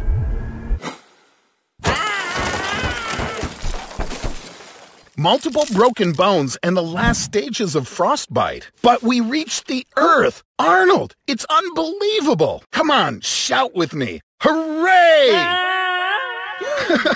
Arnold, I was just kidding. You can't scream in the mountains. It can trigger an avalanche. Don't worry, Arnold. I'm not going to leave you here. You still owe me $50,000. Arnold, come on. This isn't fair. Okay, I'm gonna go get a shovel. Meet Arnold. Today he'll go to the Amazon to get acquainted with the local inhabitants. Which ones? Piranhas! There are about 50 different kinds of piranha, of which only a few eat the flesh of living beings. All other species are either vegetarians or eat only carrion. Arnie, guess what piranhas you're gonna meet? My smart boy, you're right! Fortunately for Arnie, and to the disappointment of our viewers, in science there has never been recorded even a single case of piranhas attacking and killing a person. Well then, we're gonna have to create such a case. Arnie, jump in! As you can see, you're absolutely uninteresting to them. And what's more, they're even afraid of you. Aggressiveness in piranhas depends on several factors. The first is heat. Add temperature, please. Thank you. This hell will drive anyone crazy. During a drought, the water level in the river drops and finding food becomes much more difficult. This leads to a second huge factor, hunger. Starving piranhas are ready to eat even their sick, weak relatives. And where does that leave you, Arnie? The third factor that affects their aggressiveness is the need to protect their brood. Mom and dad don't like it when their kids are disturbed. Add a small bloody cut as an appetizer and you, Arnie, are ready to meet the piranhas. The structure of their jaws allows them to tear out large chunks of meat from their prey. Razor-sharp teeth, 4 to 5 millimeters long, can bite through tendons and even small bones. Arnie, you can forget about your fingers and toes. In just a few minutes, you'll have a perfectly clean skeleton. One of the largest representatives of piranhas weighs up to one kilogram. But how big should the jaws be so that they can eat Arnold, including all of his bones? Let's increase the size of the piranha teeth by six times. Such teeth can easily cut the bones into tiny little fragments. Piranhas are the janitors of the rivers, Arnie. They leave absolutely nothing to rot at the bottom of the Amazon. Well, that is, except for hair. Even fish think your hair is stupid, Arnie. Arnold, look! It's you, but from the future. Wait, Arnold, he doesn't need your clothes. He needs your help. That's why you're going to the year 2050. Oh dear, that's not the bright future people are thinking about. Indeed, by 2050, the Earth is suffering from global warming. The planet's population has grown to over 10 billion people. This overpopulation has caused a shortage of fresh water. Can you imagine? The planet is on the brink of destruction and they're fighting over Pepsi. All right, back to our mission. In 2050, everyone has cybernetic implants. And since enemy drones can detect implants at a distance of 10 kilometers, you, Arnold, are the most undetectable and invulnerable person in 2050. You are the one who will help change the course of the war. Soldiers assemble! And so, Arnold, the enemy has been spotted in the north, but the way is blocked by electromagnetic guns. Instead of projectiles, they fire electrical impulses, and the impulse speed exceeds 7,000 kilometers an hour. We have to find shelter. Quick, go down into the subway. You escaped the guns, Arnold, but there are other problems now. Drones detected by scanners. And don't worry, Arnold. Remember, these drones won't even notice you. You just need to rush past them and turn off the power. Well done, Arnold. The future sure wasn't ready for the likes of you. Keep going, buddy. You're almost there. It's time to get to the surface. Arnold, there are a lot of enemies around. Get into the exosuit. With it, you can become a super soldier. You just need to figure out the controls. Arnold, no! You just killed yourself from the future. Okay, well, no time to grieve. Your enemies are coming. You have a flamethrower. Use it. Oh, yeah. No one ever thought that one day this would happen in Hollywood. Arnold, look out! A rocket! Arnold! Arnold! Are you okay? Arnold, you were seriously injured. So the doctors gave you some upgrades. Almost as good as new. But there is a problem. Now we need a soldier without implants, and you need to travel back in time and find him. And here's your volunteer. Get him into the portal. Hmm, deja vu. I feel like I've seen this somewhere before.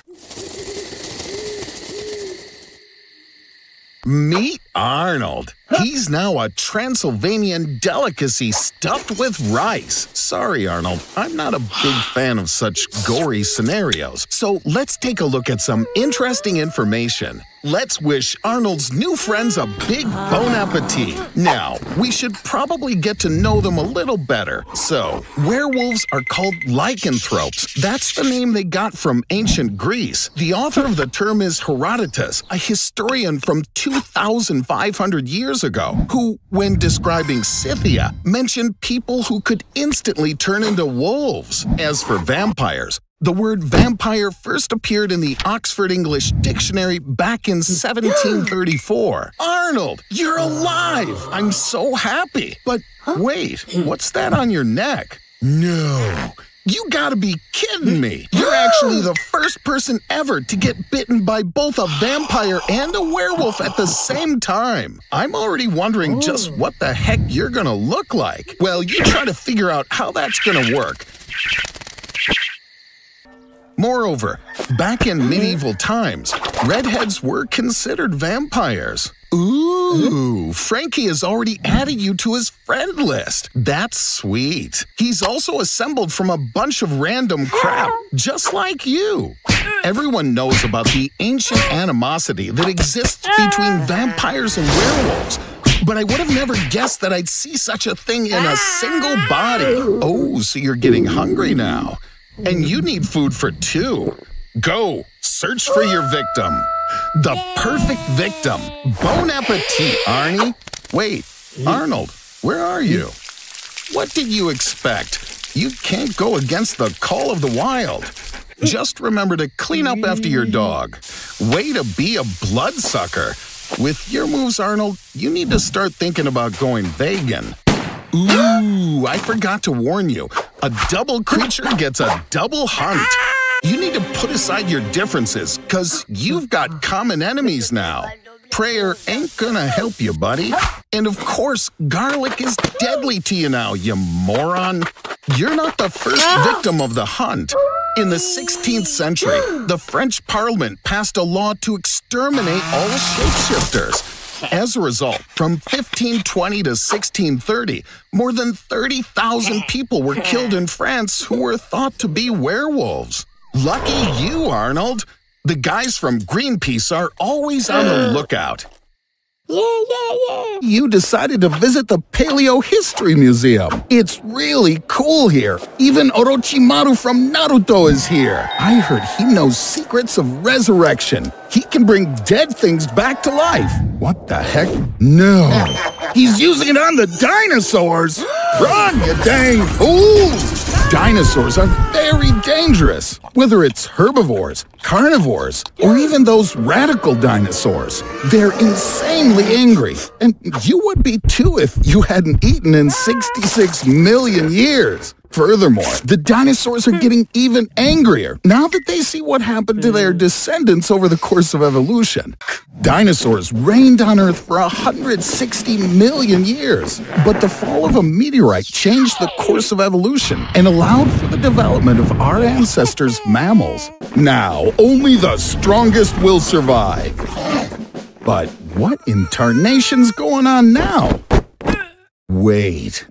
I think I get it. Over the last 66 million years, the Earth's climate has gotten colder, and the amount of carbon dioxide in the atmosphere has changed. It looks like dinosaurs can't live here anymore, and are gonna die out once again. Hmm, what to do? In theory, we could build a Jurassic Park.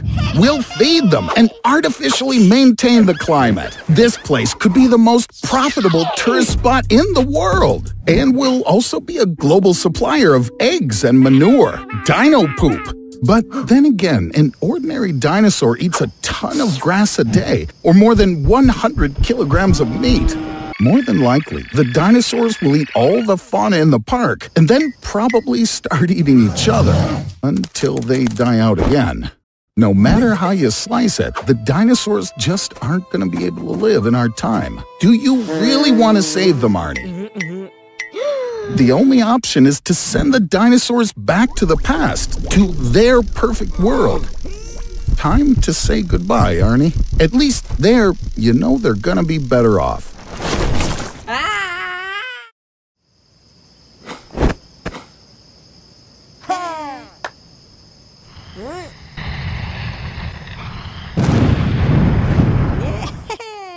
Arnold, what are you doing here? Oh, are you on a date? That's cool, but you sure could find a place more romantic than this cafe on the outskirts of the city. Here she is. Wow! What did you tell her to get her to come on a date with you? Uh-oh. How did so many zombies get in here? Arnold, it seems that Susie is in trouble. An average zombie. It has green skin and smells like my grandmother's feet. At first glance, it may seem that this is just your ordinary gamer who hasn't eaten for three days. But no, zombies have their own diet. Usually, these cute creatures eat human brains. Arnold, what are you gonna do? Wow, now that That, that, that's what I call a gun. Who is that? Wow, no way. That's Chuck frickin' Norris. And he's got an entire arsenal here. Now he's gonna kick some butt. Yikes. This is kind of brutal even by my low standards, but very cool. Blimey, how many zombies are there? Looks like this big guy is the only one left. You call that a punch? This is a punch. Your date seems to have been canceled due to the unforeseen zombie attack. Arnold, don't forget about Susie. Crikey, are they immortal? Chuck, hit the gas. Huh, that went pretty okay. Oh no. Look, Arnie, you and Susie have something in common. Just like you, she loses her fingers. Hmm, it seems she's getting worse. Quick, do something. You guys gotta save her. So this is the guy can help us. Who the heck is he anyway? Grigori Rasputin. What a creepy place. Even worse than that cafe you invited Susie to, Arnold. What are we doing here? Where are we going? This is how I imagine the dentist office. 100% dreadful. Hey, can we maybe stop before it's too late? Here, everything is in the best traditions of Russian celebrations. Vodka, balalaika, bears, and dancing till morning. And here's the guy we need, Grigory Rasputin. This here's the big guy. It seems our healer has drunk an 80 proof potion. Looks like you're gonna have to figure things out on your own. You don't need to worry about him. Everyone is talking about the new vaccine. Many have already tried it out on themselves, but it turns out it has a side effect. People turn into zombies. This Rasputin guy turned out to be a real necromancer. He took advantage of the situation and invented a vaccine that destroys the virus, but turns the living into zombies. Even Chuck is shocked. Chuck, your turn. Gosh darn it, how does he do it? He's even cooler than in Walker, Texas Ranger. So that's who Van Damme took lessons from. Ooh, here comes Daddy. This big guy is not going to be taken down so easily. Arnie, you're the only one left. Arnie, you are a warrior. Remember all the things I taught you. And most importantly, remember, there's no enemy but yourself. Arnold, are you? I knew it. Goodbye, Arnold. You oh. were a nice guy. Ooh, now I see. What a twist! Arnold, I congratulate you. Now that you're finally getting married, though to a zombie. Although you're a zombie yourself. But what's the difference? Even zombies can love too. Today, you're going to become one of the few who visited the surface of a lava lake, and the only one to get out of there alive. Although, all bets are off with your luck, Arnie. All right then. Three, two, one. Open your eyes or you'll miss everything. You only have one nanosecond. You're in Africa at 613 meters above sea level, in the vent of the seething volcano Erta Ale. Impressive, ain't it? The air temperature at the surface of the fire lake reaches 2200 degrees Fahrenheit. That's hot enough to melt cast iron. Hey, chill out, Arnold. In one nanosecond, nothing's gonna happen, even with you. I mean, if you really run out of luck and stay there longer, your lungs will burst into flames at your first breath. Your skin will peel off.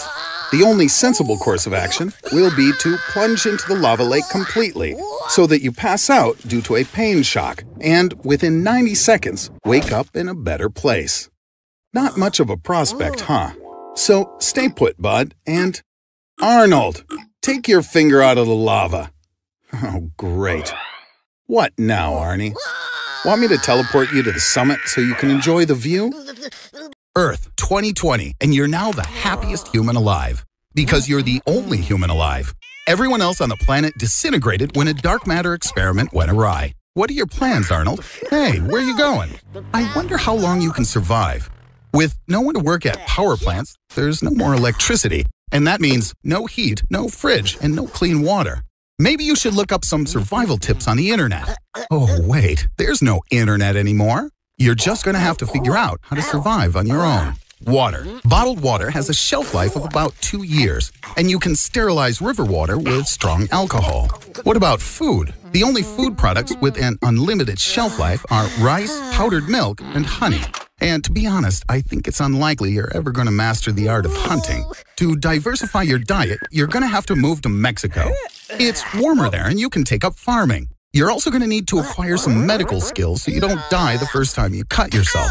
And even after solving all these basic survival issues, you'll have to try not to lose your mind from the absolute and unrelenting loneliness. Well, looks like you made it, Arnold. Alone, and without all those pesky people who produce foodstuffs, build houses, manage water treatment facilities, monitor sensors at nuclear power plants, and control space stations. Wake up, Arnold. Megalodon has swallowed you. Knock, knock, Arnold. Follow the white rabbit. Megalodon is a shark of the family Otodontidae, 50 feet long and 88,000 pounds in weight. This is the most dangerous hunter of the sea depths, located at the very top of the food chain. Megalodons feed on small whales, which, however, surpass them in size.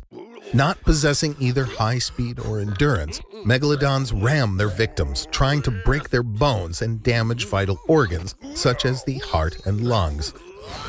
Megalodon has 276 teeth, arranged in five rows, the largest of them reaching 19 centimeters long. This is three times more than those of the great white. Megalodon's jaw is 2 meters high, 2.5 meters wide, and has a bite force reaching 100 kilonewtons. That's nine times greater than a great white shark and allows Megalodon to even snap the spines of small whales. Meet Arnold, and he looks hungry. Arnold, look! It's you, but from the future. Wait, Arnold, he doesn't need your clothes, he needs your help. That's why you're going to the year 2050.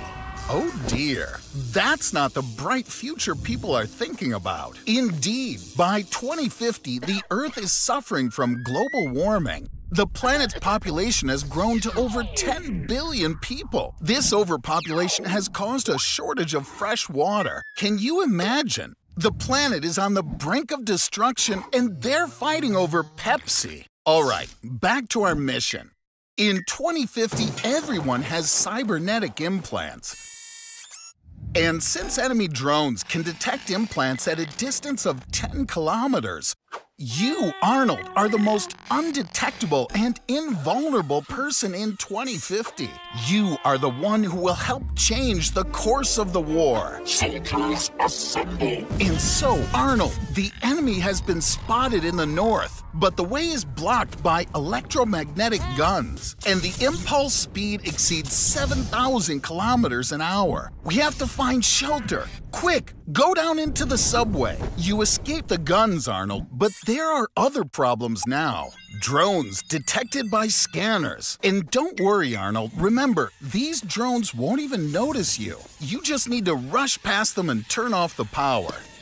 Well done, Arnold. The future sure wasn't ready for the likes of you. Keep going, buddy. You're almost there. It's time to get to the surface. Arnold, there are a lot of enemies around. Get into the exosuit. With it, you can become a super soldier and travel long distances without getting tired. And all physical activity becomes 20 times easier than it was before. You're unstoppable now, Arnold. Now you just need to figure out the controls. Arnold, no! You just killed yourself from the future. Okay, well, no time to grieve. Your enemies are coming. You have a flamethrower. Use it.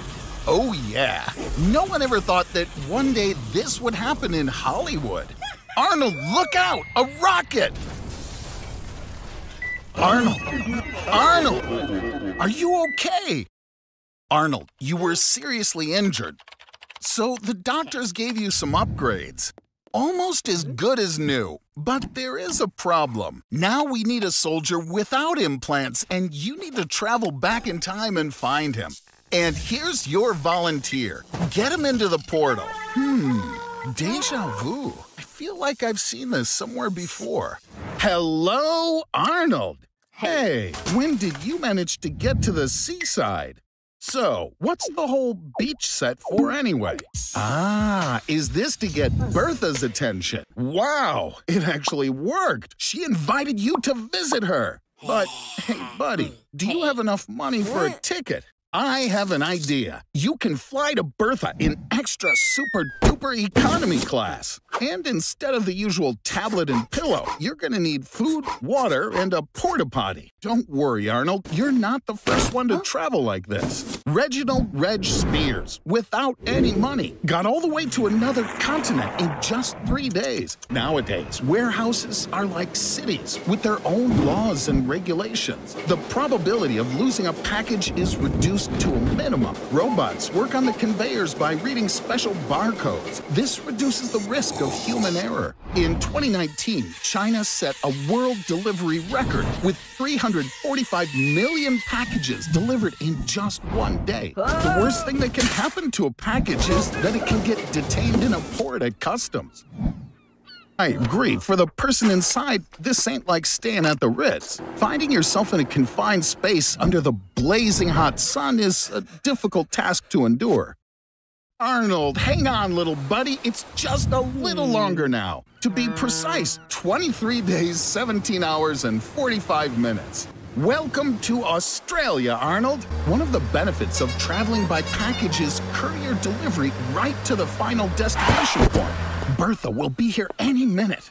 Wow, what a babe. Arnold, are you ready? Good look for you, Arnold. Oh. She definitely won't forget you like mm. that. Hey, Arnold. Decided to hang out in the park, did you? Looks like this burrito was out of your league. Quick, find something to drink. Arnold, wait. God knows what might be in this magic shop. Well, since you successfully solved your Mexican food problem, let's go have some fun. What a huge line. It looks like you'll have to wait for a bit. Or, Arnold, this is not a good thing to do. Looks like this mm. cute little granny needs your help. Arnold, watch out!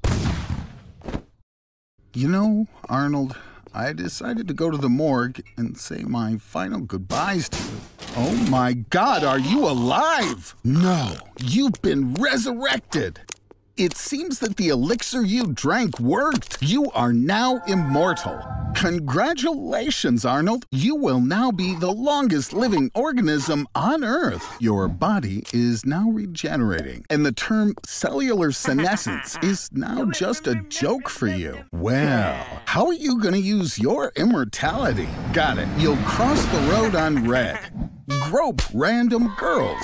You'll also win the Kenny McCormick Lookalike Contest. That's ridiculous. You have an infinite number of years ahead of you, and you waste them on this? Arnold, you could study everything in the world, learn any martial art, and even go explore and colonize new galaxies. Arnold, how about maybe stop wasting your time? Okay, so maybe for 200 years, you're gonna binge watch every single Netflix series. I see you got a little bored. Plus, your house has started to decay and you're still young. One of the disadvantages of immortality is that you have to outlive all your loved ones. In addition, the world around you is changing rapidly, but you will lag behind in progress and you will feel superfluous in society everything that was once important to you will gradually disappear. Over time, everything will cease to please and surprise you at all because you've already seen everything. You will become deeply depressed.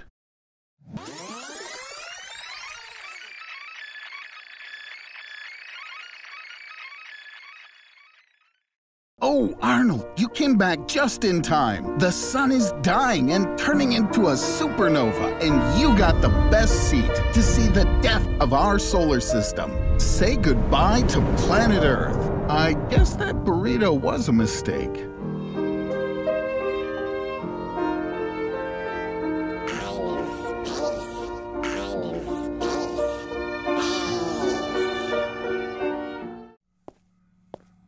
Okay, Arnold. Oh. I built a machine that makes things invisible for 24 hours. There are three possible approaches to invisibility. The first is perfect transparency, which sadly we cannot achieve. The second is camouflage.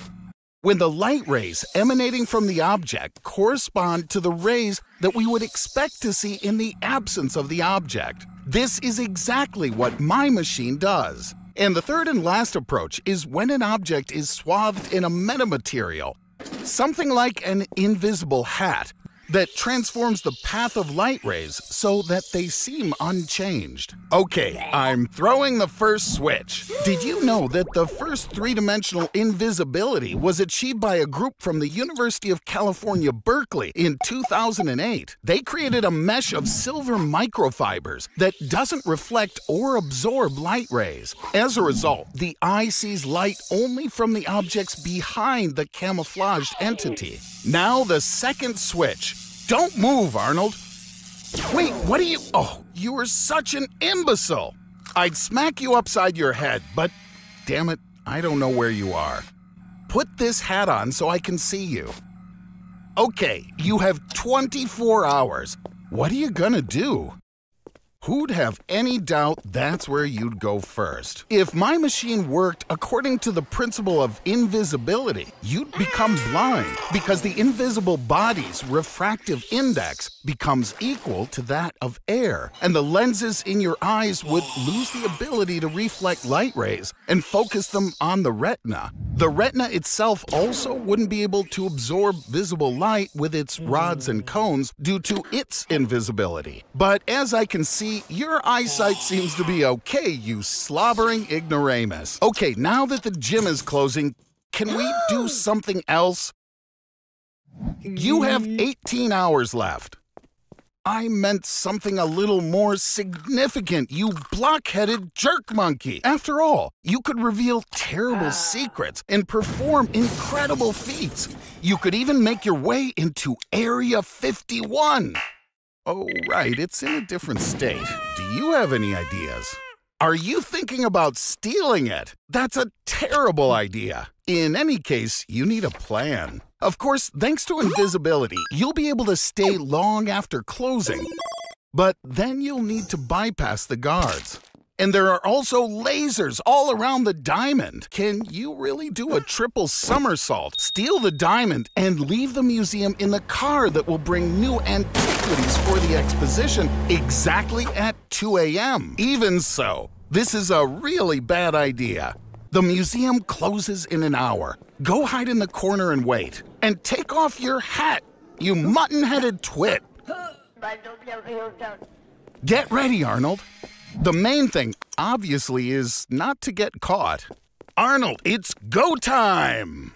Oh, nuts! All you had to do was a triple somersault, and you screwed it up again. well, now, now you have to run for your life, Arnold!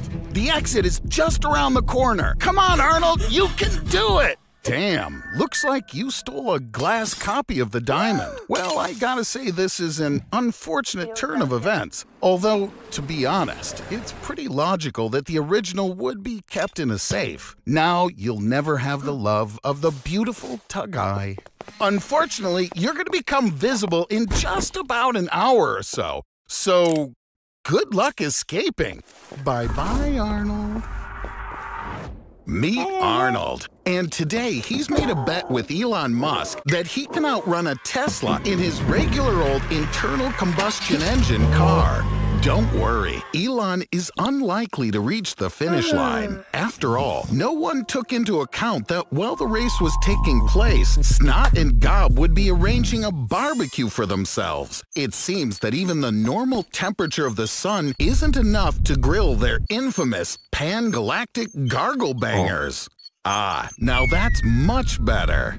Oops. Solar flares like these are not good because they usually disable all the power plants and electrical appliances on the Earth. This will definitely negatively affect all vital processes on the planet. And here's our ultra-fast turtle. Like everything electric, Elon's car broke down. The important thing here is not to celebrate ahead of time. He might be dumb, but Arnold for sure knows how to wink perfectly. Too bad he's intellectually challenged. The battery has died. Now, these guys need somehow get out of the desert. It's good that Elon has already come up with something. And it's even better that his trunk has a, a bucket, a mini rocket, and groceries. Ooh, potatoes are a great idea. After all, one potato can stably deliver 0.5 volts of voltage. It will take about 13 hmm. volts to start Arnold's combustion engine car. So, with 26 potatoes, a zinc nail, and copper wire, we should have enough to start the car. Darn it! The crank current is too low. To start hmm. the engine, you need hundreds of thousands hmm. of potato batteries. I'd advise you to hurry up. The sun is setting and the desert nights here get quite cold. Wow, guys, great outfit. I hope we can do without the famous blue crystal here today. Oh, wait, I know what you're trying to do. If we take zinc bolts, screws, coins, sponges, potassium oxide, copper, brake pads, and we mix them together and connect them to the car, then we'll have a regular battery charge. The guys did everything right.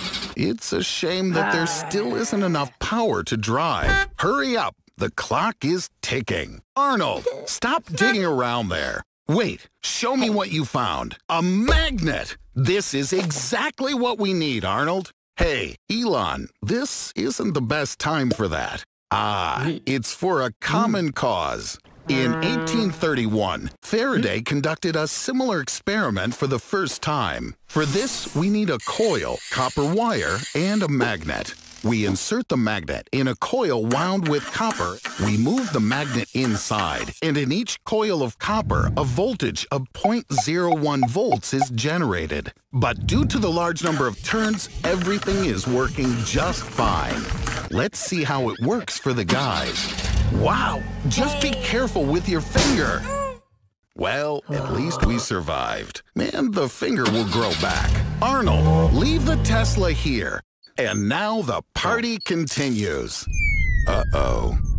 See you in the next episode! Meet Gertrude and Arnold. This little piggy is a little smarter than Arnold. And no, not because it has a Neuralink chip in its brain, but because she came here by bus, unlike our red-headed fool who parked his car with the mafia for $50 an hour. At this conference, Elon Musk will demonstrate the process of installing an advanced microchip into the brain of these cute little monkeys, and in the near future, into the brain of a person. Arnold, stop teasing the primates with your keys. See? Great. Well, you had it coming, buddy. I don't understand how Elon could have invited such a doofus to his conference. From a scientific point of view, Neuralink is a fairly simple device. It's a set of electrodes that transmit electrical impulses from neurons in the brain to a computer. But from a technical point of view, it's an astonishingly complex device. Imagine that the brain is a big ball of extraordinarily tangled wires, and you need to carefully connect to it without damaging anything. Arnold, run! It's time to pay for parking, or a tow truck is gonna take your car. We need to get the keys hmm. from the chimpanzees as soon as possible. Who, with hmm. parking prices like these, you're gonna have to live on dollar store ramen till the end of the month. Get in the monkey suit. You'll have better luck this way, trust me. I know it smells like butt cheese, but it's only for five minutes. One more time, Arnold. You can do it. Hey, dudes, where are you taking Arnold? Only I'm allowed to experiment on him. Elon, please be gentle with Arnold. But really, who am I talking to? I'm just a voice in the head of this dumbass. Arnold's brain is almost the same size as that of a primate, and this version of the chip will suit him perfectly. Thanks to Neuralink and Wi Fi, Arnold can now communicate with other owners of this device via the power of thought. He also benefits from a tremendous increase in the speed of interaction with the internet. Arnold, come on, concentrate. You can do it. Download Monkey Sign Language from the internet.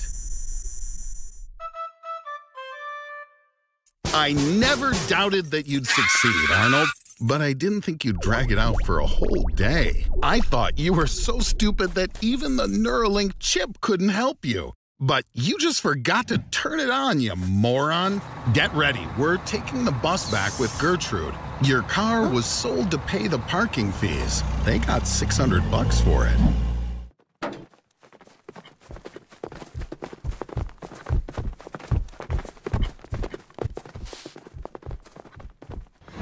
Hello, Arnold. You've been teleported a lot during our science show, but did you ever wonder how the teleporter works? There are several ways to travel through time. Let's start with wormholes. Where have you been dreaming of going? To Australia? No problem. Get in. A wormhole is a tunnel through the space-time continuum that theoretically could send you to any point in the universe in just a few seconds. But time is relative, Arnie, and it might take just a few seconds for you, but on Earth, decades could pass. Congratulations, Arnie. You're in Australia in the year 2050. It's a little uncomfortable, yeah? And what if you needed to move around at the same time? Quantum teleportation can help in this matter. Your body consists of a hundred trillion cells, which in turn consists of a hundred trillion atoms each. And each atom contains tiny pinpoint particles, quanta, which could help you teleport over huge distances. It would be great to find someone who could help you build a quantum teleporter. Well, look who's here. Rick and Morty. Arnie, take their drawings. With their help, you could create a device for instantaneous movement anywhere in the universe, and even into alternate universes. Now, when the teleporter's ready, climb into the box and make sure there's no one else inside. Well, so long, Arnold. In quantum teleportation, the original body dies and a duplicate is created at the destination point. No big loss in your case. Wow. I told you, during teleport, you need to be alone inside the booth. Don't touch anything in the laboratory. What have you done?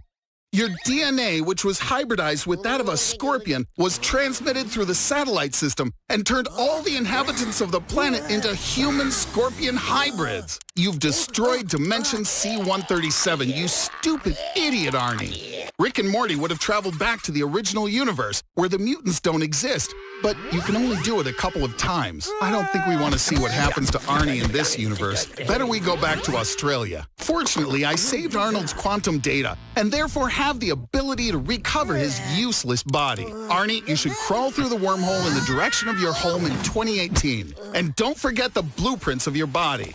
It seems now we know how humanity will create a teleporter in 2050. He's already packed his stuff, fed his fish, and is ready to go on a top secret journey. Right in front of you is the new generation of the DeLorean. I've upgraded this Tesla so you can now travel not only to another city, but also to another year. 1986, for example.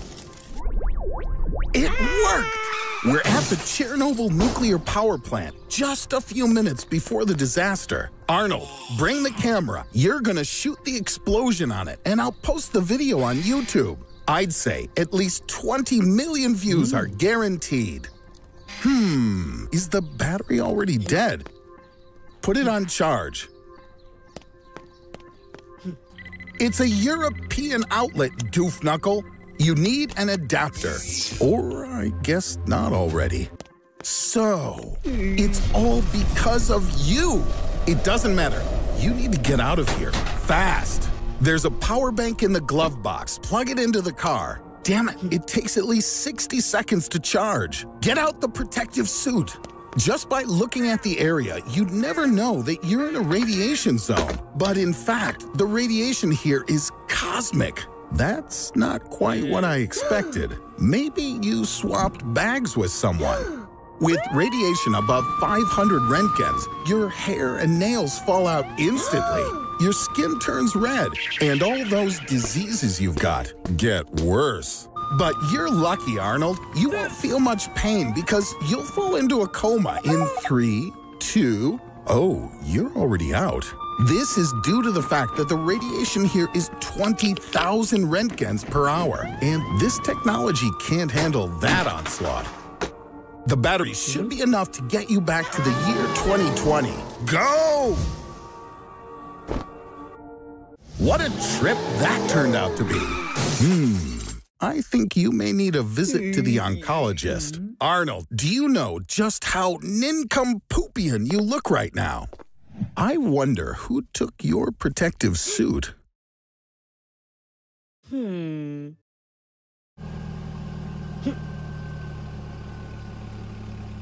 Hey, Arnie, are you sure it's okay to take pictures here? Arnold, I have bad news. All governments all around the world have been overthrown, and they're now each ruled by dictators. Yes, on the one hand, it's good. No one will leave their countries anymore, and everyone will work for their country's well being and standing in the world. But on the other hand, under such regimes, most people won't live in houses or residential complexes, but in prisons, because the laws of the countries will be very strict and sometimes even really strange. You can forget about the benefits of civilization. After all, foreign economic relations aren't needed anymore, and each country will now work just for itself. But what that means is if before there wasn't any heavy industry in your country, like, for example, making vehicles, now you won't be able to get a new car, and all you can ever hope for is some crappy bicycle at best. And I'm not saying that all social media has disappeared but now you can only have private conversations with your friends somewhere deep in the woods. And with the radio turned up really loud. And now, even if you want a haircut, your hairstyle will need to get an approval from the local administration. And there are just a limited number of government-approved hairdos. But what's most frightening is that all countries now suspect hmm. each other of being a potential threat. Hmm. So, almost all resources of every country are invested in military buildups. And alas, one of these days, somebody's gonna break down and hit that big red button. Arnold, you saved the world! Who would have thought your colorblindness would save the planet? Hey, where'd you get a car? Arnold! You almost killed that bird! Now you have to call a taxi for this lady. Luckily, it was a sparrow and not an eagle. I think your phone just ordered all of the taxis in the entire United States to one place. In the USA, about 230,000 people are registered as taxi drivers, more than half of whom are Uber drivers. All these cars lined up in a row will create a traffic jam with a length of 800 kilometers. One third of New York State will be paralyzed. It'll become difficult to breathe on the streets due to emissions increasing to double the usual amount. And because of that, you'll start coughing, feel nauseous, and might even suffer a stroke. Don't place your hopes on an ambulance, since it can't save you, or the other 3,000 patients who call an ambulance every day. You can take a chance and try to take the subway to the hospital, but the 6 million people who normally drive their cars are already on the subway. So today, there are about 11 million evil, angry, late people down there. Hey, he's the one who caused all the traffic jams. Criminals have already robbed half of the shops in the city because police can't respond to most crimes. Arnold, I think you'd better get out of the country altogether. There's a place for you on just about any plane leaving New York. People can't get to the airport, and planes are flying half empty. And from this company are losing more than $10,000 per flight. Doesn't Arnold always pay his debts? all the taxi drivers together spent about $15 million just on gas to come pick you up. How in the world will you pay? Arnold, do you really have the money?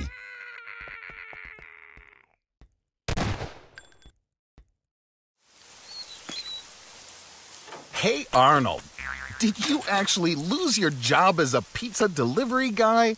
Now, just imagine if you had two heads. You'd be way more popular. Your life would be much more interesting.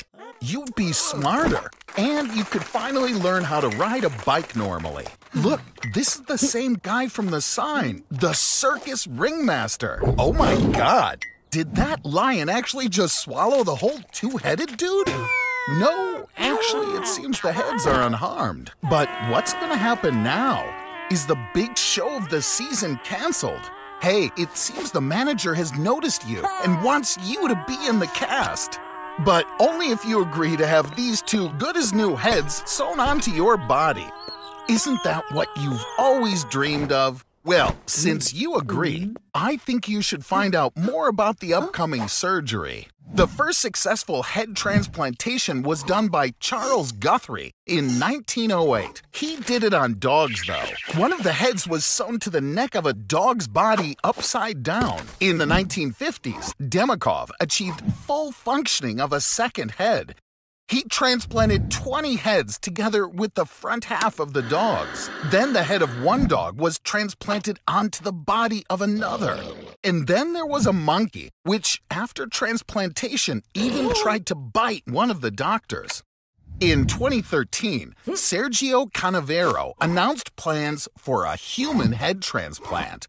The estimated cost was $12.8 million. In 2017, under his leadership, a dead human head was transplanted onto a corpse. Actually, it suits you, Arnold. Now it's time to rehearse your part. I hope you don't screw up and disgrace these hmm. beautiful heads. You're gonna have to juggle as you ride your unicycle on a springboard through burning hoops. Yay! They don't seem to like you being so stupid, Arnie. Try not to interfere with the professionals managing your body. All that's required of you is to not spoil the performance. The grand premiere. All eyes are fixed on you, Arnold. Today, you are the main part of the show. Fingers crossed, buddy. You're doing great. Just a little more. And is that Tagaya over there? Did she come to see you? No, no, don't get distracted. Not now, Arnold. What a doofwad. By trying to be a gentleman, you disgraced yourself and the Truel brothers. That was the greatest failure this circus has ever seen. Psst, Arnold! Arnold! Wake up! Hey, Arnold! Are you in a hurry to go to your favorite job? But why is everyone so gloomy? What? The boss says you beat up Chris yesterday, dumped trash on Jamie's desk, and did something disgusting with Miss Wallet. Of course, you don't remember any of that, but your colleagues don't care. Run, Arnie! This is the end, buddy. Farewell to your one true love.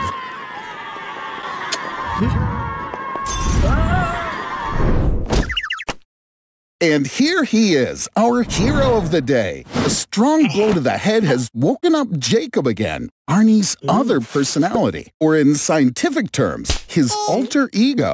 It's called dissociative identity disorder. With this disease, power over the body of the patient is completely captured by another personality. The cause of the disorder may be trauma during childhood. The child blocks off memories of bad events and starts to consider himself someone else.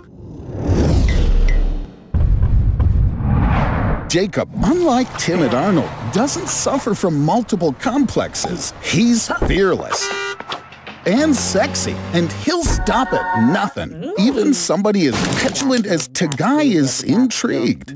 But there is one thing. Jacob can only speak Dumi, which is a language common to only eastern Nepal. The alter ego often differs from one's main personality in the language of communication, gender, age, nationality, and even IQ. And in especially exotic cases, the alter ego can be an animal or even a religious figure. The maximum number of alter egos in one person was identified in an American criminal named Billy Milligan, who had 24 different full-fledged personalities. Billy was acquitted in court as crimes he'd committed were actually committed by one of his alter egos, unbeknownst to Billy himself. Arnold, just look at what you've done. It seems now you think you're a psycho and you need to be treated. But split personality is not schizophrenia, and there's simply no cure. What's that? An SMS from Tagai. She wants you to come to her now. Inside Arnold, there can be only one.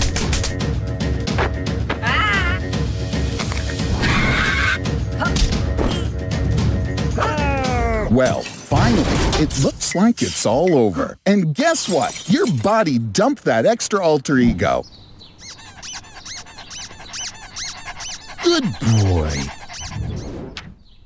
Your tricks suck. If you want to be popular, you need to stand out. How about some real magic? For example, the magician Harry Houdini got out of being buried alive with his hands tied.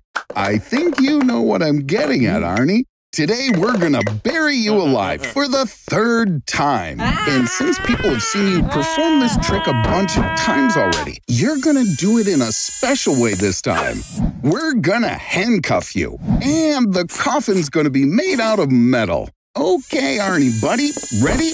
Get in. During past burials, you already learned the most important rule. You need to breathe calmly and deeply in order to conserve your oxygen. Okay, now quit being calm. We need to get the handcuffs off. It's really simple. All you need to do is break one finger on each hand so you can slip them through the cuffs. Oh, quit your belly aching, Arnie. You still got two more mm. fingers left. Use your belt or watch to try to crack open the lid. A metal coffin has weak points all along the edges. Come on, Arnie, I was kidding. You can't break through the metal doofus. There's two meters of earth above you, which is pressing down with a mass of almost two and a half tons. So this third burial will probably be your last. Arnie.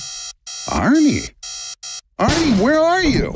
Oh, you little bastard. Yes, you really are Arnie Houdini. In just the same way, Harry Houdini climbed through a secret compartment in the sidewall of the coffin and into a tunnel. And then through a hatch in the grave, he dropped down on the coffin from above and covered himself with a half meter layer of dirt. But where's the hatch, Arnie?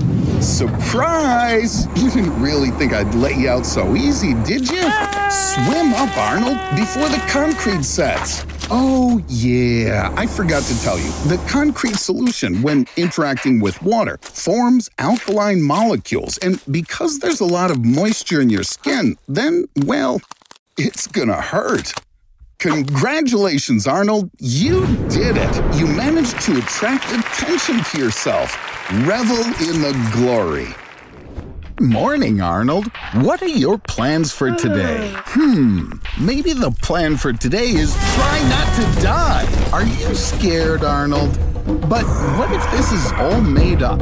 What if I told you neither King Kong nor Godzilla could survive on Earth? It's pretty simple. Look, the largest man in the world ever was Robert Pershing Wadlow. His height was 2 meters 72 centimeters, and he lived for just 22 years. He suffered from a disease called gigantism. With this disease, the brain releases excessive amounts of growth hormone. Therefore, in the process of human evolution, the norms for height and weight were established, and any large deviations are considered disease. One of the biggest stresses is to the heart, which has to circulate 15 liters of blood instead of just the normal 5. And the heart often can't withstand such strenuous dynamics for too long. But what about the fact that there are other giant creatures on Earth, like whales?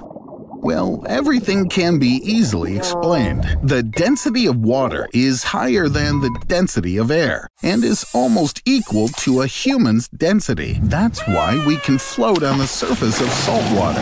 This means that the habitat itself supports the weight of living things. For example, whales, whose ancestors 50 million years ago looked a lot like a dog with hooves. Godzilla and King Kong could not exist on Earth at all because of our friend gravity. But let's say we turn off gravity to scientifically allow for the existence of Godzilla and King Kong. Everything on Earth that isn't fixed to the ground would take off into space. That includes people who, if caught in the open, will be shot off into the great beyond. And those lucky few who find themselves in a room somewhere can still live for some time until the houses eventually fly upward. And in the end, our planet will completely crumble into pieces.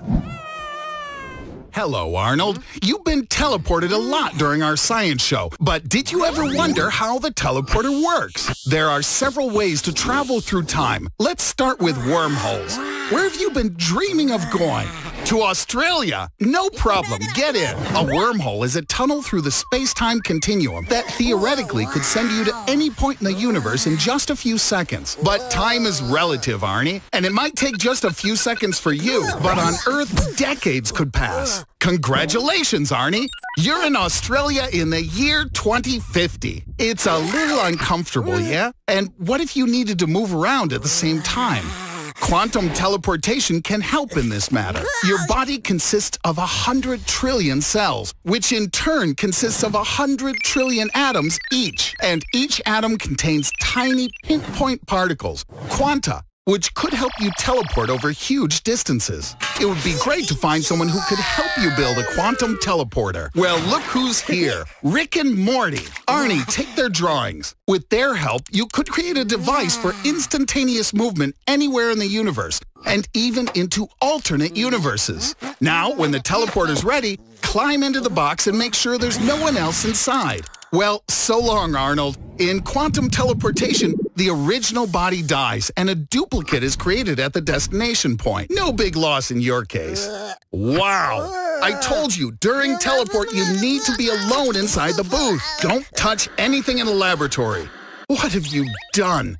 Your DNA, which was hybridized with that of a scorpion, was transmitted through the satellite system and turned all the inhabitants of the planet into human-scorpion hybrids. You've destroyed Dimension C-137, you stupid idiot, Arnie. Rick and Morty would have traveled back to the original universe, where the mutants don't exist, but you can only do it a couple of times. I don't think we want to see what happens to Arnie in this universe. Better we go back to Australia. Fortunately, I saved Arnold's quantum data, and therefore have the ability to recover his useless body. Arnie, you should crawl through the wormhole in the direction of your home in 2018. And don't forget the blueprints of your body.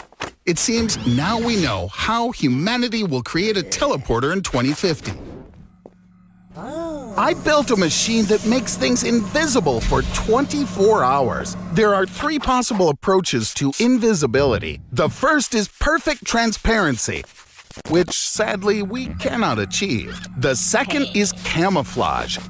When the light rays emanating from the object correspond to the rays that we would expect to see in the absence of the object. This is exactly what my machine does. And the third and last approach is when an object is swathed in a metamaterial, something like an invisible hat, that transforms the path of light rays so that they seem unchanged. Now, we'll try it on a pizza. If everything works out, it will be a pizza that you won't have to share with your friends. Okay, I'm throwing the first switch. Did you know that the first three-dimensional invisibility was achieved by a group from the University of California, Berkeley in 2008? They created a mesh of silver microfibers that doesn't reflect or absorb light rays. As a result, the eye sees light only from the objects behind the camouflaged entity. Now the second switch. Don't move, Arnold. Wait, what are you? Oh, you are such an imbecile. I'd smack you upside your head, but damn it, I don't know where you are. Put this hat on so I can see you. Okay, you have 24 hours. What are you gonna do? Who'd have any doubt that's where you'd go first? If my machine worked according to the principle of invisibility, you'd become blind because the invisible body's refractive index becomes equal to that of air, and the lenses in your eyes would lose the ability to reflect light rays and focus them on the retina. The retina itself also wouldn't be able to absorb visible light with its rods and cones due to its invisibility. But as I can see, your eyesight seems to be okay, you slobbering ignoramus. Okay, now that the gym is closing, can we do something else? You have mm-hmm. 18 hours left. I meant something a little more significant, you block-headed jerk monkey. After all, you could reveal terrible ah. secrets and perform incredible feats. You could even make your way into Area 51. Oh, right, it's in a different state. Do you have any ideas? Are you thinking about stealing it? That's a terrible idea. In any case, you need a plan. Of course, thanks to invisibility, you'll be able to stay long after closing. But then you'll need to bypass the guards. And there are also lasers all around the diamond. Can you really do a triple somersault, steal the diamond, and leave the museum in the car that will bring new antiquities for the exposition exactly at 2 a.m.? Even so, this is a really bad idea. The museum closes in an hour. Go hide in the corner and wait. And take off your hat, you mutton headed twit. Get ready, Arnold. The main thing, obviously, is not to get caught. Arnold, it's go time! Oh, nuts! All you had to do was a triple somersault, and you screwed it up again. well, now, now you have to run for your life, Arnold! Decided to hang out in the park, did ya? Looks like this burrito was out of your league. Quick, find something to drink. Arnold, wait. God knows what might be in this magic shop. Well, since you've successfully solved your Mexican food problem, let's go have some fun. What a huge line. It looks like you'll have to wait for a bit. Or. Arnold, this is not a good thing to do. Looks like this hmm? cute little granny needs your help. Arnold, watch out! You know, Arnold, I decided to go to the morgue and say my final goodbyes to you. Oh my god, are you alive? No, you've been resurrected.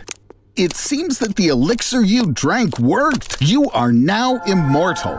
Congratulations, Arnold. You will now be the longest living organism on Earth. Your body is now regenerating, and the term cellular senescence is now just a joke for you. Well, how are you going to use your immortality? Got it. You'll cross the road on red grope random girls.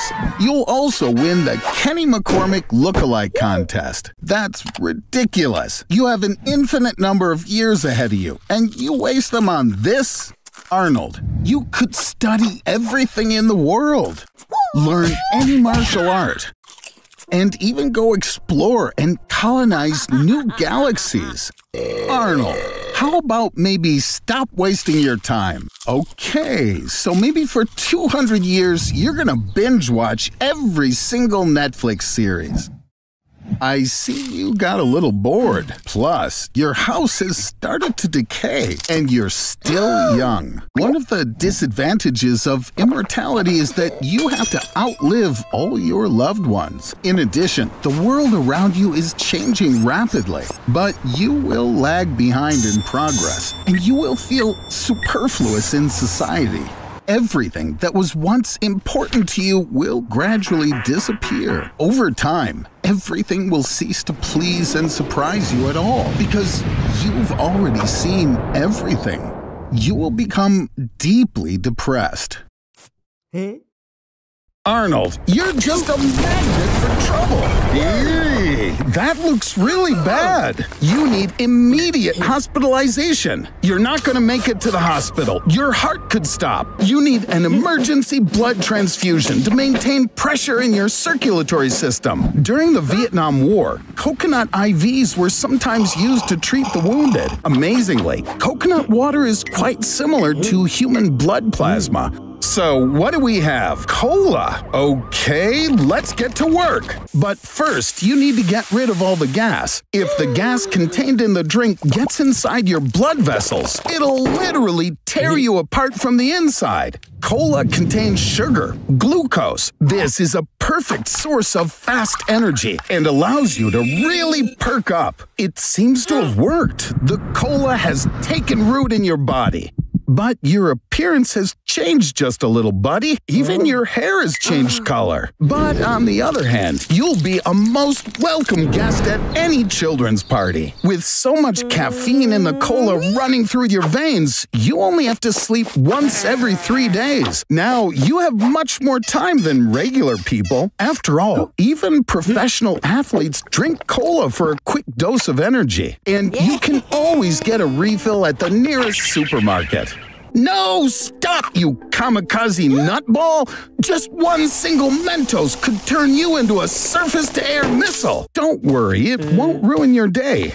Cola even helps combat mild depression. But to be honest, Arnold, oh, cola in your blood is actually deadly. Your eyes, kidneys, nerves, and heart suffer the most. Yeah, looks like cola's not an option. So, what do you say? Let's try Pepsi next time. Mm.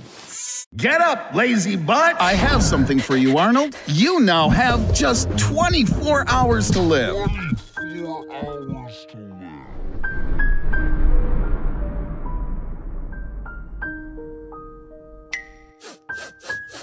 I think you should Google what to do in such a situation. Yeah. First, clear your browser history. And here are the top three ah. answers to this burning question. How would you spend the ah. last day of your life? With loved ones? I think for you, Arnold, this probably ain't the right answer. The second option is to gorge yourself on junk food. Well, you already do that every day. And finally, number three, spend the day at the ocean with a loved one. Ooh, it just got interesting. Arnold, are you really gonna do what you've been dreaming of all your life? Whoopsie daisy, somebody ran out of gas and money, money, money, money. Great idea! You can get a loan and really live it up on your last day. Get the maximum. You'll feel like the richest dude on the planet. Jeff Bezos, the owner of Amazon, makes enough money to buy a new Tesla Model S every 50 seconds. You're rich now, Arnold. You can rent your own plane and fly anywhere you want. What are you up to? Wow, you're gonna take Tagaya from her boyfriend and take her on a trip with you. Arnold, you're my hero. Ah, if only we could turn back time and make this moment really last. What if I told you it's possible to keep the day from ending? You need to overtake the sun. To do this, we gotta fly west along the equator at a speed of 1,667 kilometers per hour. If you can fly at that speed, the day will never end. Regrettably, this won't affect your lifetimer in the slightest. It's your last few seconds, Arnold.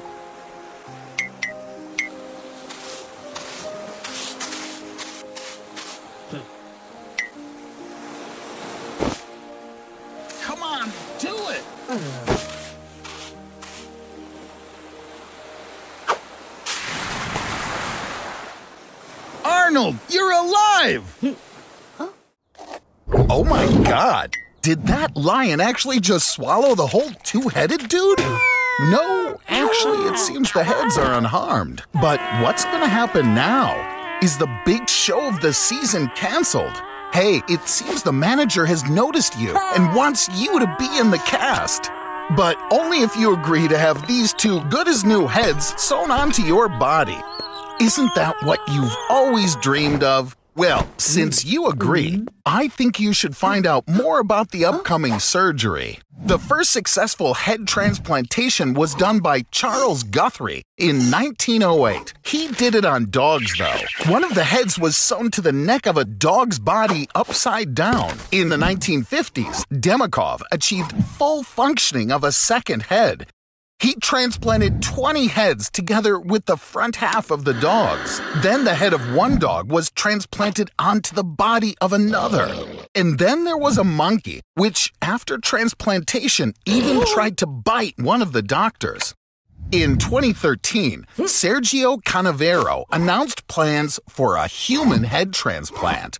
The estimated cost was $12.8 million. In 2017, under his leadership, a dead human head was transplanted onto a corpse. Actually, it suits you, Arnold. Now it's time to rehearse your part. I hope you don't screw up and disgrace these hmm. beautiful heads. You're gonna have to juggle as you ride your unicycle on a springboard through burning hoops. Yay! They don't seem to like you being so stupid, Arnie. Try not to interfere with the professionals managing your body. All that's required of you is to not spoil the performance. The grand premiere. All eyes are fixed on you, Arnold. Today, you are the main part of the show. Fingers crossed, buddy. You're doing great. Just a little more. And is that Tagaya over there? Did she come to see you? No, no, don't get distracted. Not now, Arnold. What a doofwad. By trying to be a gentleman, you disgraced yourself and the Trool brothers. That was the greatest failure this circus has ever seen. What could be more wonderful than a summer walk in the park? We don't choose our destiny, it chooses us. Arnold, look out! Wow, looks like someone spilled radioactive waste here. Hey, Arnold, now you can be a superhero. Did you know that Marvel's Wolverine was originally going to be called Badger Man? So in this case, you are Beef Skunk Pecker Man. Cool. This is the first time in history when a superhero has three superpowers. But you're not the only one with superpowers, Arnie. For example, a sword master from Japan, Isao Machi, is able to cut a bullet traveling at a speed of 320 kilometers per hour. Slavisha Pajkic from Serbia can literally handle 20,000 volts of electricity, and he can also cook food by running electric current through his body. Wim Hof from the Netherlands is able to withstand below zero temperatures for hours, and even climb Mount Everest in his underpants. What about you, Arnold? Wow, congratulations! I see you've gained the ability to hammer nails with your hmm? skull, build dams, and hmm? even breed superflies on your hmm? own body. But seriously, if you think your superpowers are ludicrous, check out DC Comics Dog Welder, whose power is to weld dogs to his enemies. Zeitgeist from the X Men, after an all night drinking binge, discovered he had the ability to puke acid. Did you know Batman's net worth is $98 billion? Seems like being a superhero can be a very lucrative business. And the very first copy of the Superman comic book was sold at auction for $3.5 million. And judging by the number of requests on Google, Spider Man is now more popular than the President of the United United States. Arnold, I know this is very cool, but still, the main job of a superhero is not to bask in glory, but to fight for good. Hey guys, the world is in danger. The world is doomed without you. Okay, don't say I didn't warn you.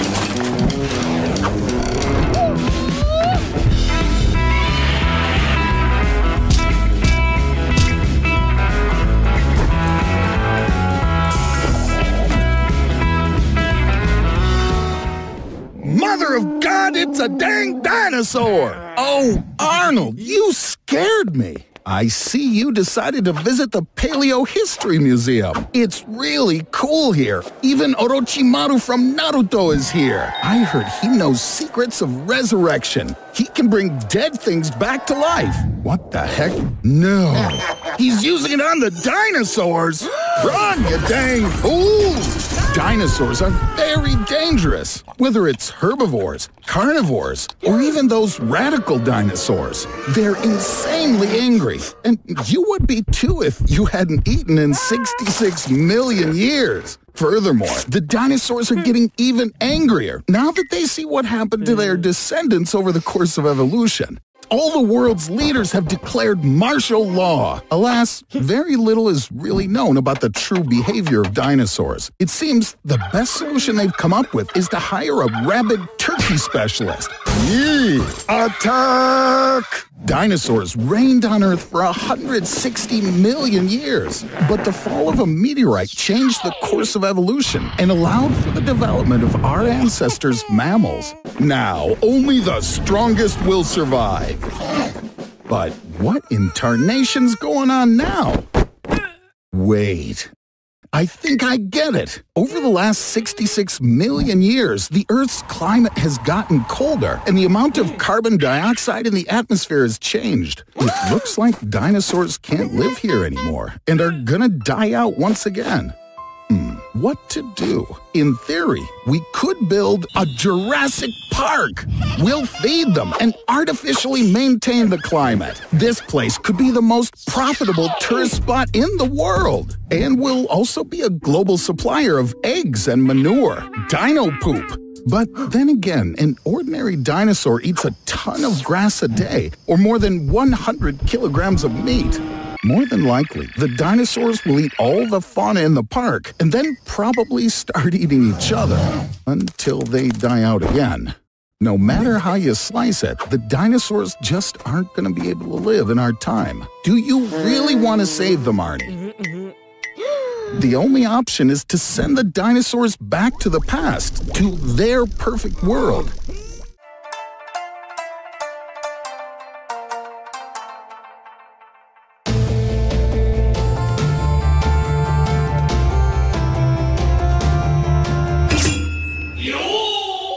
Wow, this is Seiko Chidori, former captain of the Sky Guard. As a child, he was admitted to the Heaven Corps, where he defended his country from the Shinigami, vampires, pirates, and Girls und Panzer. When all his friends turned away from him, he was left alone with the darkness inside of him. Arnold, you are now in the most popular anime genre, shonen. Shonen is a story about a hero that starts out at the bottom, then makes his way to the top, finally defeating his main opponent. You have to train hard to get stronger and understand his philosophy. Forward is the only way. Meet anime high school culture, an important period in the life of any anime teenager. Oh yeah, I forgot to tell you. In anime, every girl is perfect. For some men, this overestimates the requirement for their significant other, and often enough, this rivalry is won by the waifu, the drawn wife. Arnold, it seems like you were born to be an anime. A utopia like this can only be prevented by Gundams from the mecha and kaiju genres. To create an anime, you first have to draw a manga, Manga is pretty much just like a comic book, only you read it backwards. In Japan, they use more paper to print manga mm-hmm. than for toilet paper. Anime has grown from cheap animation into an entire thriving industry. By the way, those two girls are your stepsisters. Don't worry, it's okay in the ecchi genre. There he is, and you are prepared for this battle. Release your Bankai, and don't waste your Furioku. Hajime, harness the power of the founding Titan. Control your Reiatsu. Seiko Chidori is weak. Only darkness is left at his disposal, and you have the light given to you by friendship. Remember what this is all for, and don't let anyone knock you off your Meet Arnold. He had a difficult childhood. Now he's making up for lost time. Did you know, Arnold, that there are 15,000 nuclear warheads in the world with a combined capacity of about 7,500 megatons? You should also probably know that five minutes ago I sent one of them in your direction. There's no point hitting the gas, Arnold. The electromagnetic pulse wave killed all the electronics modern cars are so chock full of. Next, you're to be hit by the shockwave. Even if this old rust bucket were made of solid graphene, which at the atomic level is even stronger than diamond, and you somehow miraculously survive all this destruction, you're still to go through living hell. Wake your skinny ass up, Arnold. We need to check how far you are from the epicenter of the explosion. Remember, if you see a mushroom cloud, stick your hand out in that direction and raise your thumb. If the cloud is bigger than your thumb, then you're in the radioactive zone. What a lucky guy. Do you have sunscreen? It won't help, you dumbass. I'm joking. You should run away from here. Fast. Radioactive isotopes in small quantities have already begun to slowly destroy your DNA. How do you feel, my friend? Yes, that's right, it's a good time for a shower.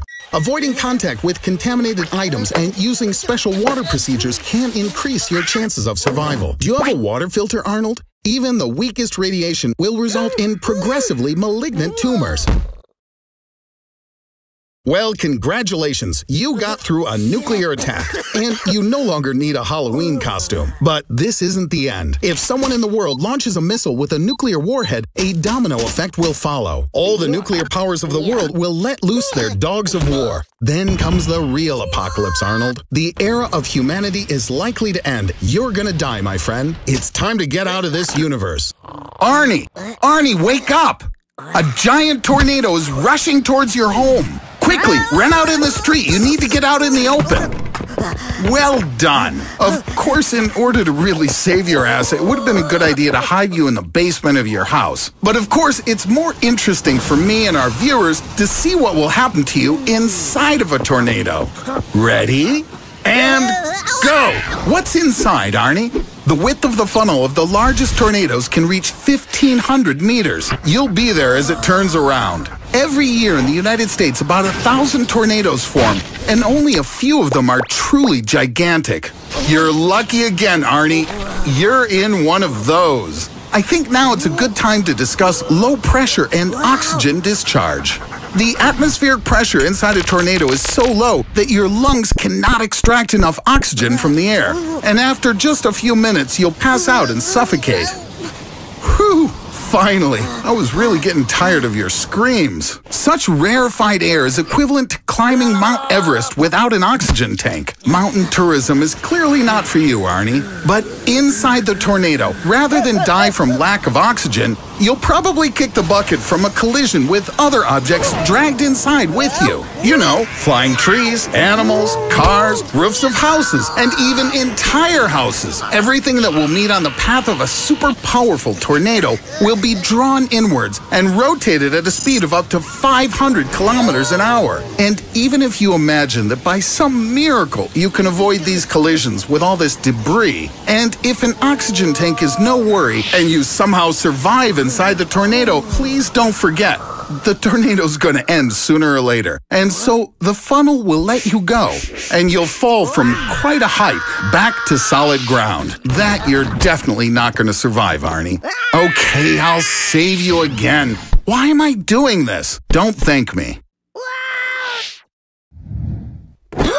It seems like somebody's volunteering to save the planet, and he's just bursting with enthusiasm. It looks like this episode will be the shortest ever and have a happy end.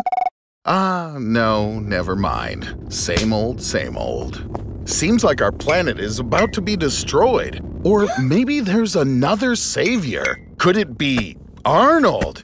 Excellent! We'll pick an outfit for you. So this one is a no. Definitely not this one. Yee! No, not that one. Now this one. This is what you need. Although we could just copy what Project DART from SpaceX did. It's planned that in 2022, a spacecraft weighing 500 kilograms will ram into an asteroid named Didymos at a speed of 6 kilometers per second. The autopilot hasn't been installed yet, so you're going to have to fly manually and become a hero.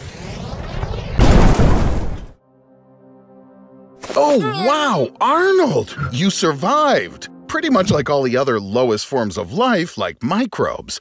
But now there is a small issue with water. After a meteor 100 kilometers in diameter hit the Earth, the shockwave destroyed almost all life within a radius of 100,000 square kilometers. There was a huge release of sulfur, and dust and ash from all the destruction rose into the upper atmosphere and blocked access from the sun's mm. rays. You must be hungry.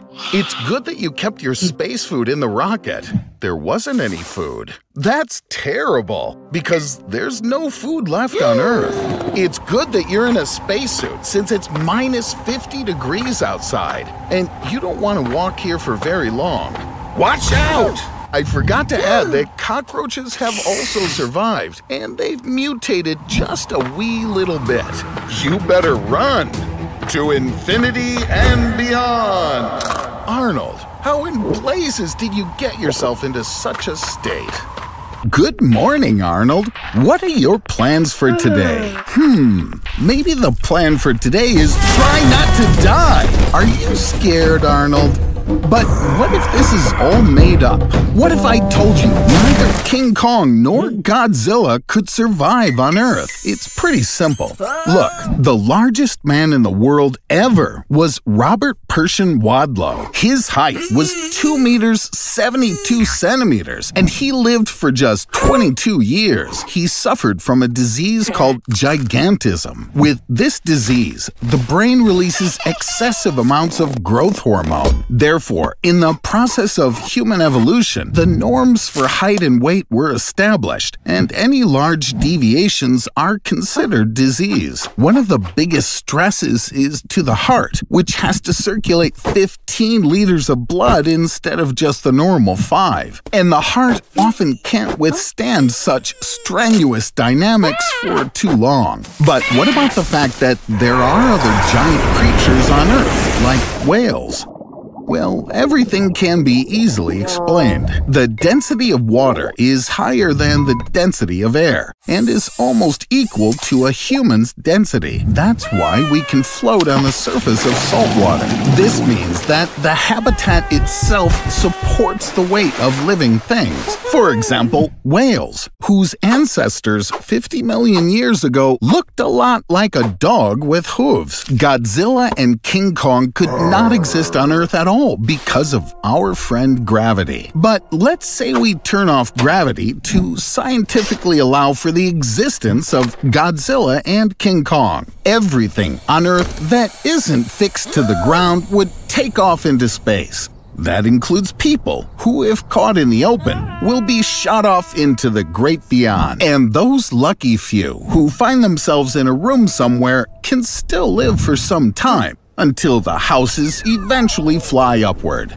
And in the end, our planet will completely crumble into pieces. Therefore, in order to destroy the Earth, you don't need to wait for a fight between two giants. You can simply turn off gravity.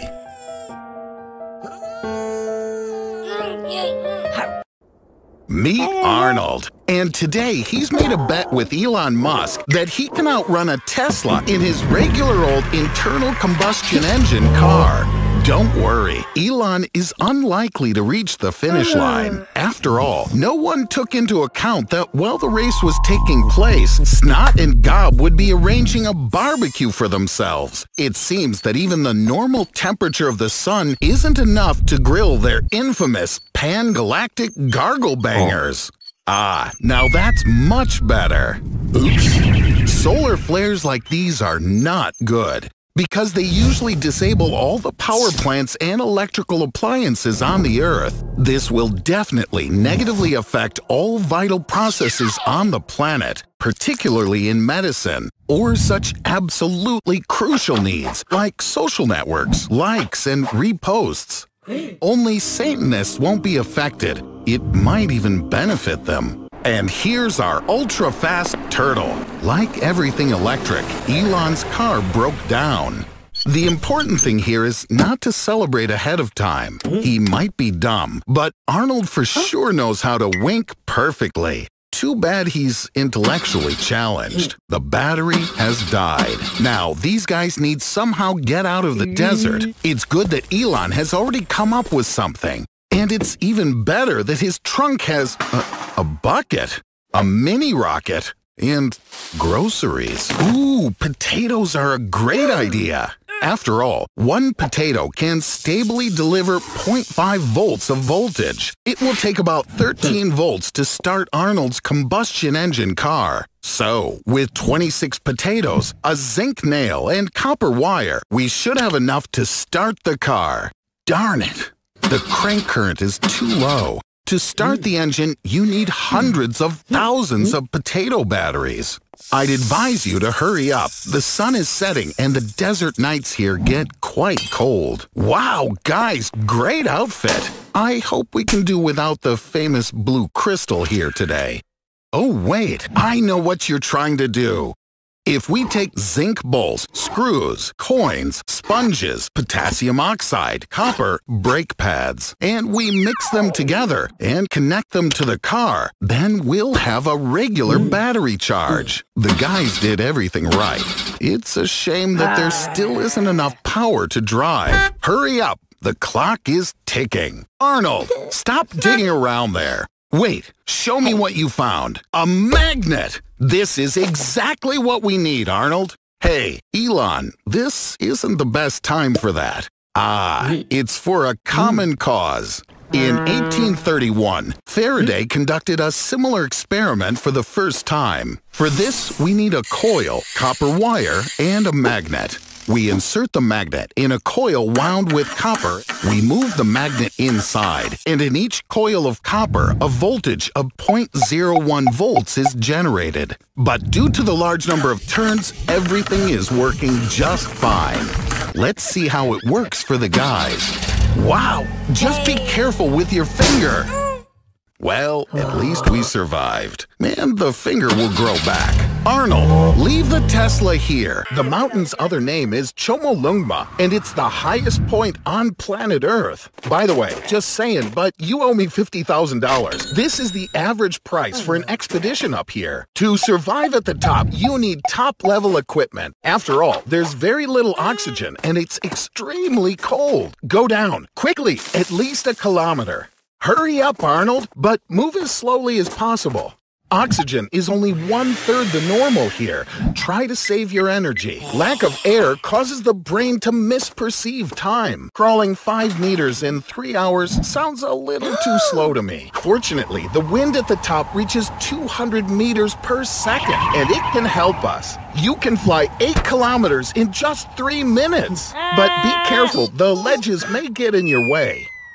Lucky ah! you, you fell into the trash. The government pays $2 for every kilogram of garbage collected. I see you're trying to pay me my $50,000 back. Arnold, try not to breathe so much. At a temperature of minus 60 degrees Celsius, your lungs will begin to dry out. Mountain coughs are so bad they can even break your ribs. I'm sorry, Arnold, but climbers can't remove corpses from Mount Everest. It's impossible. Moreover, corpses are used as height markers for mountain peaks. Well, Arnold, at least you found something useful to do. I see you're really happy to be here, buddy, especially after such fiercely cold conditions. Uh, I think perhaps you're enjoying it a little too much. Hello, Arnold. It looks like you started hallucinating from a lack of oxygen, and someone brought you to the campfire. I'm glad that you woke up, but there are still six kilometers ahead of us. Unfortunately, I don't think you have the strength left to reach home. But wait, Arnold, I have an idea. You can repeat the feat of Marco Siffredi. In 2001, he descended Mount Everest on a snowboard. I believe in you, ah. Arnold.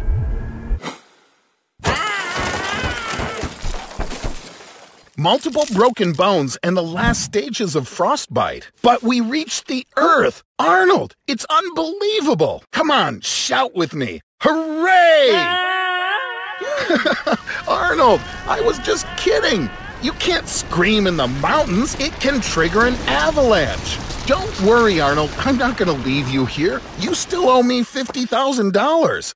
Arnold, come on. This isn't fair. Okay, I'm gonna go get a shovel. Meet Arnold. Today he'll go to the Amazon to get acquainted with the local inhabitants. Which ones? Piranhas! There are about 50 different kinds of piranha, of which only a few eat the flesh of living beings. All other species are either vegetarians or eat only carrion. Arnie, guess what piranhas you're gonna meet? My smart boy, you're right! Fortunately for Arnie, and to the disappointment of our viewers, in science there has never been recorded even a single case of piranhas attacking and killing a person. Well then, we're gonna have to create such a case. Arnie, jump in! As you can see, you're absolutely uninteresting to them. And what's more, they're even afraid of you. Aggressiveness in piranhas depends on several factors. The first is heat. Add temperature, please. Thank you. This hell will drive anyone crazy. During a drought, the water level in the river drops and finding food becomes much more difficult.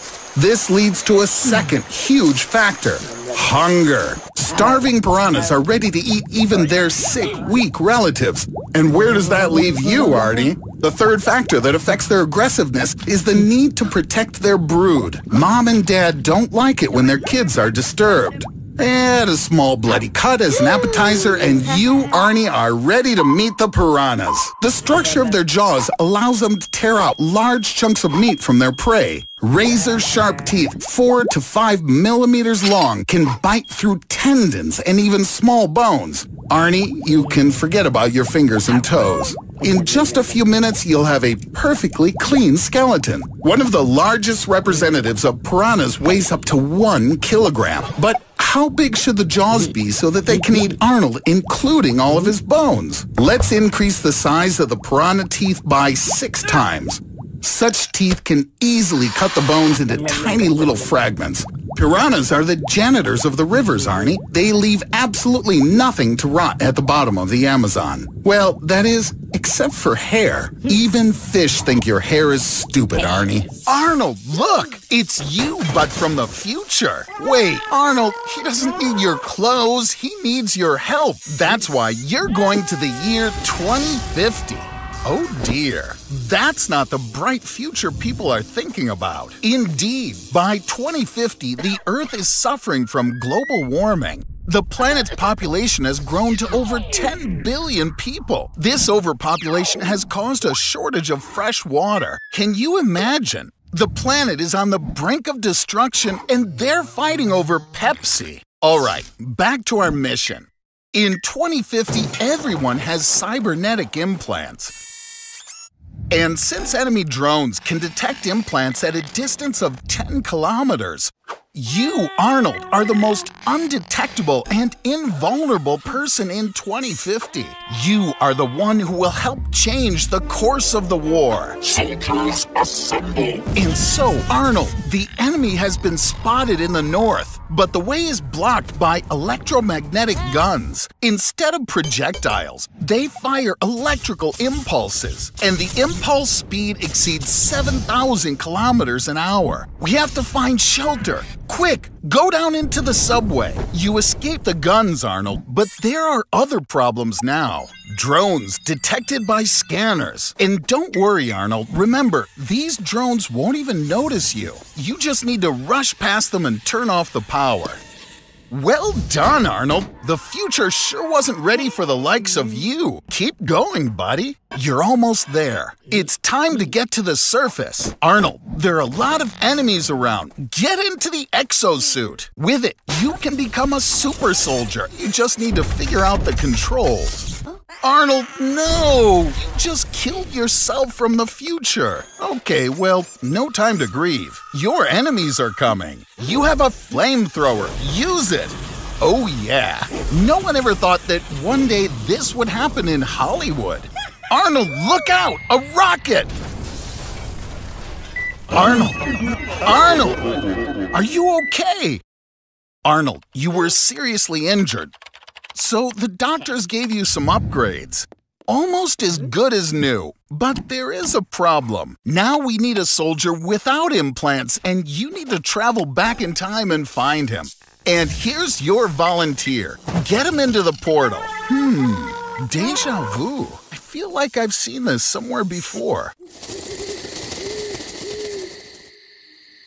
Meet Arnold. He's now a Transylvanian delicacy stuffed with rice. Sorry, Arnold, I'm not a big fan of such gory scenarios. So let's take a look at some interesting information. Let's wish Arnold's new friends a big bon appetit. Now, we should probably get to know them a little better. So, werewolves are called lycanthropes. That's the name they got from ancient Greece. The author of the term is Herodotus, a historian from 2,500 years ago, who, when describing Scythia, mentioned people who could instantly turn into wolves. As for vampires, the word vampire first appeared in the Oxford English Dictionary back in 1734. Arnold, you're alive! I'm so happy. But wait, what's that on your neck? No. You gotta be kidding me. You're actually the first person ever to get bitten by both a vampire and a werewolf at the same time. I'm already wondering oh. just what the heck you're gonna look like. Well, you try to figure out how that's gonna work. Moreover, back in medieval times, redheads were considered vampires. Ooh, Frankie has already added you to his friend list. That's sweet. He's also assembled from a bunch of random crap, just like you. Everyone knows about the ancient animosity that exists between vampires and werewolves. But I would have never guessed that I'd see such a thing in a single body. Oh, so you're getting hungry now. And you need food for two. Go, search for your victim. The perfect victim. Bon appetit, Arnie.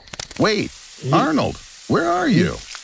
What did you expect? You can't go against the call of the wild. Just remember to clean up after your dog. Way to be a bloodsucker. With your moves, Arnold, you need to start thinking about going vegan. Ooh, I forgot to warn you. A double creature gets a double hunt.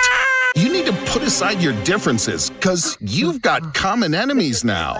Prayer ain't gonna help you, buddy. And of course, garlic is deadly to you now, you moron. You're not the first victim of the hunt. In the 16th century, the French Parliament passed a law to exterminate all shapeshifters.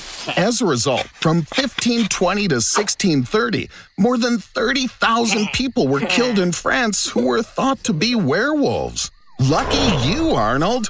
The guys from Greenpeace are always on the lookout. Yeah, yeah, yeah. You decided to visit the Paleo History Museum. It's really cool here. Even Orochimaru from Naruto is here. I heard he knows secrets of resurrection. He can bring dead things back to life. What the heck? No. He's using it on the dinosaurs.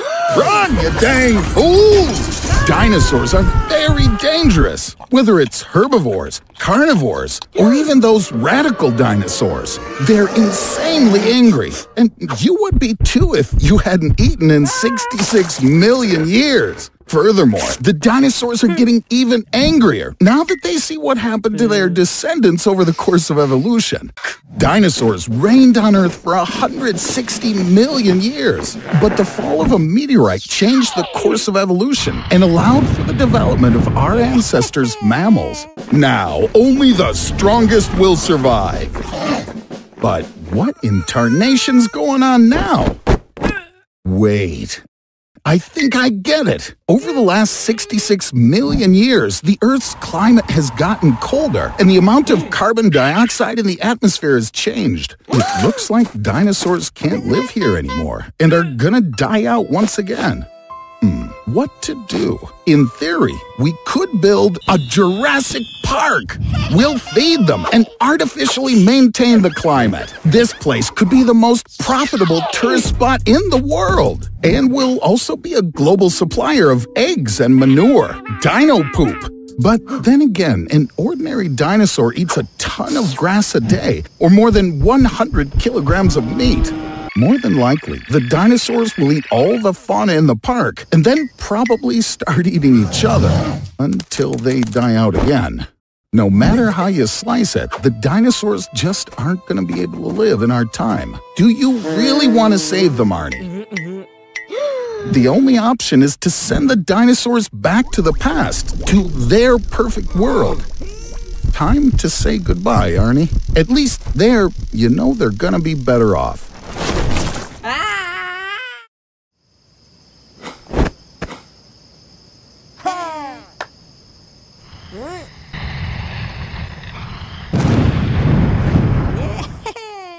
Arnold, what are you doing here? Oh, are you on a date? That's cool, but you sure could find a place more romantic than this cafe on the outskirts of the city.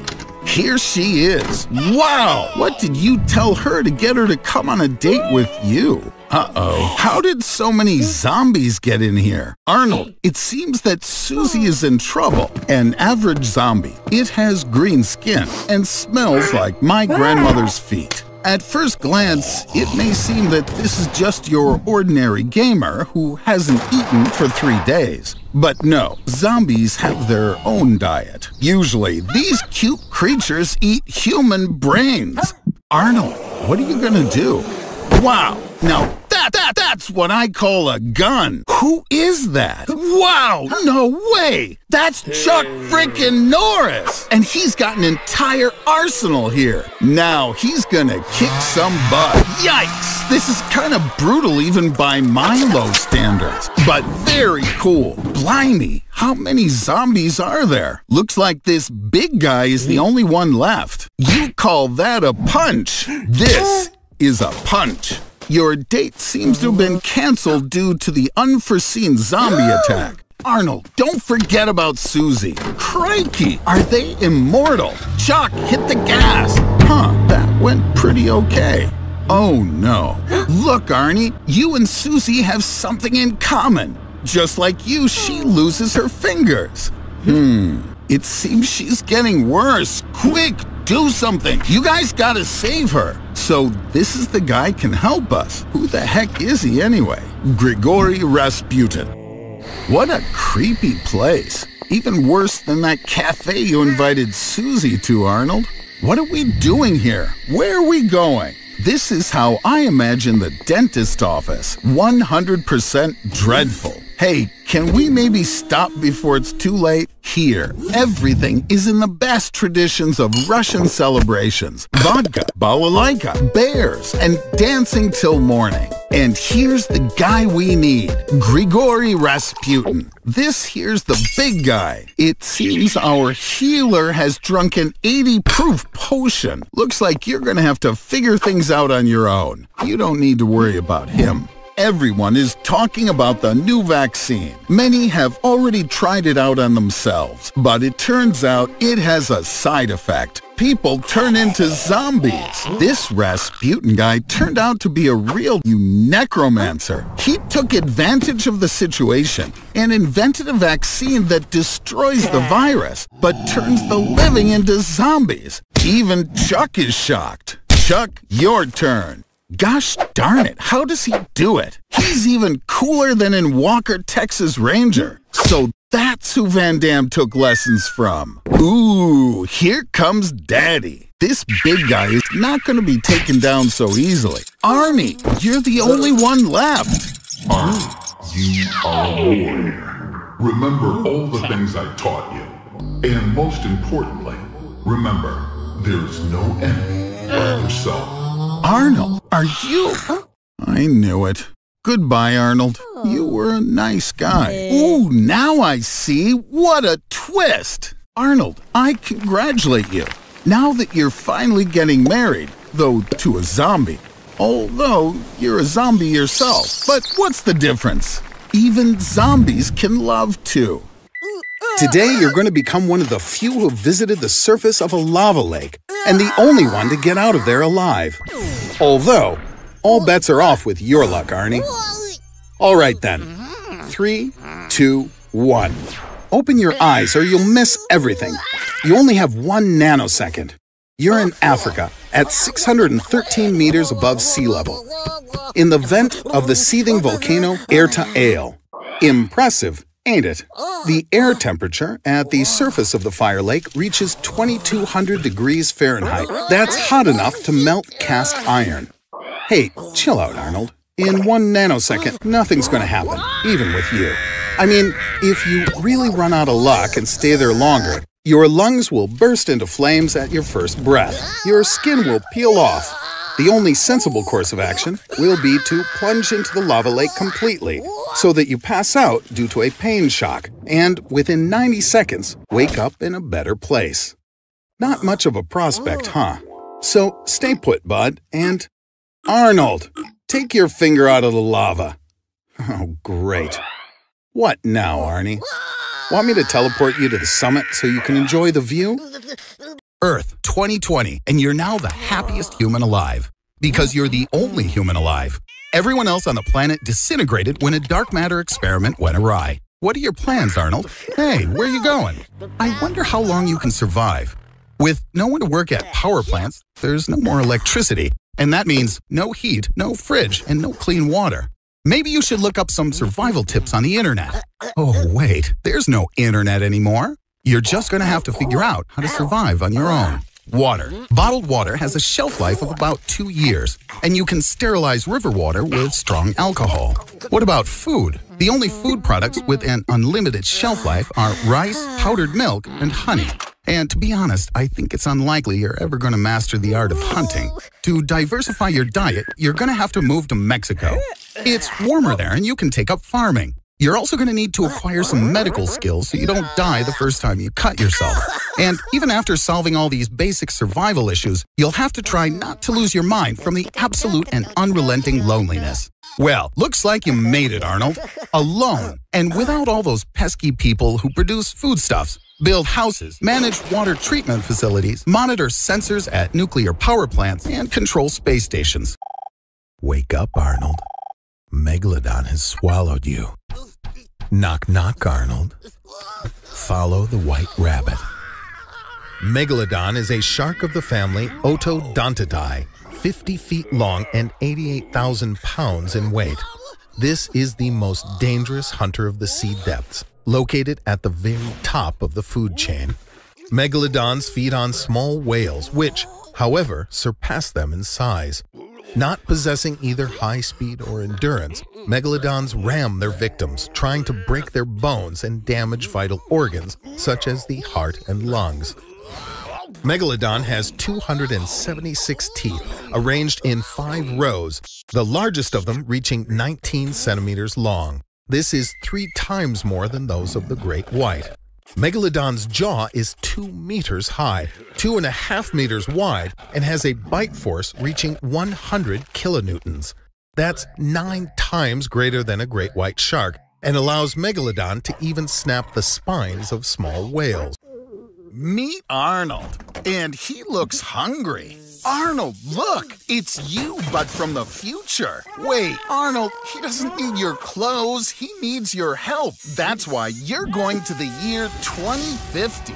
Oh dear, that's not the bright future people are thinking about. Indeed, by 2050, the Earth is suffering from global warming. The planet's population has grown to over 10 billion people. This overpopulation has caused a shortage of fresh water. Can you imagine? The planet is on the brink of destruction and they're fighting over Pepsi. All right, back to our mission. In 2050, everyone has cybernetic implants.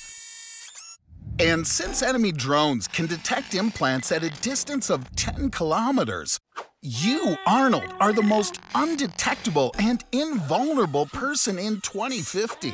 You are the one who will help change the course of the war. Soldiers assemble! And so, Arnold, the enemy has been spotted in the north, but the way is blocked by electromagnetic guns, and the impulse speed exceeds 7,000 kilometers an hour. We have to find shelter. Quick, go down into the subway. You escaped the guns, Arnold, but there are other problems now. Drones detected by scanners. And don't worry, Arnold. Remember, these drones won't even notice you. You just need to rush past them and turn off the power. Well done, Arnold. The future sure wasn't ready for the likes of you. Keep going, buddy. You're almost there. It's time to get to the surface. Arnold, there are a lot of enemies around. Get into the exosuit. With it, you can become a super soldier and travel long distances without getting tired. And all physical activity becomes 20 times easier than it was before. You're unstoppable now, Arnold. Now you just need to figure out the controls. Arnold, no! You just killed yourself from the future. Okay, well, no time to grieve. Your enemies are coming. You have a flamethrower. Use it. Oh, yeah. No one ever thought that one day this would happen in Hollywood. Arnold, look out! A rocket! Arnold! Arnold! Are you okay? Arnold, you were seriously injured. So the doctors gave you some upgrades. Almost as good as new, but there is a problem. Now we need a soldier without implants, and you need to travel back in time and find him. And here's your volunteer. Get him into the portal. Hmm. Deja vu. I feel like I've seen this somewhere before. Hello, Arnold. Hey, when did you manage to get to the seaside? So, what's the whole beach set for anyway? Ah, is this to get Bertha's attention? Wow, it actually worked. She invited you to visit her. But, hey, buddy, do you have enough money for a ticket? I have an idea. You can fly to Bertha in extra super duper economy class. And instead of the usual tablet and pillow, you're gonna need food, water, and a porta potty. Don't worry, Arnold, you're not the first one to travel like this. Reginald Reg Spiers, without any money, got all the way to another continent in just three days. Nowadays, warehouses are like cities with their own laws and regulations. The probability of losing a package is reduced to a minimum. Robots work on the conveyors by reading special barcodes. This reduces the risk of human error. In 2019, China set a world delivery record with 345 million packages delivered in just one day. The worst thing that can happen to a package is that it can get detained in a port at customs. I agree. For the person inside, this ain't like staying at the Ritz. Finding yourself in a confined space under the blazing hot sun is a difficult task to endure. Arnold, hang on, little buddy. It's just a little longer now. To be precise, 23 days, 17 hours, and 45 minutes. Welcome to Australia, Arnold. One of the benefits of traveling by package is courier delivery right to the final destination point. Bertha will be here any minute. Wow, what a babe. Arnold, are you ready? Good look for you, Arnold. She definitely won't forget you like that. Hey, Arnold. Decided to hang out in the park, did ya? Looks like this burrito was out of your league. Quick, find something to drink. Arnold, wait. God knows what might be in this magic shop. Well, since you've successfully solved your Mexican food problem, let's go have some fun. What a huge line. It looks like you'll have to wait for a bit. Or, Arnold, this is not a good thing to do. Looks like this mm. cute little granny needs your help. Arnold, watch out! You know, Arnold, I decided to go to the morgue and say my final goodbyes to you. Oh my god, are you alive? No, you've been resurrected. It seems that the elixir you drank worked. You are now immortal. Congratulations, Arnold. You will now be the longest living organism on Earth. Your body is now regenerating, and the term cellular senescence is now just a joke for you. Well, how are you going to use your immortality? Got it. You'll cross the road on red grope random girls. You'll also win the Kenny McCormick Lookalike Contest. That's ridiculous. You have an infinite number of years ahead of you, and you waste them on this? Arnold, you could study everything in the world, learn any martial art, and even go explore and colonize new galaxies. Arnold, how about maybe stop wasting your time? Okay, so maybe for 200 years, you're gonna binge watch every single Netflix series. I see you got a little bored. Plus, your house has started to decay and you're still young. One of the disadvantages of immortality is that you have to outlive all your loved ones. In addition, the world around you is changing rapidly, but you will lag behind in progress and you will feel superfluous in society everything that was once important to you will gradually disappear. Over time, everything will cease to please and surprise you at all because you've already seen everything. You will become deeply depressed.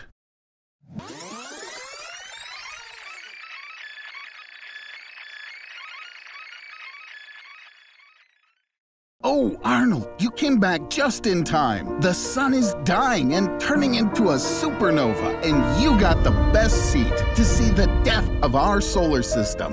Say goodbye to planet Earth. I guess that burrito was a mistake.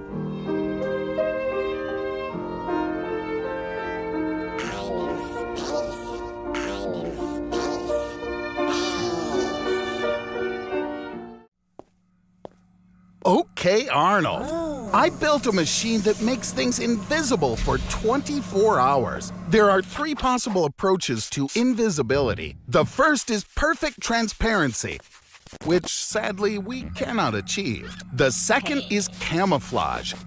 When the light rays emanating from the object correspond to the rays that we would expect to see in the absence of the object. This is exactly what my machine does. And the third and last approach is when an object is swathed in a metamaterial, something like an invisible hat, that transforms the path of light rays so that they seem unchanged. Okay, I'm throwing the first switch. Did you know that the first three-dimensional invisibility was achieved by a group from the University of California, Berkeley in 2008? They created a mesh of silver microfibers that doesn't reflect or absorb light rays. As a result, the eye sees light only from the objects behind the camouflaged entity. Now the second switch. Don't move, Arnold. Wait, what are you? Oh, you are such an imbecile. I'd smack you upside your head, but damn it, I don't know where you are. Put this hat on so I can see you. Okay, you have 24 hours. What are you gonna do? Who'd have any doubt that's where you'd go first? If my machine worked according to the principle of invisibility, you'd become blind because the invisible body's refractive index becomes equal to that of air, and the lenses in your eyes would lose the ability to reflect light rays and focus them on the retina. The retina itself also wouldn't be able to absorb visible light with its rods and cones due to its invisibility. But as I can see, your eyesight seems to be okay, you slobbering ignoramus. Okay, now that the gym is closing, can we do something else? You have 18 hours left. I meant something a little more significant, you blockheaded jerk monkey. After all, you could reveal terrible ah. secrets and perform incredible feats. You could even make your way into Area 51. Oh, right, it's in a different state. Do you have any ideas? Are you thinking about stealing it? That's a terrible idea. In any case, you need a plan. Of course, thanks to invisibility, you'll be able to stay long after closing. But then you'll need to bypass the guards. And there are also lasers all around the diamond. Can you really do a triple somersault, steal the diamond, and leave the museum in the car that will bring new antiquities for the exposition exactly at 2 a.m.? Even so, this is a really bad idea. The museum closes in an hour. Go hide in the corner and wait. And take off your hat, you mutton headed twit. Get ready, Arnold. The main thing, obviously, is not to get caught. Arnold, it's go time! Oh, nuts. All you had to do was a triple somersault, and you screwed it up again. well, now, now you have to run for your life, Arnold! The exit is just around the corner. Come on, Arnold, you can do it! Damn, looks like you stole a glass copy of the diamond. Well, I gotta say, this is an unfortunate turn of events. Although, to be honest, it's pretty logical that the original would be kept in a safe. Now, you'll never have the love of the beautiful Tug-Eye. Unfortunately, you're gonna become visible in just about an hour or so. So, good luck escaping. Bye bye, Arnold. Meet Arnold. And today he's made a bet with Elon Musk that he can outrun a Tesla in his regular old internal combustion engine car.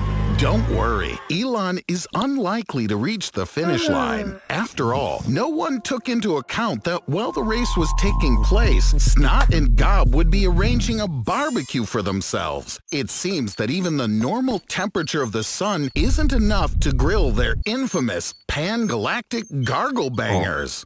Ah, now that's much better.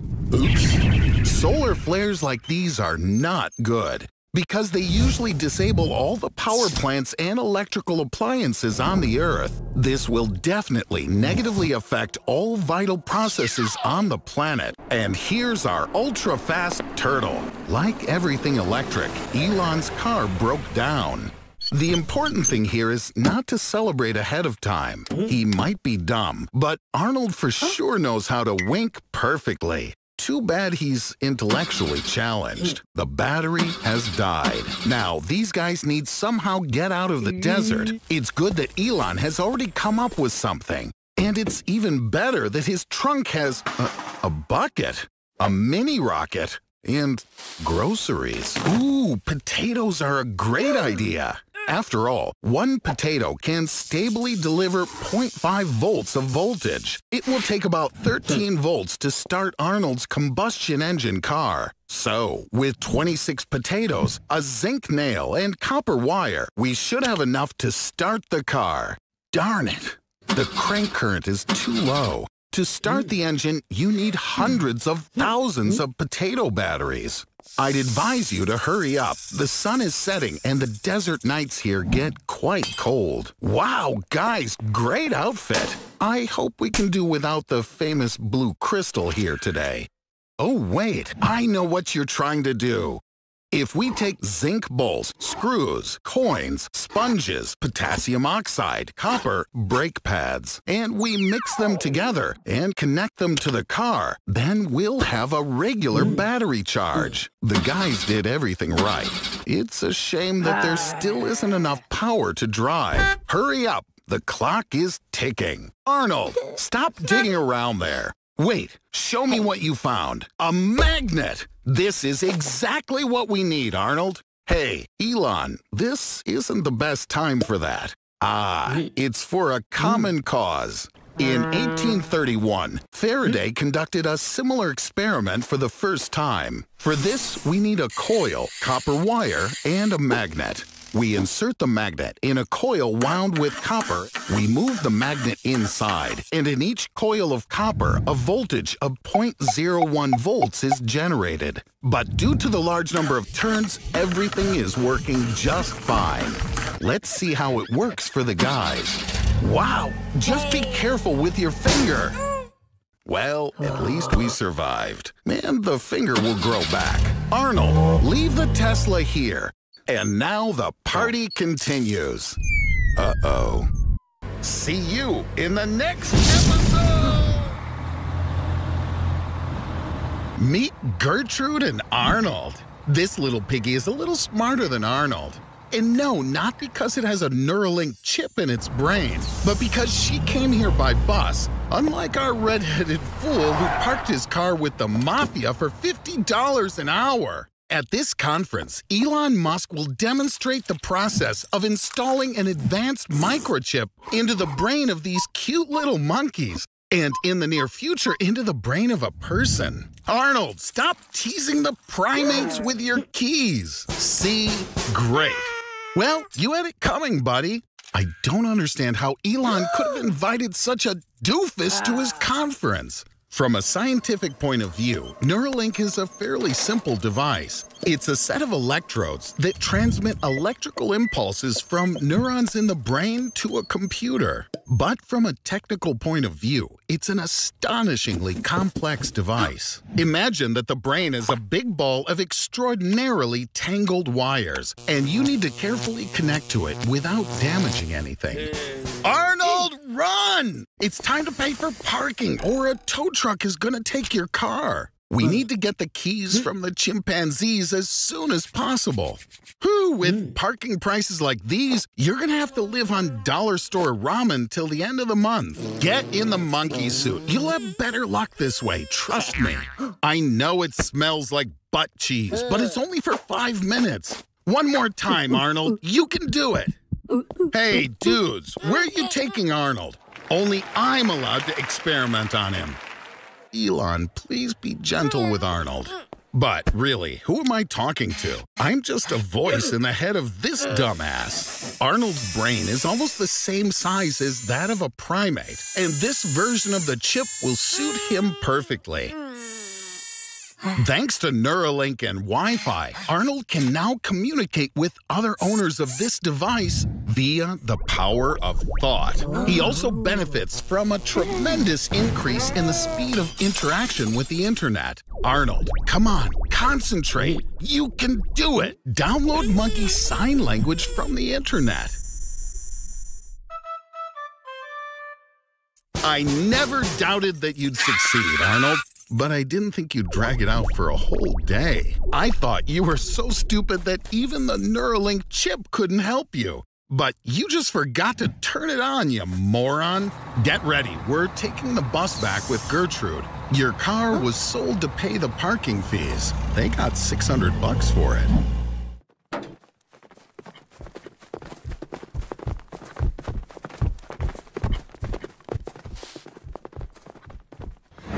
Hello, Arnold. You've been teleported a lot during our science show, but did you ever wonder how the teleporter works? There are several ways to travel through time. Let's start with wormholes. Where have you been dreaming of going? To Australia? No problem, get in. A wormhole is a tunnel through the space-time continuum that theoretically could send you to any point in the universe in just a few seconds. But time is relative, Arnie, and it might take just a few seconds for you, but on Earth, decades could pass. Congratulations, Arnie! You're in Australia in the year 2050. It's a little uncomfortable, yeah? And what if you needed to move around at the same time? Quantum teleportation can help in this matter. Your body consists of a hundred trillion cells, which in turn consists of a hundred trillion atoms each. And each atom contains tiny pinpoint particles, quanta, which could help you teleport over huge distances. It would be great to find someone who could help you build a quantum teleporter. Well, look who's here. Rick and Morty. Arnie, take their drawings. With their help, you could create a device for instantaneous movement anywhere in the universe, and even into alternate universes. Now, when the teleporter's ready, climb into the box and make sure there's no one else inside. Well, so long, Arnold. In quantum teleportation, the original body dies and a duplicate is created at the destination point. No big loss in your case. Wow. I told you, during teleport, you need to be alone inside the booth. Don't touch anything in the laboratory. What have you done? Your DNA, which was hybridized with that of a scorpion, was transmitted through the satellite system and turned all the inhabitants of the planet into human-scorpion hybrids. You've destroyed Dimension C-137, you stupid idiot, Arnie. Rick and Morty would have traveled back to the original universe, where the mutants don't exist, but you can only do it a couple of times. I don't think we want to see what happens to Arnie in this universe. Better we go back to Australia. Fortunately, I saved Arnold's quantum data, and therefore have the ability to recover his useless body. Arnie, you should crawl through the wormhole in the direction of your home in 2018. And don't forget the blueprints of your body. It seems now we know how humanity will create a teleporter in 2050. He's already packed his stuff, fed his fish, and is ready to go on a top secret journey. Right in front of you is the new generation of the DeLorean. I've upgraded this Tesla so you can now travel not only to another city, but also to another year. 1986, for example. It worked! We're at the Chernobyl nuclear power plant just a few minutes before the disaster. Arnold, bring the camera. You're gonna shoot the explosion on it, and I'll post the video on YouTube. I'd say at least 20 million views are guaranteed. Hmm, is the battery already dead? Put it on charge. It's a European outlet, doof knuckle. You need an adapter. Or I guess not already. So, it's all because of you. It doesn't matter. You need to get out of here, fast. There's a power bank in the glove box. Plug it into the car. Damn it, it takes at least 60 seconds to charge. Get out the protective suit. Just by looking at the area, you'd never know that you're in a radiation zone. But in fact, the radiation here is cosmic. That's not quite what I expected. Maybe you swapped bags with someone. With radiation above 500 Roentgens, your hair and nails fall out instantly. Your skin turns red, and all those diseases you've got get worse. But you're lucky, Arnold. You won't feel much pain because you'll fall into a coma in three, two, oh, you're already out. This is due to the fact that the radiation here is 20,000 roentgens per hour, and this technology can't handle that onslaught. The battery should be enough to get you back to the year 2020. Go! What a trip that turned out to be. Hmm. I think you may need a visit to the oncologist. Arnold, do you know just how nincompoopian you look right now? I wonder who took your protective suit. Hmm.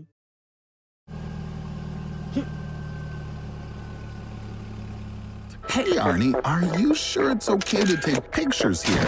Arnold, I have bad news. All governments all around the world have been overthrown, and they're now each ruled by dictators. Yes, on the one hand, it's good. No one will leave their countries anymore, and everyone will work for their country's well being and standing in the world. But on the other hand, under such regimes, most people won't live in houses or residential complexes, but in prisons, because the laws of the countries will be very strict and sometimes even really strange. You can forget about the benefits of civilization. After all, foreign economic relations aren't needed anymore, and each country will now work just for itself. But what that means is if before there wasn't any heavy industry in your country, like, for example, making vehicles, now you won't be able to get a new car, and all you can ever hope for is some crappy bicycle at best. And I'm not saying that all social media has disappeared disappeared, but now you can only have private conversations with your friends somewhere deep in the woods. And with the radio turned up really loud. And now, even if you want a haircut, your hairstyle will need to get an approval from the local administration. And there are just a limited number of government approved hairdos. But what's most frightening is that all countries now suspect each other of being a potential threat. So, almost all resources of every country are invested in military buildups. And alas, one of these days, somebody's gonna break down and hit that big red button.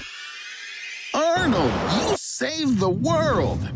Who would have thought your colorblindness would save the planet? Hey, where'd you get a car? Arnold! You almost killed that bird. Now you have to call a taxi for this lady. Luckily, it was a sparrow and not an eagle. I think your phone just ordered all of the taxis in the entire United States to one place. In the USA, about 230,000 people are registered as taxi drivers, more than half of whom are Uber drivers. All these cars lined up in a row will create a traffic jam with a length of 800 kilometers. One third of New York State will be paralyzed. It'll become difficult to breathe on the streets due to emissions increasing to double the usual amount. And because of that, you'll start coughing, feel nauseous, and might even suffer a stroke.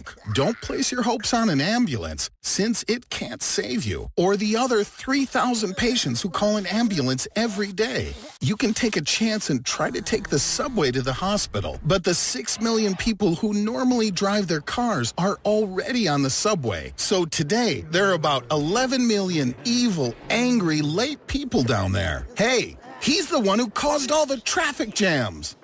Criminals have already robbed half of the shops in the city because police can't respond to most crimes. Arnold, I think you'd better get out of the country altogether. There's a place for you on just about any plane leaving New York. People can't get to the airport, and planes are flying half empty. And from this company are losing more than $10,000 per flight. Doesn't Arnold always pay his debts? All the taxi drivers together spent about $15 million just on gas to come pick you up. How in the world will you pay? Arnold, do you really have the money?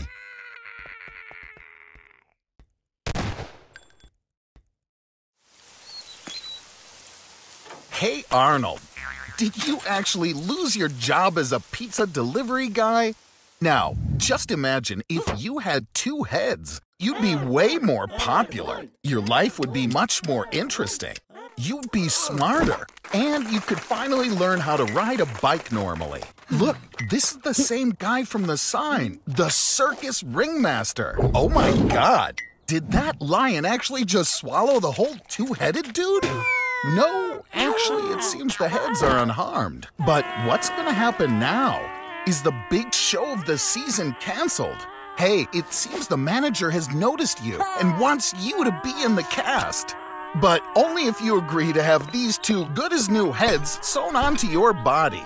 Isn't that what you've always dreamed of? Well, since you agree, mm-hmm. I think you should find out more about the upcoming surgery. The first successful head transplantation was done by Charles Guthrie in 1908. He did it on dogs, though. One of the heads was sewn to the neck of a dog's body upside down. In the 1950s, Demikhov achieved full functioning of a second head.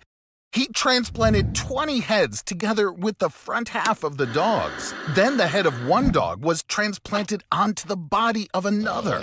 And then there was a monkey, which, after transplantation, even tried to bite one of the doctors.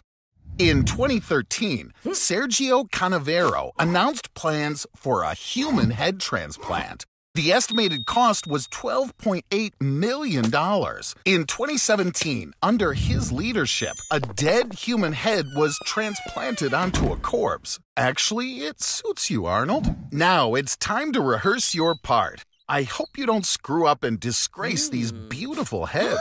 You're gonna have to juggle as you ride your unicycle on a springboard through burning hoops.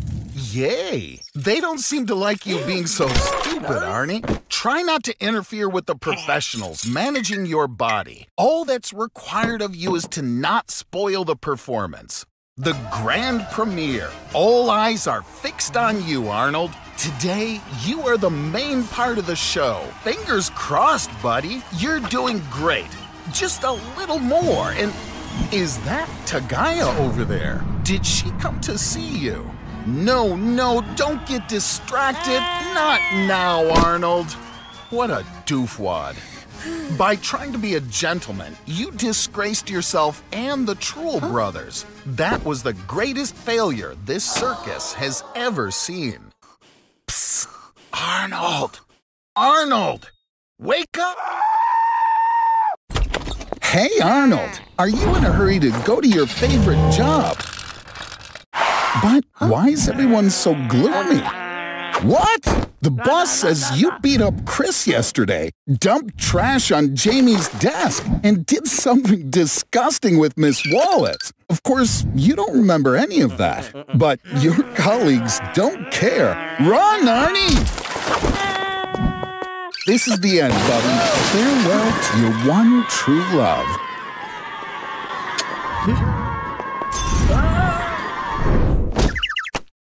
And here he is, our hero of the day. A strong blow to the head has woken up Jacob again, Arnie's other personality, or in scientific terms, his alter ego. It's called dissociative identity disorder. With this disease, power over the body of the patient is completely captured by another personality. The cause of the disorder may be trauma during childhood. The child blocks off memories of bad events and starts to consider himself someone else. Jacob, unlike timid Arnold, doesn't suffer from multiple complexes. He's fearless and sexy, and he'll stop at nothing. Even somebody as petulant as Tagai is intrigued. But there is one thing. Jacob can only speak Dumi, which is a language common to only eastern Nepal. The alter ego often differs from one's main personality in the language of communication, gender, age, nationality, and even IQ. And in especially exotic cases, the alter ego can be an animal or even a religious figure. The maximum number of alter egos in one person was identified in an American criminal named Billy Milligan, who had 24 different full-fledged personalities. Billy was acquitted in court as crimes he'd committed were actually committed by one of his alter egos, unbeknownst to Billy himself. Arnold, just look at what you've done. It seems now you think you're a psycho and you need to be treated.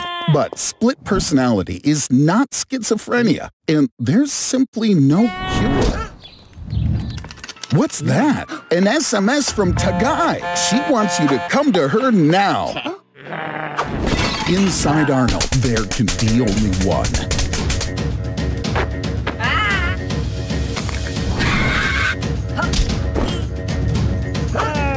Well, finally, it looks like it's all over. And guess what? Your body dumped that extra alter ego. Good boy. Your tricks suck. If you want to be popular, you need to stand out. How about some real magic? For example, the magician Harry Houdini got out of being buried alive with his hands tied. I think you know what I'm getting at, Arnie. Today, we're gonna bury you alive for the third time. And since people have seen you perform this trick a bunch of times already, you're gonna do it in a special way this time. We're gonna handcuff you, and the coffin's gonna be made out of metal. Okay, Arnie, buddy, ready? Get in. During past burials, you already learned the most important rule. You need to breathe calmly and deeply in order to conserve your oxygen. Okay, now quit being calm. We need to get the handcuffs off. It's really simple. All you need to do is break one finger on each hand so you can slip them through the cuffs. Oh, quit your belly aching, Arnie. You still got two more fingers left. Use your belt or watch to try to crack open the lid. A metal coffin has weak points all along the edges. Come on, Arnie, I was kidding. You can't break through the metal doofus. There's two meters of earth above you, which is pressing down with a mass of almost two and a half tons. So this third burial will probably be your last. Arnie. Arnie. Arnie, where are you? Oh, hmm. you little bastard. Yes, you really are Arnie Houdini. In just the same way, Harry Houdini climbed through a secret compartment in the sidewall of the coffin and into a tunnel, and then through a hatch in the grave, he dropped down on the coffin from above and covered himself with a half meter layer of dirt. But where's the hatch, Arnie? Surprise! You didn't really think I'd let you out so easy, did you? Swim up, Arnold, before the concrete sets. Oh, yeah, I forgot to tell you. The concrete solution, when interacting with water, forms alkaline molecules, and because there's a lot of moisture in your skin, then, well, it's gonna hurt. Congratulations, Arnold. You did it. You managed to attract attention to yourself. Revel in the glory. Good morning, Arnold. What are your plans for today? Hmm, maybe the plan for today is try not to die. Are you scared, Arnold? But what if this is all made up? What if I told you neither King Kong nor Godzilla could survive on Earth? It's pretty simple. Look, the largest man in the world ever was Robert Pershing Wadlow. His height was 2 meters 72 centimeters, and he lived for just 22 years. He suffered from a disease called gigantism. With this disease, the brain releases excessive amounts of growth hormone. Therefore, in the process of human evolution, the norms for height and weight were established, and any large deviations are considered disease. One of the biggest stresses is to the heart, which has to circulate 15 liters of blood instead of just the normal 5. And the heart often can't withstand such strenuous dynamics for too long. But what about the fact that there are other giant creatures on Earth, like whales? Well, everything can be easily explained. The density of water is higher than the density of air and is almost equal to a human's density. That's why we can float on the surface of salt water.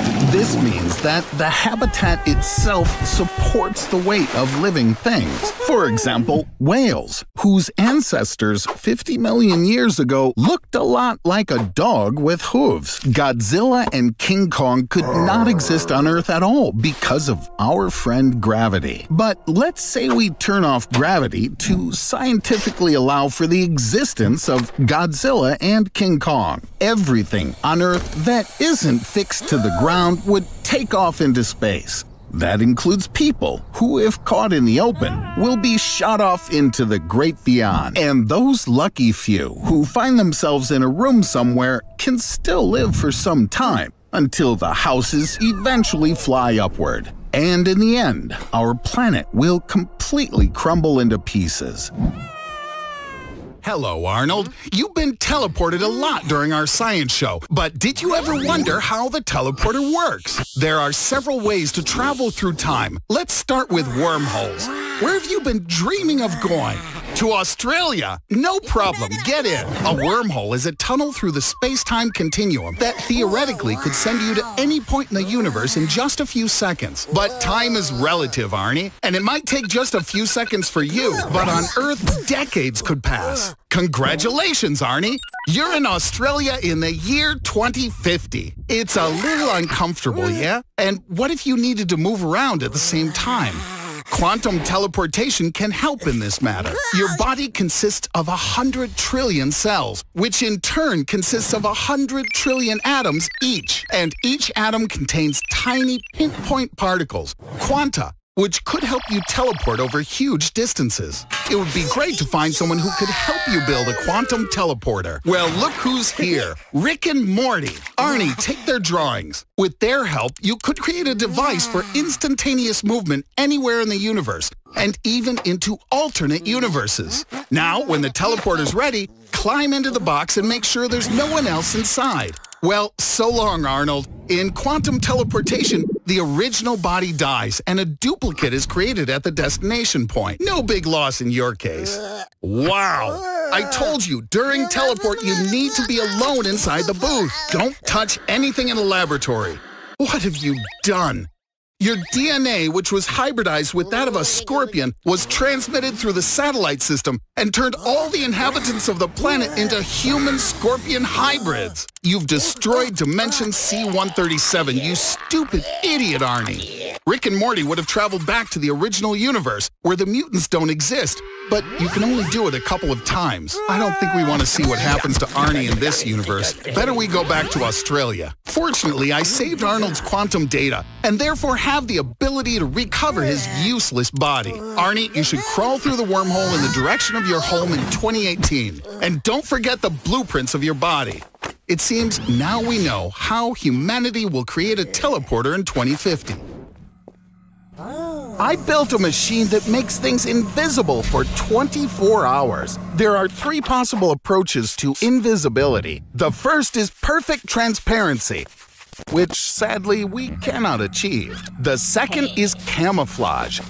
When the light rays emanating from the object correspond to the rays that we would expect to see in the absence of the object. This is exactly what my machine does. And the third and last approach is when an object is swathed in a metamaterial, something like an invisible hat, that transforms the path of light rays so that they seem unchanged. Now, we'll try it on a pizza. If everything works out, it will be a pizza that you won't have to share with your friends. Okay, I'm throwing the first switch. Did you know that the first three-dimensional invisibility was achieved by a group from the University of California, Berkeley in 2008? They created a mesh of silver microfibers that doesn't reflect or absorb light rays. As a result, the eye sees light only from the objects behind the camouflaged entity. Now the second switch. Don't move, Arnold. Wait, what are you? Oh, you are such an imbecile. I'd smack you upside your head, but damn it, I don't know where you are. Put this hat on so I can see you. Okay, you have 24 hours. What are you gonna do?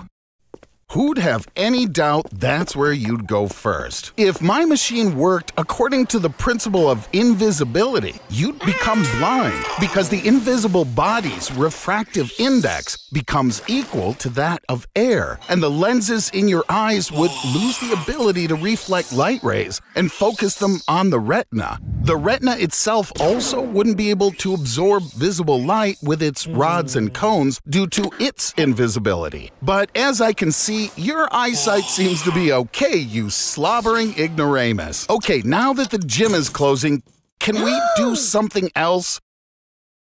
You have 18 hours left. I meant something a little more significant, you blockheaded jerk monkey. After all, you could reveal terrible secrets and perform incredible feats. You could even make your way into Area 51. Oh, right, it's in a different state. Do you have any ideas? Are you thinking about stealing it? That's a terrible idea. In any case, you need a plan. Of course, thanks to invisibility, you'll be able to stay long after closing. But then you'll need to bypass the guards. And there are also lasers all around the diamond. Can you really do a triple somersault, steal the diamond, and leave the museum in the car that will bring new antiquities for the exposition exactly at 2 a.m.? Even so, this is a really bad idea. The museum closes in an hour. Go hide in the corner and wait. And take off your hat, you mutton headed twit. Get ready, Arnold. The main thing, obviously, is not to get caught. Arnold, it's go time! Oh, nuts! All you had to do was a triple somersault, and you screwed it up again. well, now, now you have to run for your life, Arnold! Decided to hang out in the park, did ya? Looks like this burrito was out of your league. Quick, find something to drink. Arnold, wait. God knows what might be in this magic shop. Well, since you've successfully solved your Mexican food problem, let's go have some fun. What a huge line. It looks like you'll have to wait for a bit. Or, Arnold, this is not a good thing to do. Looks like this hmm. cute little granny needs your help. Arnold, watch out! You know, Arnold, I decided to go to the morgue and say my final goodbyes to you. Oh my god, are you alive? No, you've been resurrected. It seems that the elixir you drank worked. You are now immortal. Congratulations, Arnold. You will now be the longest living organism on Earth. Your body is now regenerating, and the term cellular senescence is now just a joke for you. Well, how are you going to use your immortality? Got it. You'll cross the road on red. Grope random girls. You'll also win the Kenny McCormick Lookalike Contest. That's ridiculous. You have an infinite number of years ahead of you, and you waste them on this? Arnold, you could study everything in the world, learn any martial art, and even go explore and colonize new galaxies. Arnold, how about maybe stop wasting your time? Okay, so maybe for 200 years, you're gonna binge watch every single Netflix series. I see you got a little bored. Plus, your house has started to decay and you're still young. One of the disadvantages of immortality is that you have to outlive all your loved ones. In addition, the world around you is changing rapidly, but you will lag behind in progress and you will feel superfluous in society everything that was once important to you will gradually disappear. Over time, everything will cease to please and surprise you at all because you've already seen everything. You will become deeply depressed. Arnold, you're just a magnet for trouble. Eee, that looks really oh. bad. You need immediate hospitalization. You're not going to make it to the hospital. Your heart could stop. You need an emergency blood transfusion to maintain pressure in your circulatory system. During the Vietnam War, coconut IVs were sometimes used to treat the wounded. Amazingly, coconut water is quite similar to human blood plasma. So, what do we have? Cola. Okay, let's get to work. But first, you need to get rid of all the gas. If the gas contained in the drink gets inside your blood vessels, it'll literally tear you apart from the inside. Cola contains sugar, glucose. This is a perfect source of fast energy and allows you to really perk up. It seems to have worked. The cola has taken root in your body. But your appearance has changed just a little, buddy. Even oh. your hair has changed ah. color. But on the other hand, you'll be a most welcome guest at any children's party. With so much caffeine in the cola running through your veins, you only have to sleep once every three days. Now, you have much more time than regular people. After all, even professional athletes drink cola for a quick dose of energy. And you can always get a refill at the nearest supermarket.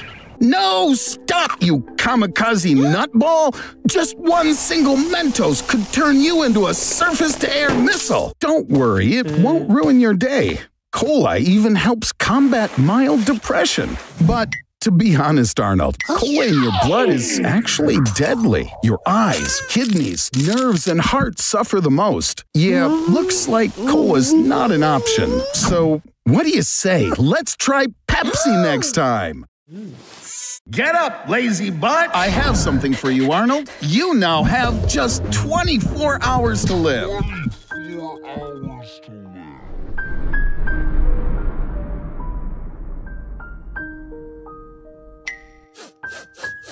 I think you should Google what to do in such a situation.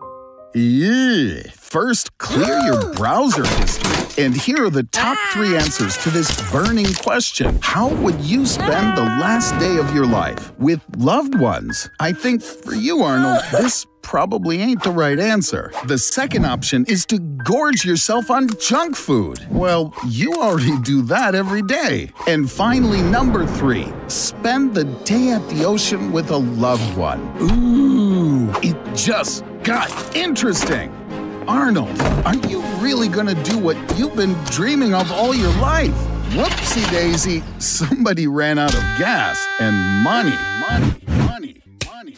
Great idea! You can get a loan and really live it up on your last day. Get the maximum. You'll feel like the richest dude on the planet. Jeff Bezos, the owner of Amazon, makes enough money to buy a new Tesla Model S every 50 seconds. You're rich now, Arnold. You can rent your own plane and fly anywhere you want. What are you up to? Wow, you're gonna take Tagaya from her boyfriend and take her on a trip with you. Arnold, you're my hero. Ah, if only we could turn back time and make this moment really last. What if I told you it's possible to keep the day from ending? You need to overtake the sun. To do this, we gotta fly west along the equator at a speed of 1,667 kilometers per hour. If you can fly at that speed, the day will never end. Regrettably, this won't affect your lifetimer in the slightest. It's your last few seconds, Arnold.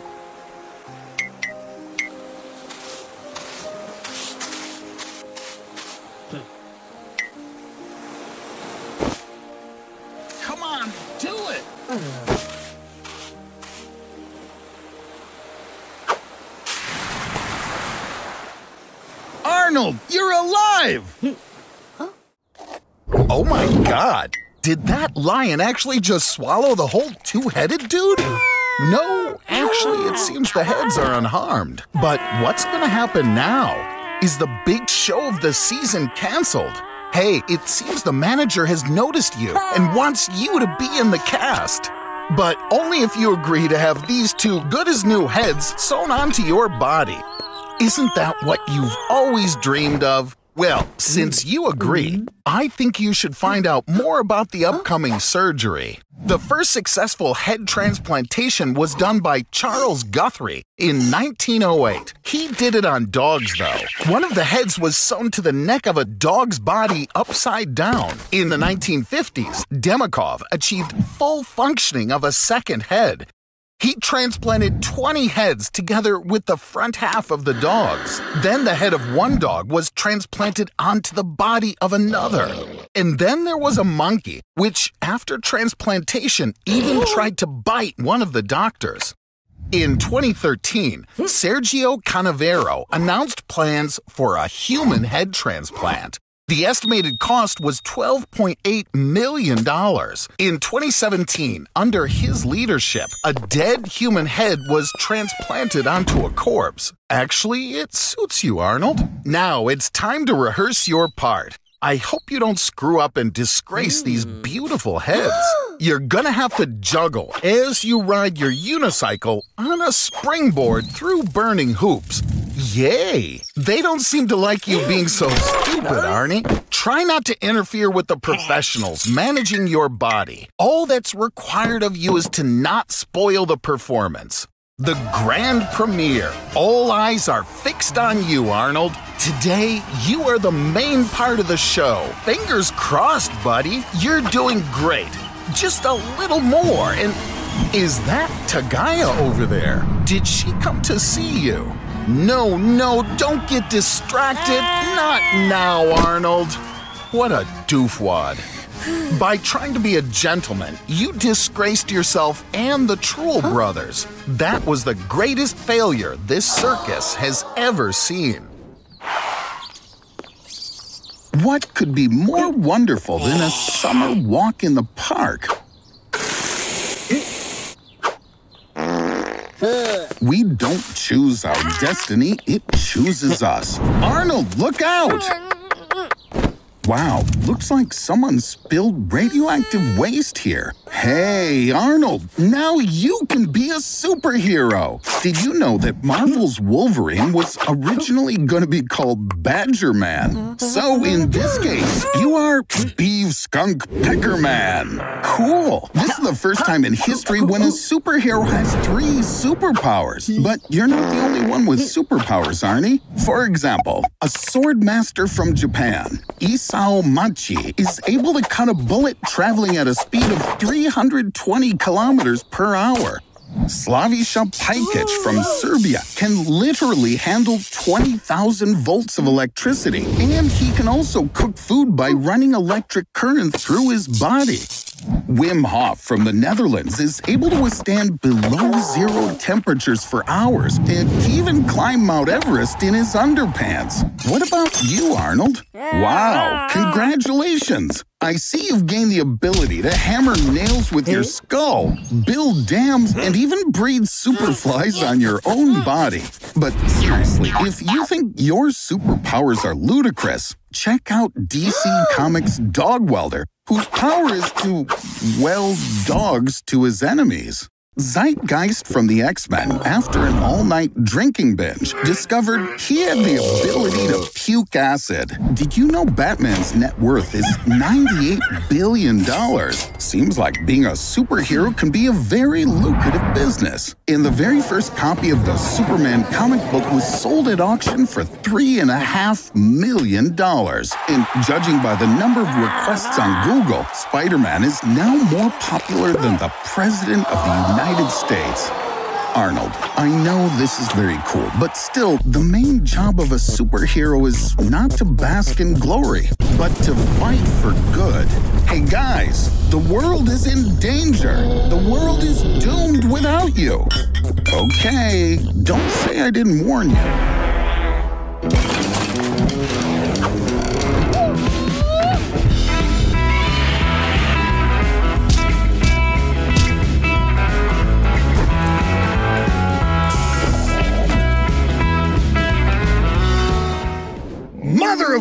It's a dang dinosaur! Oh, Arnold, you scared me. I see you decided to visit the Paleo History Museum. It's really cool here. Even Orochimaru from Naruto is here. I heard he knows secrets of resurrection. He can bring dead things back to life. What the heck? No. He's using it on the dinosaurs. Run, you dang fool! Dinosaurs are very dangerous, whether it's herbivores, carnivores, or even those radical dinosaurs. They're insanely angry, and you would be too if you hadn't eaten in 66 million years. Furthermore, the dinosaurs are getting even angrier now that they see what happened to their hmm. descendants over the course of evolution all the world's leaders have declared martial law. Alas, very little is really known about the true behavior of dinosaurs. It seems the best solution they've come up with is to hire a rabid turkey specialist. Yee! Attack! Dinosaurs reigned on Earth for 160 million years, but the fall of a meteorite changed the course of evolution and allowed for the development of our ancestors' mammals. Now, only the strongest will survive. But what in tarnation's going on now? Wait. I think I get it. Over the last 66 million years, the Earth's climate has gotten colder, and the amount of carbon dioxide in the atmosphere has changed. It looks like dinosaurs can't live here anymore and are gonna die out once again. Hmm, what to do? In theory, we could build a Jurassic Park. We'll feed them and artificially maintain the climate. This place could be the most profitable tourist spot in the world. And we'll also be a global supplier of eggs and manure, dino poop. But then again, an ordinary dinosaur eats a ton of grass a day, or more than 100 kilograms of meat.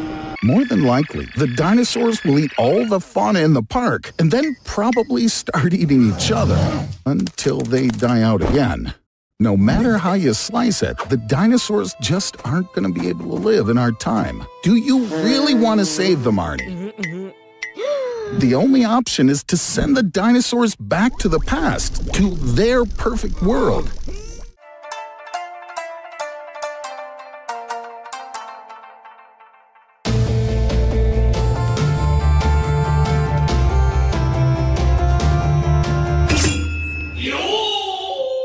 Wow, this is Seiko Chidori, former captain of the Sky Guard. As a child, he was admitted to the Heaven Corps, where he defended his country from the Shinigami, vampires, pirates, and Girls und Panzer. When all his friends turned away from him, he was left alone with a darkness inside of him. Arnold, you are now in the most popular anime genre, shonen. Shonen is a story about a hero that starts out at the bottom, then makes his way to the top, finally defeating his main opponent. You have to train hard to get stronger and understand his philosophy. Forward is the only way.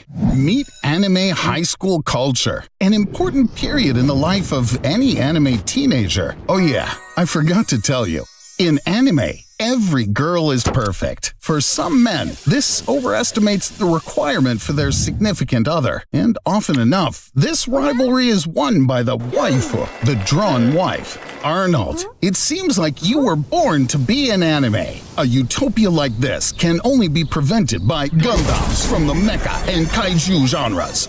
To create an anime, you first have to draw a manga, Manga is pretty much just like a comic book, only you read it backwards. In Japan, they use more paper to print manga hmm. than for toilet paper. Anime has grown from cheap animation into an entire hmm. thriving industry. By the way, those two girls are your stepsisters. Don't worry, it's okay in the ecchi genre. There he is, and you are prepared for this battle. Release your bankai, and don't waste your furioku. Hajime, harness the power of the founding Titan. Control your Reiatsu. Seiko Chidori is weak. Only darkness is left at his disposal, and you have the light given to you by friendship. Remember what this is all for, and don't let anyone knock you off your Meet Arnold. He had a difficult childhood. Now he's making up for the lost time. Did you know, Arnold, that there are 15,000 nuclear warheads in the world with a combined capacity of about 7,500 megatons? You should also probably know that five minutes ago I sent one of them in your direction. There's no point hitting the gas, Arnold. The electromagnetic pulse wave killed all the electronics modern cars are so chock full of. Next, you're going to be hit by the shockwave. Even if this old rust bucket were made of solid graphene, which at the atomic level is even stronger than diamond, and you somehow miraculously survive all this destruction, you're still going to go through living hell. Wake your skinny ass up, Arnold. We need to check how far you are from the epicenter of the explosion. Remember, if you see a mushroom cloud, stick your hand out in that direction and raise your thumb. If the cloud is bigger than your thumb, then you're in the radioactive zone. What a lucky guy. Do you have sunscreen? It won't help, you dumbass. I'm joking. You should run away from here. Fast. Radioactive isotopes in small quantities have already begun to slowly destroy your DNA. How do you feel, my friend? Yes, that's right, it's a good time for a shower. Avoiding contact with contaminated items and using special water procedures can increase your chances of survival. Do you have a water filter, Arnold? Even the weakest radiation will result in progressively malignant tumors. Well, congratulations. You got through a nuclear attack, and you no longer need a Halloween costume. But this isn't the end. If someone in the world launches a missile with a nuclear warhead, a domino effect will follow. All the nuclear powers of the world will let loose their dogs of war. Then comes the real apocalypse, Arnold. The era of humanity is likely to end. You're gonna die, my friend. It's time to get out of this universe. Arnie! Arnie, wake up! A giant tornado is rushing towards your home. Quickly, run out in the street. You need to get out in the open. Well done. Of course, in order to really save your ass, it would have been a good idea to hide you in the basement of your house. But of course, it's more interesting for me and our viewers to see what will happen to you inside of a tornado. Ready? And go! What's inside, Arnie? The width of the funnel of the largest tornadoes can reach 1,500 meters. You'll be there as it turns around. Every year in the United States, about a thousand tornadoes form, and only a few of them are truly gigantic. You're lucky again, Arnie. You're in one of those. I think now it's a good time to discuss low pressure and oxygen discharge. The atmospheric pressure inside a tornado is so low that your lungs cannot extract enough oxygen from the air. And after just a few minutes, you'll pass out and suffocate. Whew! Finally, I was really getting tired of your screams. Such rarefied air is equivalent to climbing Mount Everest without an oxygen tank. Mountain tourism is clearly not for you, Arnie. But inside the tornado, rather than die from lack of oxygen, you'll probably kick the bucket from a collision with other objects dragged inside with you. You know, flying trees, animals, cars, roofs of houses, and even entire houses. Everything that will meet on the path of a super powerful tornado will be drawn inwards and rotated at a speed of up to 500 kilometers an hour. And even if you imagine that by some miracle you can avoid these collisions with all this debris, and if an oxygen tank is no worry and you somehow survive inside the tornado, please don't forget the tornado's gonna end sooner or later. And so the funnel will let you go, and you'll fall from quite a height back to solid ground. That you're definitely not gonna survive, Arnie. Okay, I'll save you again. Why am I doing this? Don't thank me. It seems like somebody's volunteering to save the planet, and he's just bursting with enthusiasm. It looks like this episode will be the shortest ever and have a happy end. Ah, no, never mind. Same old, same old. Seems like our planet is about to be destroyed. Or maybe there's another savior. Could it be Arnold? Excellent! We'll pick an outfit for you. So this one is a no. Definitely not this one. Yee! No, not that one. Now this one. This is what you need. Although we could just copy what Project DART from SpaceX did. It's planned that in 2022, a spacecraft weighing 500 kilograms will ram into an asteroid named Didymos at a speed of 6 kilometers per second. The autopilot hasn't been installed yet, so you're gonna have to fly manually and become a hero. Oh, wow, Arnold! You survived! Pretty much like all the other lowest forms of life, like microbes. But now there is a small issue with water. After a meteor 100 kilometers in diameter hit the Earth, the shockwave destroyed almost all life within a radius of 100,000 square kilometers. There was a huge release of sulfur, and dust and ash from all the destruction rose into the upper atmosphere and blocked access from the sun's mm. rays. You must be hungry. It's good that you kept your space food in the rocket. There wasn't any food. That's terrible, because there's no food left on Earth. It's good that you're in a spacesuit since it's minus 50 degrees outside, and you don't want to walk here for very long. Watch out! I forgot to add that cockroaches have also survived, and they've mutated just a wee little bit. You better run to infinity and beyond. Arnold, how in blazes did you get yourself into such a state? Good morning, Arnold. What are your plans for today? Hmm, maybe the plan for today is try not to die. Are you scared, Arnold? But what if this is all made up? What if I told you neither King Kong nor Godzilla could survive on Earth? It's pretty simple. Look, the largest man in the world ever was Robert Pershing Wadlow. His height was 2 meters 72 centimeters, and he lived for just 22 years. He suffered from a disease called gigantism. With this disease, the brain releases excessive amounts of growth hormone. Therefore, in the process of human evolution, the norms for height and weight were established, and any large deviations are considered disease. One of the biggest stresses is to the heart, which has to circulate 15 liters of blood instead of just the normal 5. And the heart often can't withstand such strenuous dynamics for too long. But what about the fact that there are other giant creatures on Earth, like whales?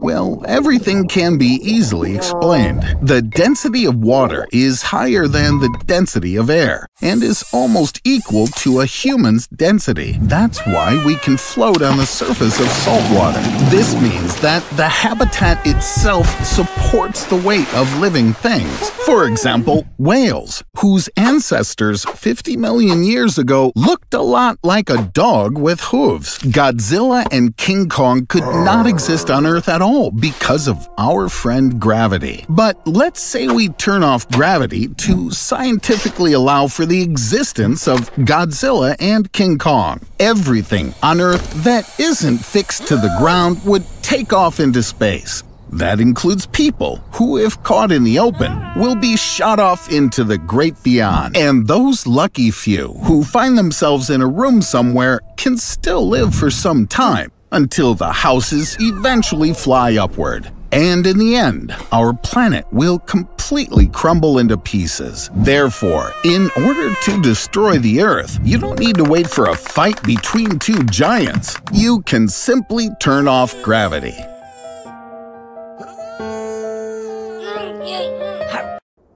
Meet Arnold. And today he's made a bet with Elon Musk that he can outrun a Tesla in his regular old internal combustion engine car. Don't worry, Elon is unlikely to reach the finish line. After all, no one took into account that while the race was taking place, Snot and Gob would be arranging a barbecue for themselves. It seems that even the normal temperature of the sun isn't enough to grill their infamous pan-galactic gargle bangers.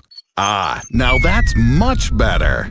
Oops. Solar flares like these are not good because they usually disable all the power plants and electrical appliances on the Earth. This will definitely negatively affect all vital processes on the planet, particularly in medicine, or such absolutely crucial needs like social networks, likes, and reposts. Only Satanists won't be affected. It might even benefit them. And here's our ultra-fast turtle. Like everything electric, Elon's car broke down. The important thing here is not to celebrate ahead of time. He might be dumb, but Arnold for sure knows how to wink perfectly. Too bad he's intellectually challenged. The battery has died. Now, these guys need somehow get out of the desert. Mm. It's good that Elon has already come up with something. And it's even better that his trunk has a, a bucket, a mini rocket, and groceries. Ooh, potatoes are a great idea. After all, one potato can stably deliver 0.5 volts of voltage. It will take about 13 volts to start Arnold's combustion engine car. So, with 26 potatoes, a zinc nail, and copper wire, we should have enough to start the car. Darn it! The crank current is too low. To start the engine, you need hundreds of thousands of potato batteries. I'd advise you to hurry up. The sun is setting and the desert nights here get quite cold. Wow, guys, great outfit. I hope we can do without the famous blue crystal here today. Oh, wait, I know what you're trying to do. If we take zinc bolts, screws, coins, sponges, potassium oxide, copper, brake pads, and we mix them together and connect them to the car, then we'll have a regular mm. battery charge. The guys did everything right.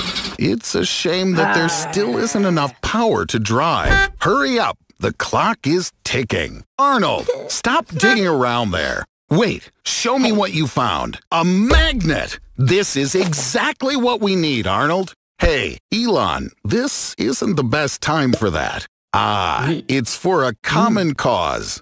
In 1831, Faraday conducted a similar experiment for the first time. For this, we need a coil, copper wire, and a magnet. We insert the magnet in a coil wound with copper. We move the magnet inside, and in each coil of copper, a voltage of 0.01 volts is generated. But due to the large number of turns, everything is working just fine. Let's see how it works for the guys. Wow! Just be careful with your finger.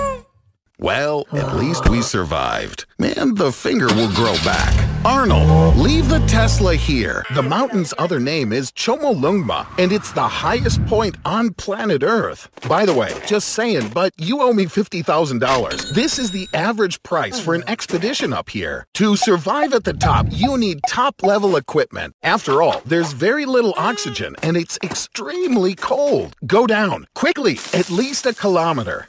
Hurry up, Arnold, but move as slowly as possible.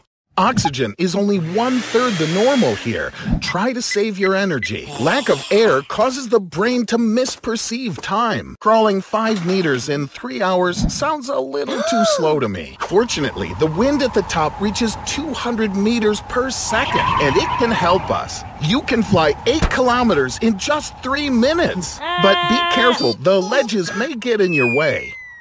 Lucky ah! you, mm. you fell into the trash. The government pays $2 for every kilogram of garbage collected. I see you're trying to pay me my $50,000 back. Arnold, try not to breathe so much. At a temperature of minus 60 degrees Celsius, your lungs will begin to dry out. Mountain coughs are so bad they can even break your ribs. I'm sorry, Arnold, but climbers can't remove corpses from Mount Everest. It's impossible. Moreover, corpses are used as height markers for mountain peaks. Well, Arnold, at least you found something useful to do. I see you're really happy to be here, buddy, especially after such fiercely cold conditions. Uh, I think perhaps you're enjoying it a little too much. Hello, Arnold. It looks like you started hallucinating from a lack of oxygen, and someone brought you to the campfire. I'm glad that you woke up, but there are still six kilometers ahead of us. Unfortunately, I don't think you have the strength left to reach home. But wait, Arnold, I have an idea. You can repeat the feat of Marco Siffredi. In 2001, he descended Mount Everest on a snowboard. I believe in you, ah. Arnold.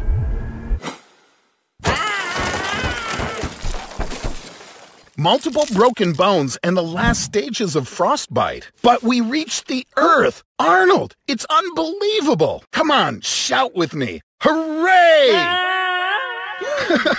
Arnold, I was just kidding. You can't scream in the mountains. It can trigger an avalanche. Don't worry, Arnold. I'm not going to leave you here. You still owe me $50,000. Arnold, come on. This isn't fair. Okay, I'm gonna go get a shovel. Meet Arnold. Today he'll go to the Amazon to get acquainted with the local inhabitants. Which ones? Piranhas! There are about 50 different kinds of piranha, of which only a few eat the flesh of living beings. All other species are either vegetarians or eat only carrion. Arnie, guess what piranhas you're gonna meet? My smart boy, you're right! Fortunately for Arnie, and to the disappointment of our viewers, in science there has never been recorded even a single case of piranhas attacking and killing a person. Well then, we're gonna have to create such a case. Arnie, jump in!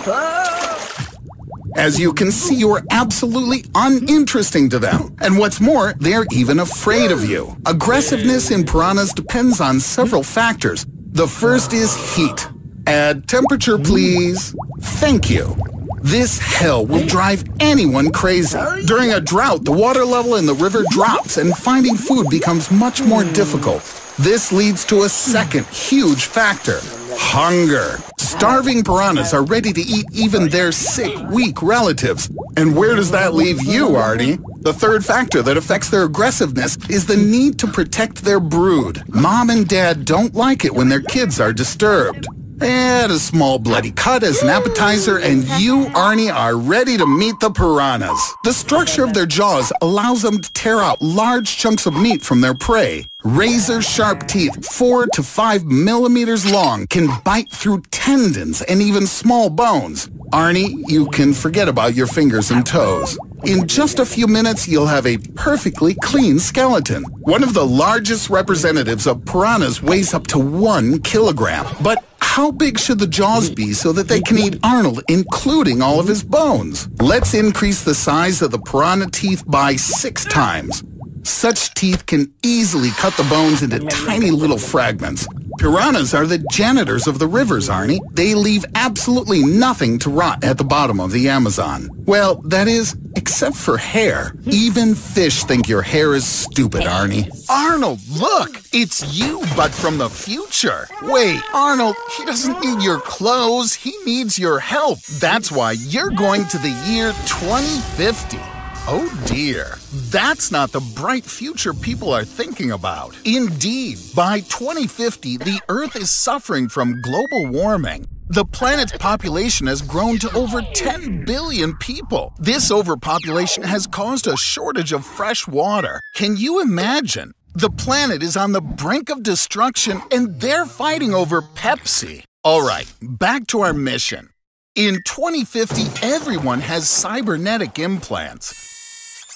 And since enemy drones can detect implants at a distance of 10 kilometers, you, Arnold, are the most undetectable and invulnerable person in 2050. You are the one who will help change the course of the war. Soldiers, assemble! And so, Arnold, the enemy has been spotted in the north, but the way is blocked by electromagnetic guns. Instead of projectiles, they fire electrical impulses, and the impulse speed exceeds 7,000 kilometers an hour. We have to find shelter. Quick, go down into the subway. You escaped the guns, Arnold, but there are other problems now. Drones detected by scanners. And don't worry, Arnold. Remember, these drones won't even notice you. You just need to rush past them and turn off the power. Well done, Arnold. The future sure wasn't ready for the likes of you. Keep going, buddy. You're almost there. It's time to get to the surface. Arnold, there are a lot of enemies around. Get into the exosuit. With it, you can become a super soldier. You just need to figure out the controls. Arnold, no! You just killed yourself from the future. Okay, well, no time to grieve. Your enemies are coming. You have a flamethrower. Use it. Oh, yeah. No one ever thought that one day this would happen in Hollywood. Arnold, look out! A rocket! Arnold! Arnold! Are you okay? Arnold, you were seriously injured. So the doctors gave you some upgrades. Almost as good as new. But there is a problem. Now we need a soldier without implants, and you need to travel back in time and find him. And here's your volunteer. Get him into the portal. Hmm, deja vu. I feel like I've seen this somewhere before. Meet Arnold. He's now a Transylvanian delicacy stuffed with rice. Sorry, Arnold, I'm not a big fan of such gory scenarios. So let's take a look at some interesting information. Let's wish Arnold's new friends a big bon appetit. Now, we should probably get to know them a little better. So, werewolves are called lycanthropes. That's the name they got from ancient Greece. The author of the term is Herodotus, a historian from 2,500 years ago, who, when describing Scythia, mentioned people who could instantly turn into wolves. As for vampires, the word vampire first appeared in the Oxford English Dictionary back in 1734. Arnold, you're alive! I'm so happy. But wait, what's that on your neck? No, You gotta be kidding me. You're actually the first person ever to get bitten by both a vampire and a werewolf at the same time. I'm already wondering just oh. what the heck you're gonna look like. Well, you try to figure out how that's gonna work. Moreover, back in medieval times, redheads were considered vampires. Ooh, Frankie has already added you to his friend list. That's sweet. He's also assembled from a bunch of random crap, just like you. Everyone knows about the ancient animosity that exists between vampires and werewolves. But I would have never guessed that I'd see such a thing in a single body. Oh, so you're getting hungry now. And you need food for two. Go, search for your victim. The perfect victim. Bon appetit, Arnie. Wait, Arnold, where are you? What did you expect? You can't go against the call of the wild. Just remember to clean up after your dog. Way to be a bloodsucker. With your moves, Arnold, you need to start thinking about going vegan. Ooh, I forgot to warn you. A double creature gets a double hunt. You need to put aside your differences, because you've got common enemies now. Prayer ain't gonna help you, buddy. And of course, garlic is deadly to you now, you moron. You're not the first victim of the hunt. In the 16th century, the French Parliament passed a law to exterminate all shapeshifters. As a result, from 1520 to 1630, more than 30,000 people were killed in France who were thought to be werewolves. Lucky you, Arnold. The guys from Greenpeace are always on the lookout. Yeah, yeah, yeah. You decided to visit the Paleo History Museum. It's really cool here. Even Orochimaru from Naruto is here. I heard he knows secrets of resurrection. He can bring dead things back to life. What the heck? No. He's using it on the dinosaurs. Run, you dang fool! Dinosaurs are very dangerous, whether it's herbivores, carnivores, or even those radical dinosaurs. They're insanely angry, and you would be too if you hadn't eaten in 66 million years. Furthermore, the dinosaurs are hmm. getting even angrier now that they see what happened to their hmm. descendants over the course of evolution. Dinosaurs reigned on Earth for 160 million years, but the fall of a meteorite changed the course of evolution and allowed for the development of our ancestors' mammals. Now, only the strongest will survive. But what in tarnation's going on now? Wait. I think I get it. Over the last 66 million years, the Earth's climate has gotten colder, and the amount of carbon dioxide in the atmosphere has changed. It looks like dinosaurs can't live here anymore, and are gonna die out once again. Hmm, what to do? In theory, we could build a Jurassic Park. We'll feed them and artificially maintain the climate. This place could be the most profitable tourist spot in the world. And we'll also be a global supplier of eggs and manure, dino poop. But then again, an ordinary dinosaur eats a ton of grass a day, or more than 100 kilograms of meat. More than likely, the dinosaurs will eat all the fauna in the park and then probably start eating each other until they die out again. No matter how you slice it, the dinosaurs just aren't going to be able to live in our time. Do you really want to save them, Arnie? The only option is to send the dinosaurs back to the past, to their perfect world. Time to say goodbye, Arnie. At least there, you know they're gonna be better off.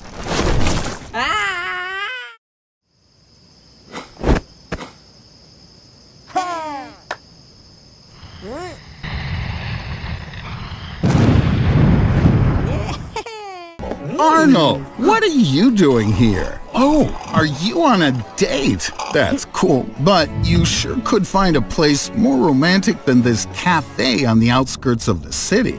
Here she is. Wow! What did you tell her to get her to come on a date with you? Uh-oh. How did so many zombies get in here? Arnold, it seems that Susie is in trouble. An average zombie. It has green skin and smells like my grandmother's feet. At first glance, it may seem that this is just your ordinary gamer who hasn't eaten for three days. But no, zombies have their own diet. Usually, these cute creatures eat human brains. Arnold, what are you gonna do?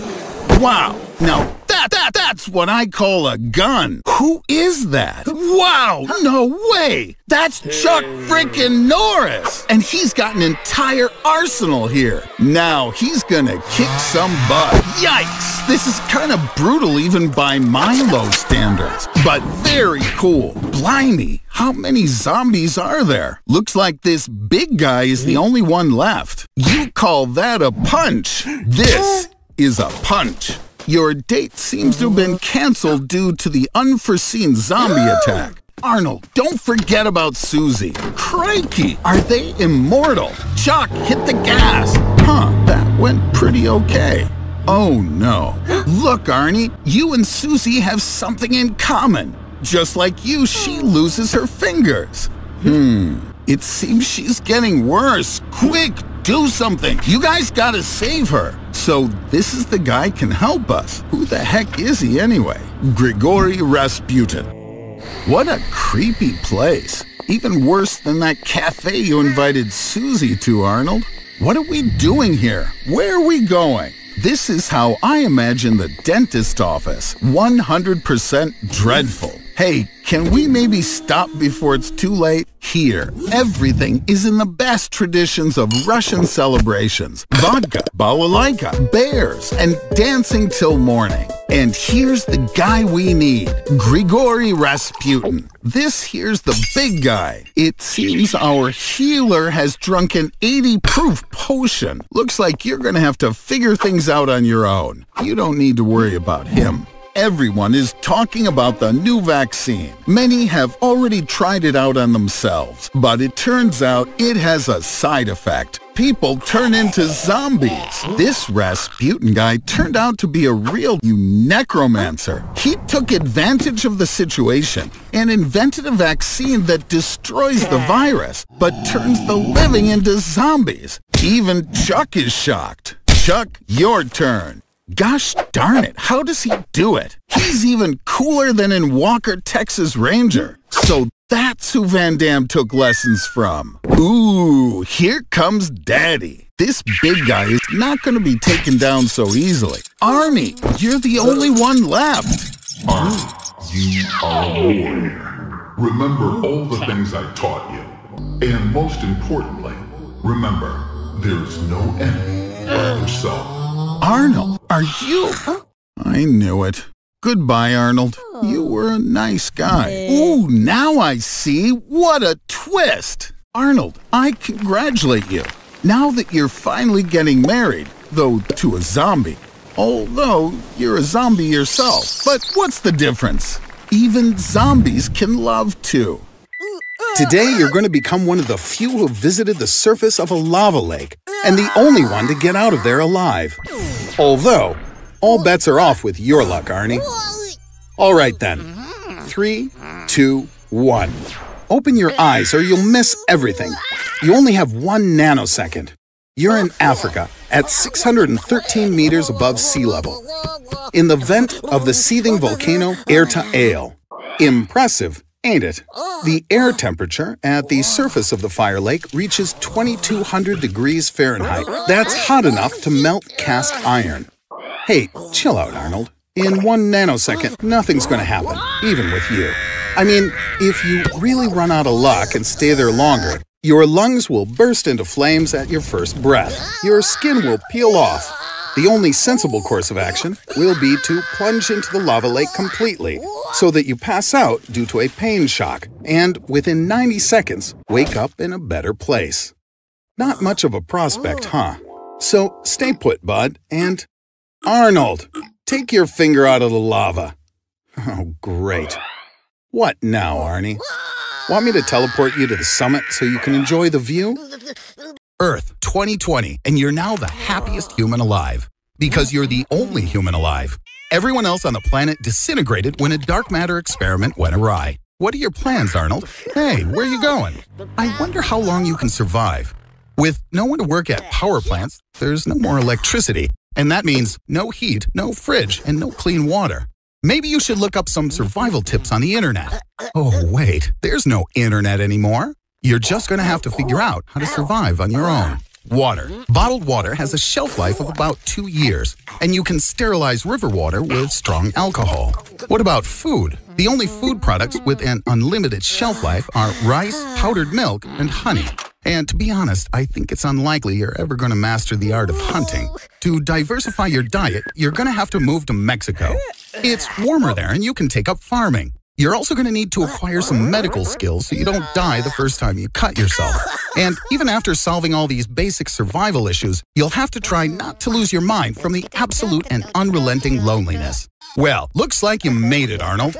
Alone, and without all those pesky people who produce foodstuffs, build houses, manage water treatment facilities, monitor sensors at nuclear power plants, and control space stations. Wake up, Arnold. Megalodon has swallowed you. Knock, knock, Arnold. Follow the white rabbit. Megalodon is a shark of the family Otodontidae, 50 feet long and 88,000 pounds in weight.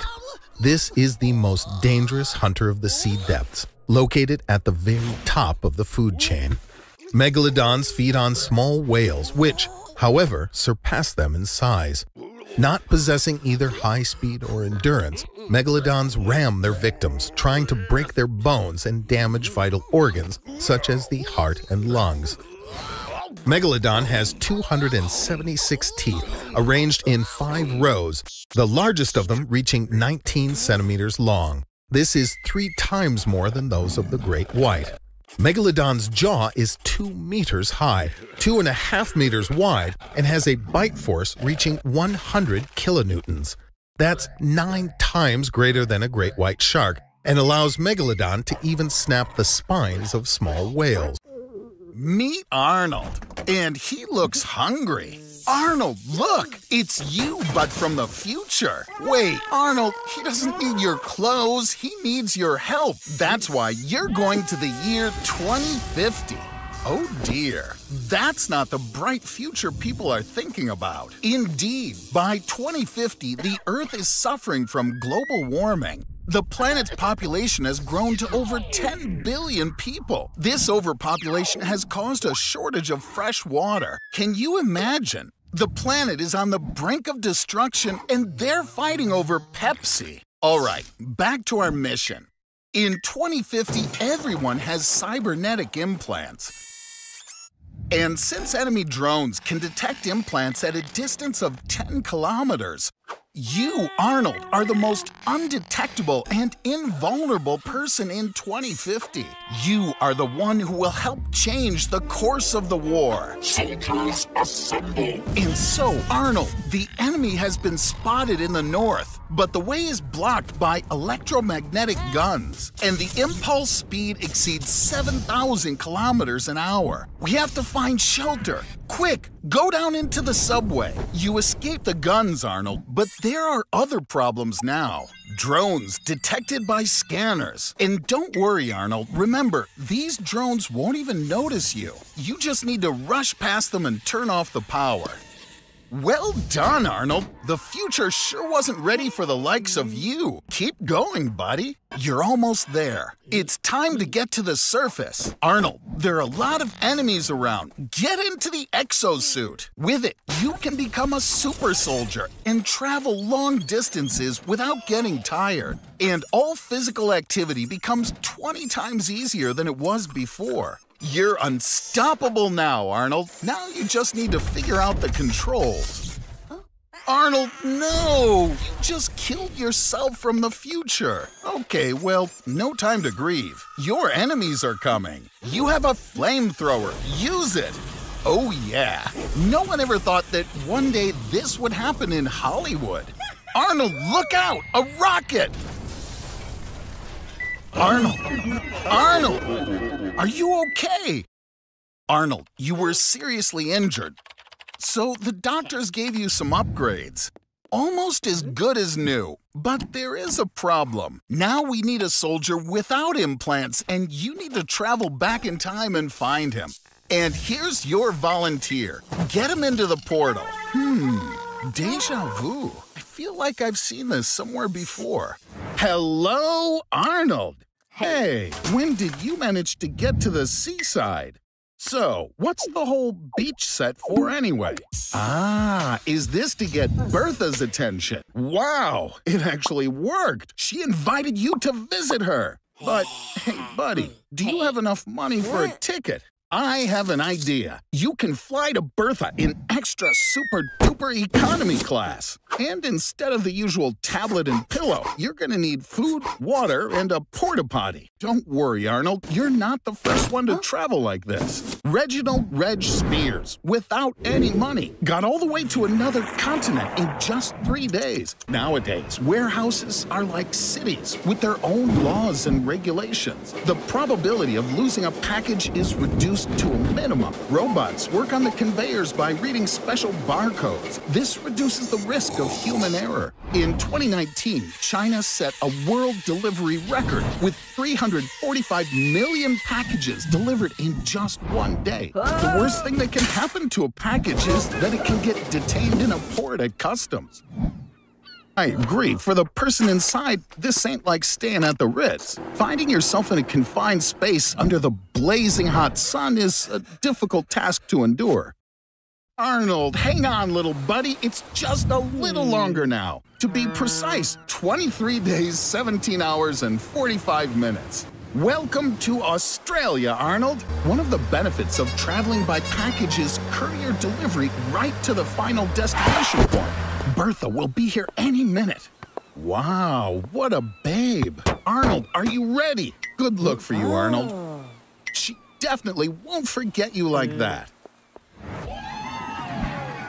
Hey, Arnold. Decided to hang out in the park, did ya? Looks like this burrito was out of your league. Quick, find something to drink.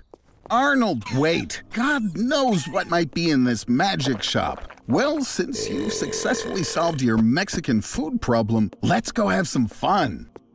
What a huge line. It looks like you'll have to wait for a bit. Or, Arnold, this is not a good thing to do. Looks like this hmm. cute little granny needs your help. Arnold, watch out! You know, Arnold, I decided to go to the morgue and say my final goodbyes to you. Oh my god, are you alive? No, you've been resurrected.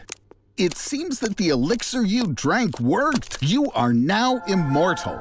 Congratulations, Arnold. You will now be the longest living organism on Earth. Your body is now regenerating, and the term cellular senescence is now just a joke for you. Well, how are you going to use your immortality? Got it. You'll cross the road on red. Grope random girls. You'll also win the Kenny McCormick Lookalike Contest. That's ridiculous. You have an infinite number of years ahead of you, and you waste them on this? Arnold, you could study everything in the world, learn any martial art, and even go explore and colonize new galaxies. Arnold, how about maybe stop wasting your time? Okay, so maybe for 200 years, you're gonna binge watch every single Netflix series. I see you got a little bored. Plus, your house has started to decay and you're still young. One of the disadvantages of immortality is that you have to outlive all your loved ones. In addition, the world around you is changing rapidly, but you will lag behind in progress and you will feel superfluous in society everything that was once important to you will gradually disappear. Over time, everything will cease to please and surprise you at all because you've already seen everything. You will become deeply depressed.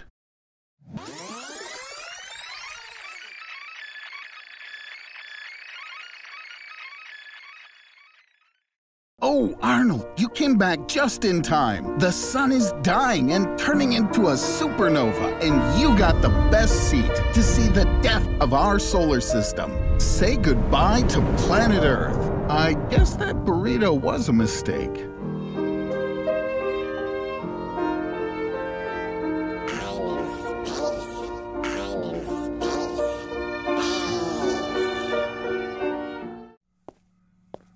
Okay, Arnold. Oh. I built a machine that makes things invisible for 24 hours. There are three possible approaches to invisibility. The first is perfect transparency, which sadly we cannot achieve. The second is camouflage. When the light rays emanating from the object correspond to the rays that we would expect to see in the absence of the object. This is exactly what my machine does. And the third and last approach is when an object is swathed in a metamaterial, something like an invisible hat, that transforms the path of light rays so that they seem unchanged. Okay, I'm throwing the first switch. Did you know that the first three-dimensional invisibility was achieved by a group from the University of California, Berkeley in 2008? They created a mesh of silver microfibers that doesn't reflect or absorb light rays. As a result, the eye sees light only from the objects behind the camouflaged entity. Now the second switch. Don't move, Arnold. Wait, what are you? Oh, you are such an imbecile. I'd smack you upside your head, but damn it, I don't know where you are. Put this hat on so I can see you. Okay, you have 24 hours. What are you gonna do? Who'd have any doubt that's where you'd go first? If my machine worked according to the principle of invisibility, you'd become blind because the invisible body's refractive index becomes equal to that of air, and the lenses in your eyes would lose the ability to reflect light rays and focus them on the retina. The retina itself also wouldn't be able to absorb visible light with its rods and cones due to its invisibility. But as I can see, your eyesight seems to be okay, you slobbering ignoramus. Okay, now that the gym is closing, can we do something else? You have 18 hours left. I meant something a little more significant, you blockheaded jerk monkey. After all, you could reveal terrible ah. secrets and perform incredible feats. You could even make your way into Area 51. Oh, right, it's in a different state. Do you have any ideas? Are you thinking about stealing it? That's a terrible idea. In any case, you need a plan. Of course, thanks to invisibility, you'll be able to stay long after closing. But then you'll need to bypass the guards. And there are also lasers all around the diamond. Can you really do a triple somersault, steal the diamond, and leave the museum in the car that will bring new antiquities for the exposition exactly at 2 a.m.? Even so, this is a really bad idea. The museum closes in an hour. Go hide in the corner and wait. And take off your hat, you mutton headed twit. Get ready, Arnold. The main thing, obviously, is not to get caught. Arnold, it's go time! Oh, nuts! All you had to do was a triple somersault, and you screwed it up again. well, now, now you have to run for your life, Arnold!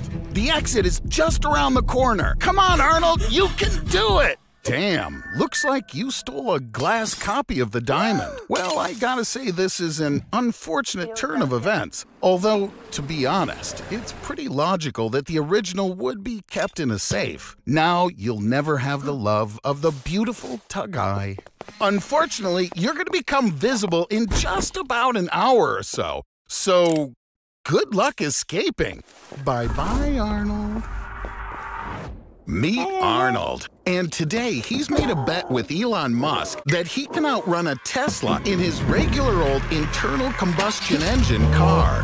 Don't worry, Elon is unlikely to reach the finish uh-huh. line. After all, no one took into account that while the race was taking place, Snot and Gob would be arranging a barbecue for themselves. It seems that even the normal temperature of the sun isn't enough to grill their infamous pan-galactic gargle bangers.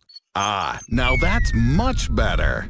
Oops. Solar flares like these are not good because they usually disable all the power plants and electrical appliances on the Earth. This will definitely negatively affect all vital processes on the planet. And here's our ultra-fast turtle. Like everything electric, Elon's car broke down.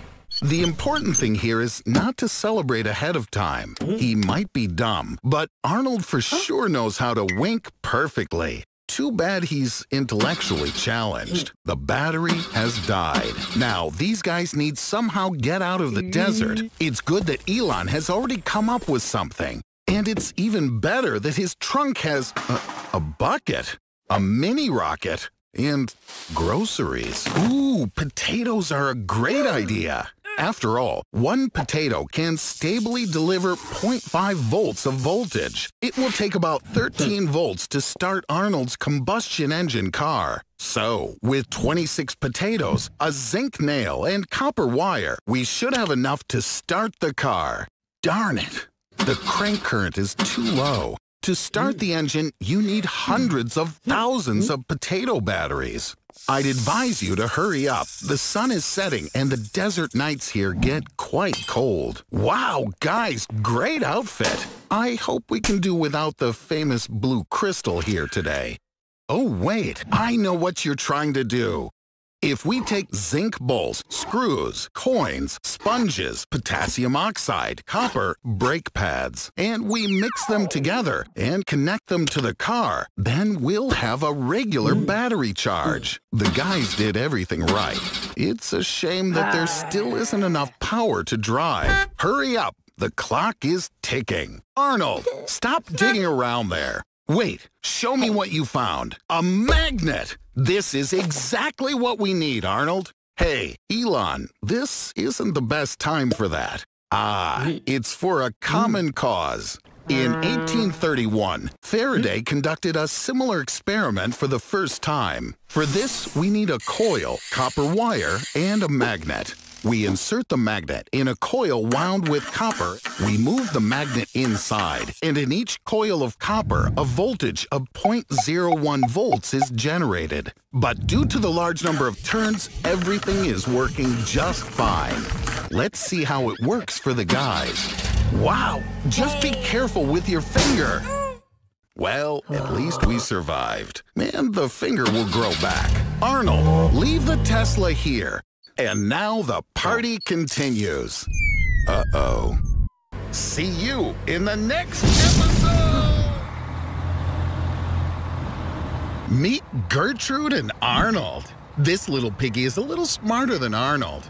And no, not because it has a Neuralink chip in its brain, but because she came here by bus, unlike our red-headed fool who parked his car with the mafia for $50 an hour. At this conference, Elon Musk will demonstrate the process of installing an advanced microchip into the brain of these cute little monkeys, and in the near future, into the brain of a person. Arnold, stop teasing the primates with your keys. See?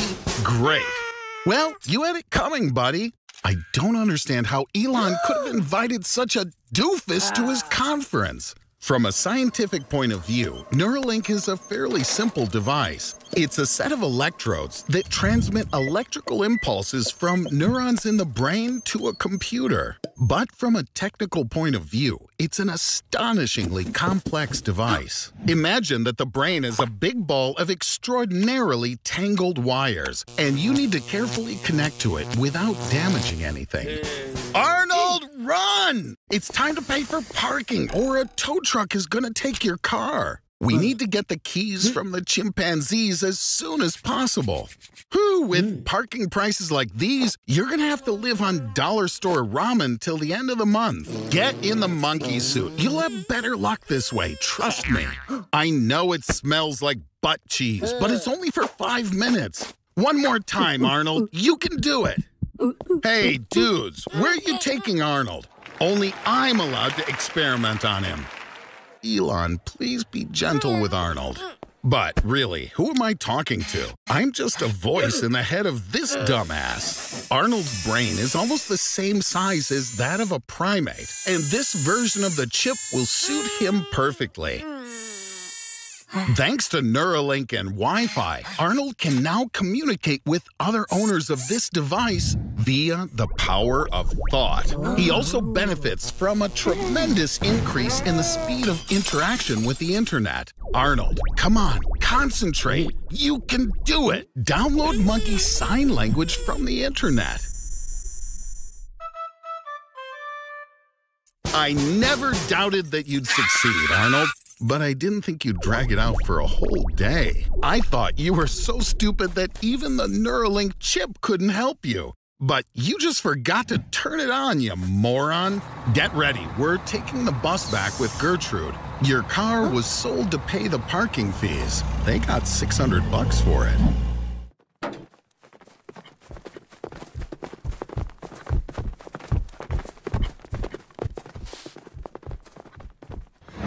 Hello, Arnold. You've been teleported a lot during our science show, but did you ever wonder how the teleporter works? There are several ways to travel through time. Let's start with wormholes. Where have you been dreaming of going?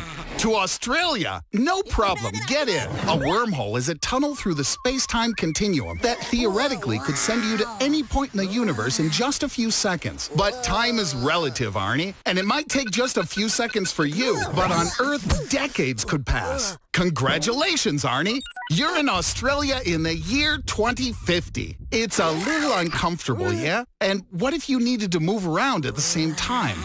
Quantum teleportation can help in this matter. Your body consists of a 100 trillion cells, which in turn consists of a 100 trillion atoms each. And each atom contains tiny pinpoint particles, quanta, which could help you teleport over huge distances. It would be great to find someone who could help you build a quantum teleporter. Well, look who's here. Rick and Morty. Arnie, take their drawings. With their help, you could create a device for instantaneous movement anywhere in the universe, and even into alternate universes. Now, when the teleporter's ready, climb into the box and make sure there's no one else inside. Well, so long, Arnold. In quantum teleportation, the original body dies and a duplicate is created at the destination point. No big loss in your case.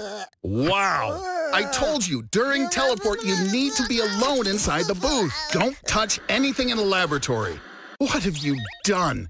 Your DNA, which was hybridized with that of a scorpion, was transmitted through the satellite system and turned all the inhabitants of the planet into human-scorpion hybrids. You've destroyed Dimension C-137, you stupid idiot, Arnie. Rick and Morty would have traveled back to the original universe, where the mutants don't exist, but you can only do it a couple of times. I don't think we want to see what happens to Arnie in this universe. Better we go back to Australia. Fortunately, I saved Arnold's quantum data, and therefore have the ability to recover his useless body. Arnie, you should crawl through the wormhole in the direction of your home in 2018. And don't forget the blueprints of your body. It seems now we know how humanity will create a teleporter in 2050. He's already packed his stuff, fed his fish, and is ready to go on a top secret journey. Right in front of you is the new generation of the DeLorean. I've upgraded this Tesla so you can now travel not only to another city, but also to another year, 1986, for example. It worked! We're at the Chernobyl nuclear power plant just a few minutes before the disaster. Arnold, bring the camera. You're gonna shoot the explosion on it, and I'll post the video on YouTube. I'd say at least 20 million views are guaranteed. Hmm, is the battery already dead? Put it on charge. It's a European outlet, doof knuckle. You need an adapter. Or I guess not already. So, it's all because of you. It doesn't matter. You need to get out of here, fast. There's a power bank in the glove box. Plug it into the car. Damn it, it takes at least 60 seconds to charge. Get out the protective suit. Just by looking at the area, you'd never know that you're in a radiation zone. But in fact, the radiation here is cosmic. That's not quite what I expected. Maybe you swapped bags with someone. With radiation above 500 Roentgens, your hair and nails fall out instantly. Your skin turns red, and all those diseases you've got get worse. But you're lucky, Arnold. You won't feel much pain because you'll fall into a coma in three, two, oh, you're already out. This is due to the fact that the radiation here is 20,000 roentgens per hour, and this technology can't handle that onslaught. The battery should be enough to get you back to the year 2020. Go! What a trip that turned out to be. Hmm. I think you may need a visit to the oncologist. Arnold, do you know just how nincompoopian you look right now? I wonder who took your protective suit. Hmm.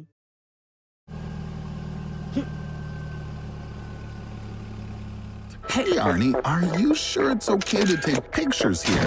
Arnold, I have bad news. All governments all around the world have been overthrown, and they're now each ruled by dictators. Yes, on the one hand, it's good. No one will leave their countries anymore, and everyone will work for their country's well being and standing in the world. But on the other hand, under such regimes, most people won't live in houses or residential complexes, but in prisons, because the laws of the countries will be very strict and sometimes even really strange. You can forget about the benefits of civilization. After all, foreign economic relations aren't needed anymore, and each country will now work just for itself. But what that means is if before there wasn't any heavy industry in your country, like, for example, making vehicles, now you won't be able to get a new car, and all you can ever hope for is some crappy bicycle at best. And I'm not saying that all social media has disappeared, but now you can only have private conversations with your friends somewhere deep in the woods.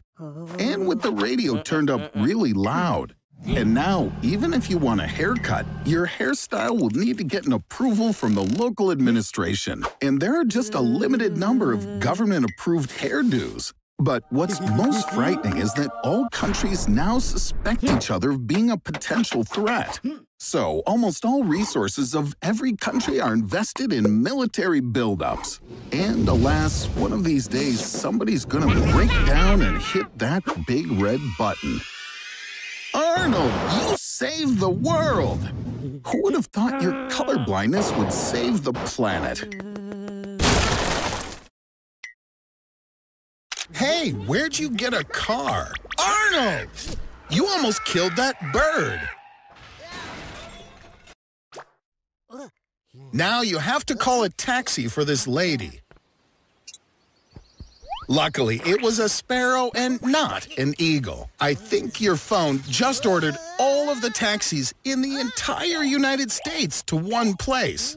In the USA, about 230,000 people are registered as taxi drivers, more than half of whom are Uber drivers. All these cars lined up in a row will create a traffic jam with a length of 800 kilometers. One third of New York State will be paralyzed. It'll become difficult to breathe on the streets due to emissions increasing to double the usual amount. And because of that, you'll start coughing, feel nauseous, and might even suffer a stroke. Don't place your hopes on an ambulance since it can't save you or the other 3,000 patients who call an ambulance every day. You can take a chance and try to take the subway to the hospital, but the 6 million people who normally drive their cars are already on the subway. So today, there are about 11 million evil, angry, late people down there. Hey, he's the one who caused all the traffic jams.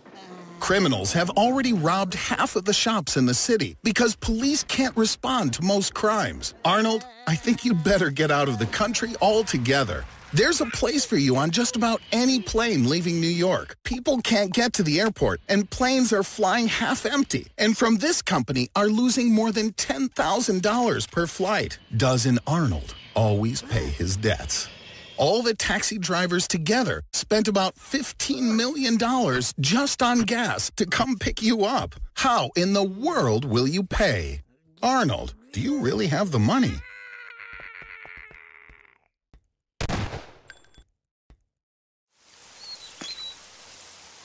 Hey, Arnold, did you actually lose your job as a pizza delivery guy?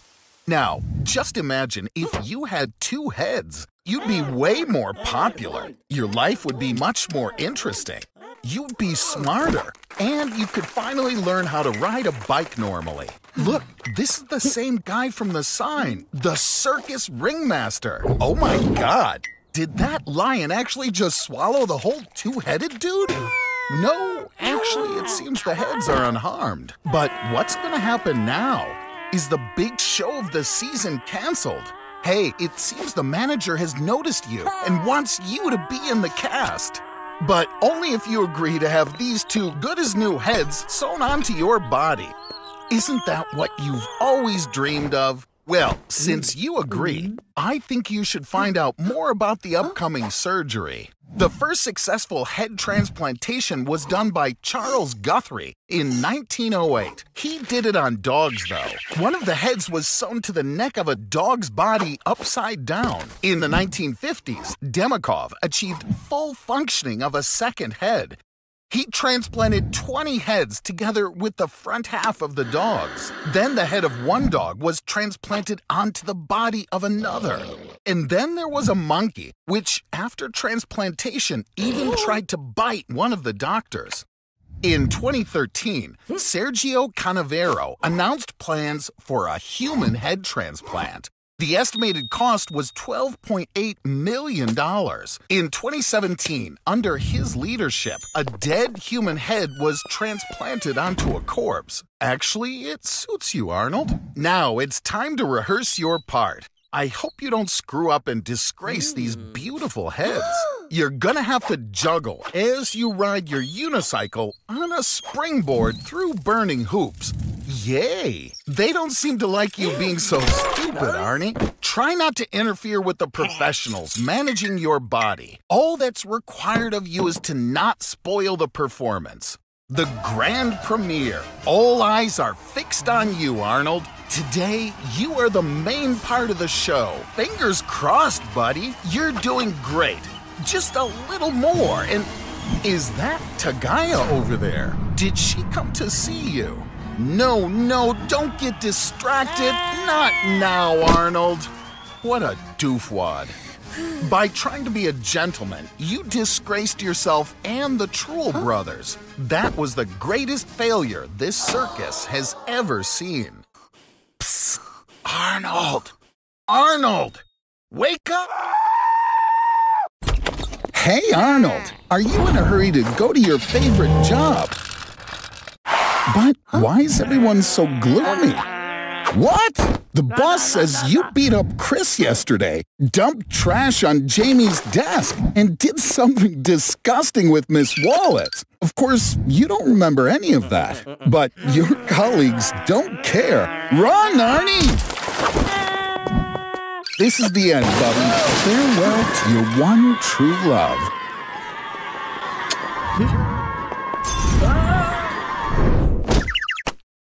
And here he is, our hero of the day. A strong blow to the head has woken up Jacob again, Arnie's other personality, or in scientific terms, his alter ego. It's called dissociative identity disorder. With this disease, power over the body of the patient is completely captured by another personality. The cause of the disorder may be trauma during childhood. The child blocks off memories of bad events and starts to consider himself someone else.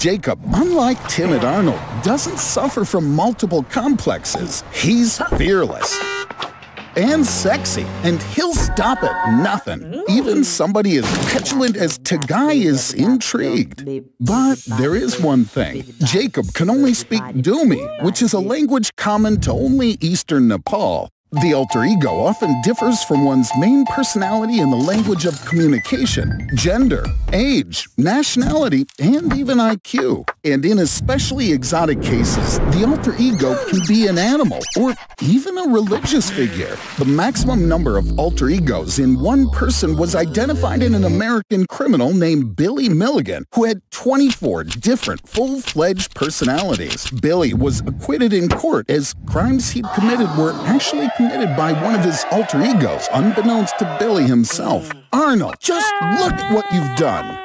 It seems now you think you're a psycho and you need to be treated. But split personality is not schizophrenia, and there's simply no cure. What's that? An SMS from Tagai. She wants you to come to her now. Inside Arnold, there can be only one.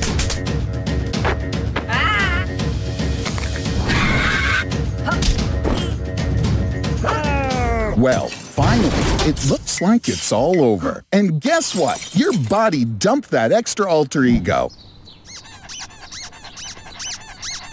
Good boy. Your tricks ah. suck. If you want to be popular, you need to stand out. How about some real magic? For example, the magician Harry Houdini got out of being buried alive with his hands tied.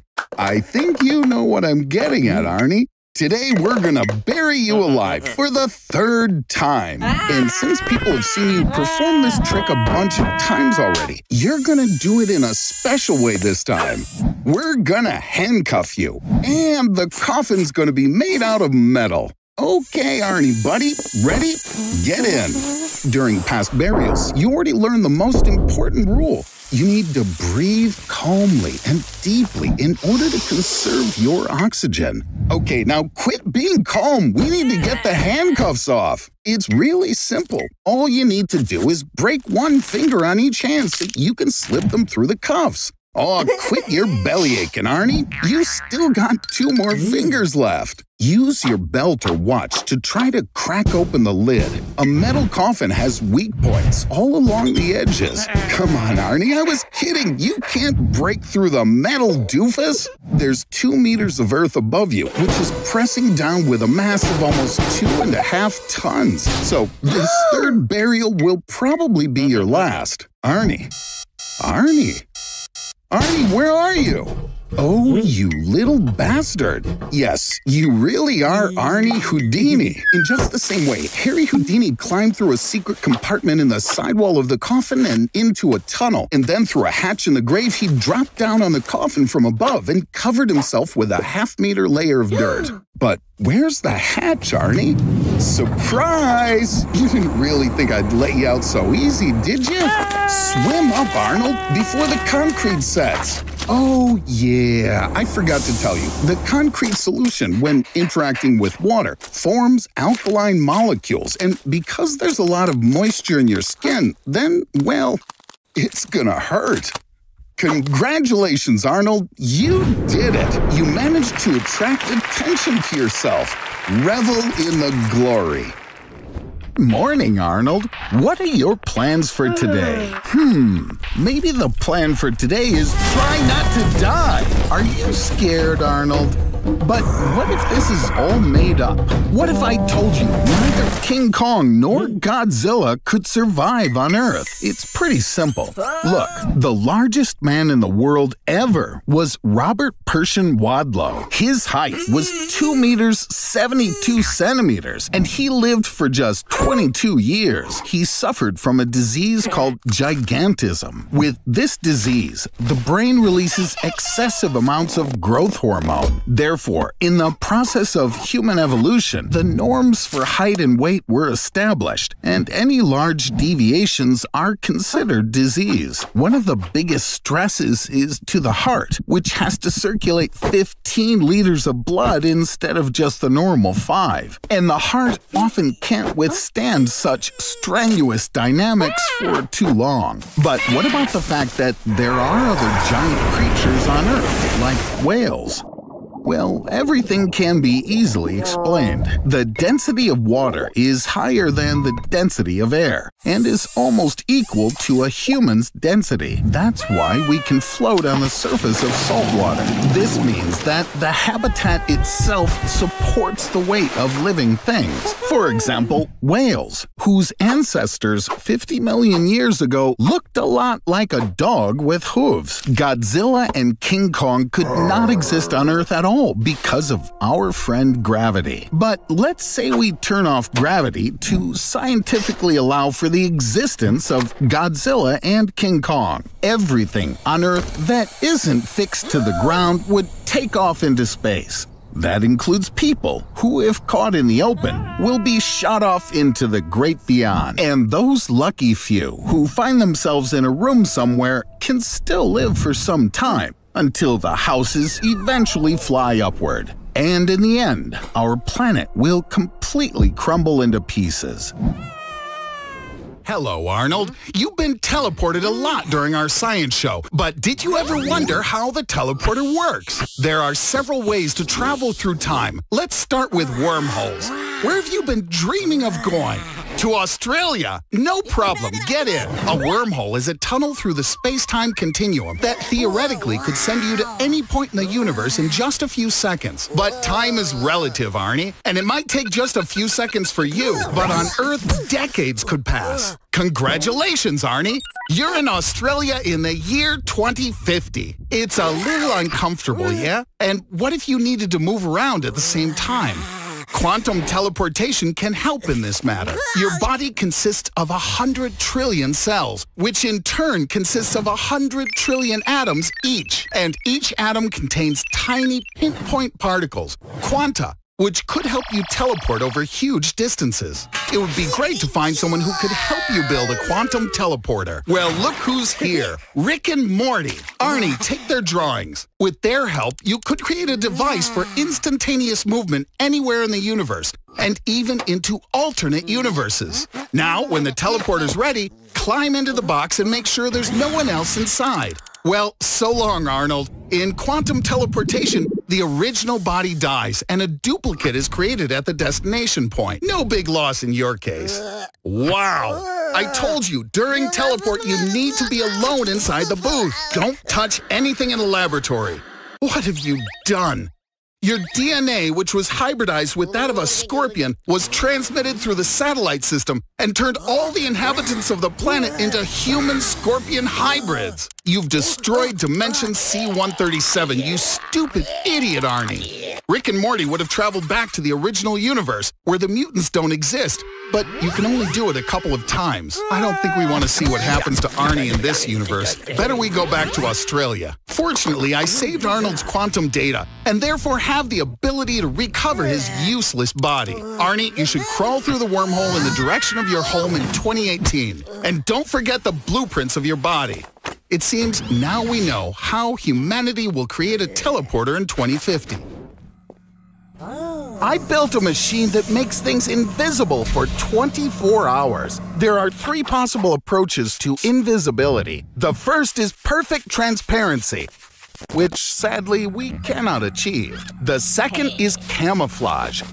When the light rays emanating from the object correspond to the rays that we would expect to see in the absence of the object. This is exactly what my machine does. And the third and last approach is when an object is swathed in a metamaterial, something like an invisible hat, that transforms the path of light rays so that they seem unchanged. Now, we'll try it on a pizza. If everything works out, it will be a pizza that you won't have to share with your friends. Okay, I'm throwing the first switch. Did you know that the first three dimensional invisibility was achieved by a group from the University of California, Berkeley in 2008? They created a mesh of silver microfibers that doesn't reflect or absorb light rays. As a result, the eye sees light only from the objects behind the camouflaged entity. Now the second switch. Don't move, Arnold.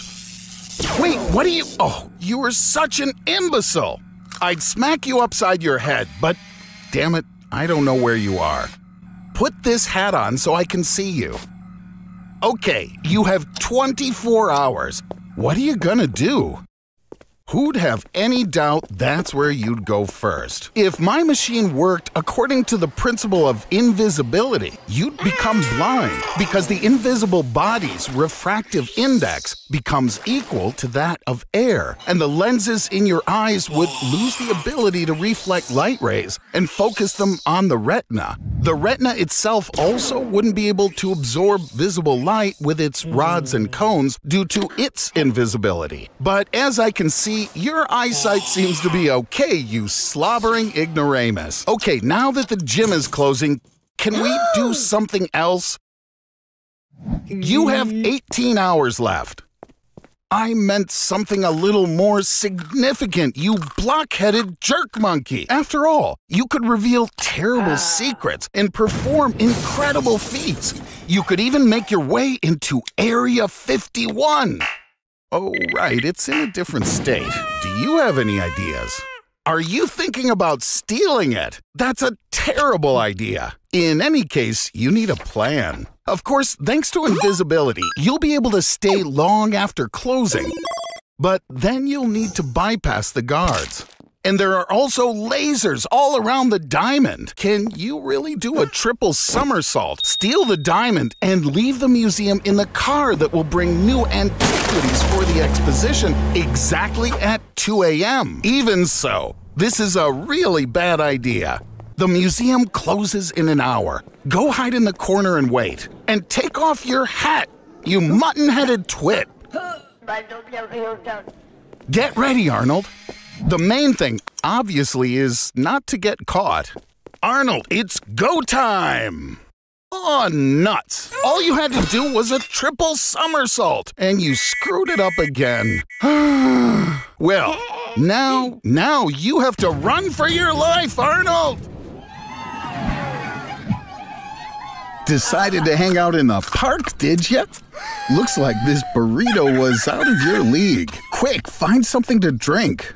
Arnold, wait. God knows what might be in this magic shop. Well, since you've successfully solved your Mexican food problem, let's go have some fun. What a huge line. It looks like you'll have to wait for a bit. Or. Arnold, this is not a good thing to do. Looks like this cute little granny needs your help. Arnold, watch out! You know, Arnold, I decided to go to the mall.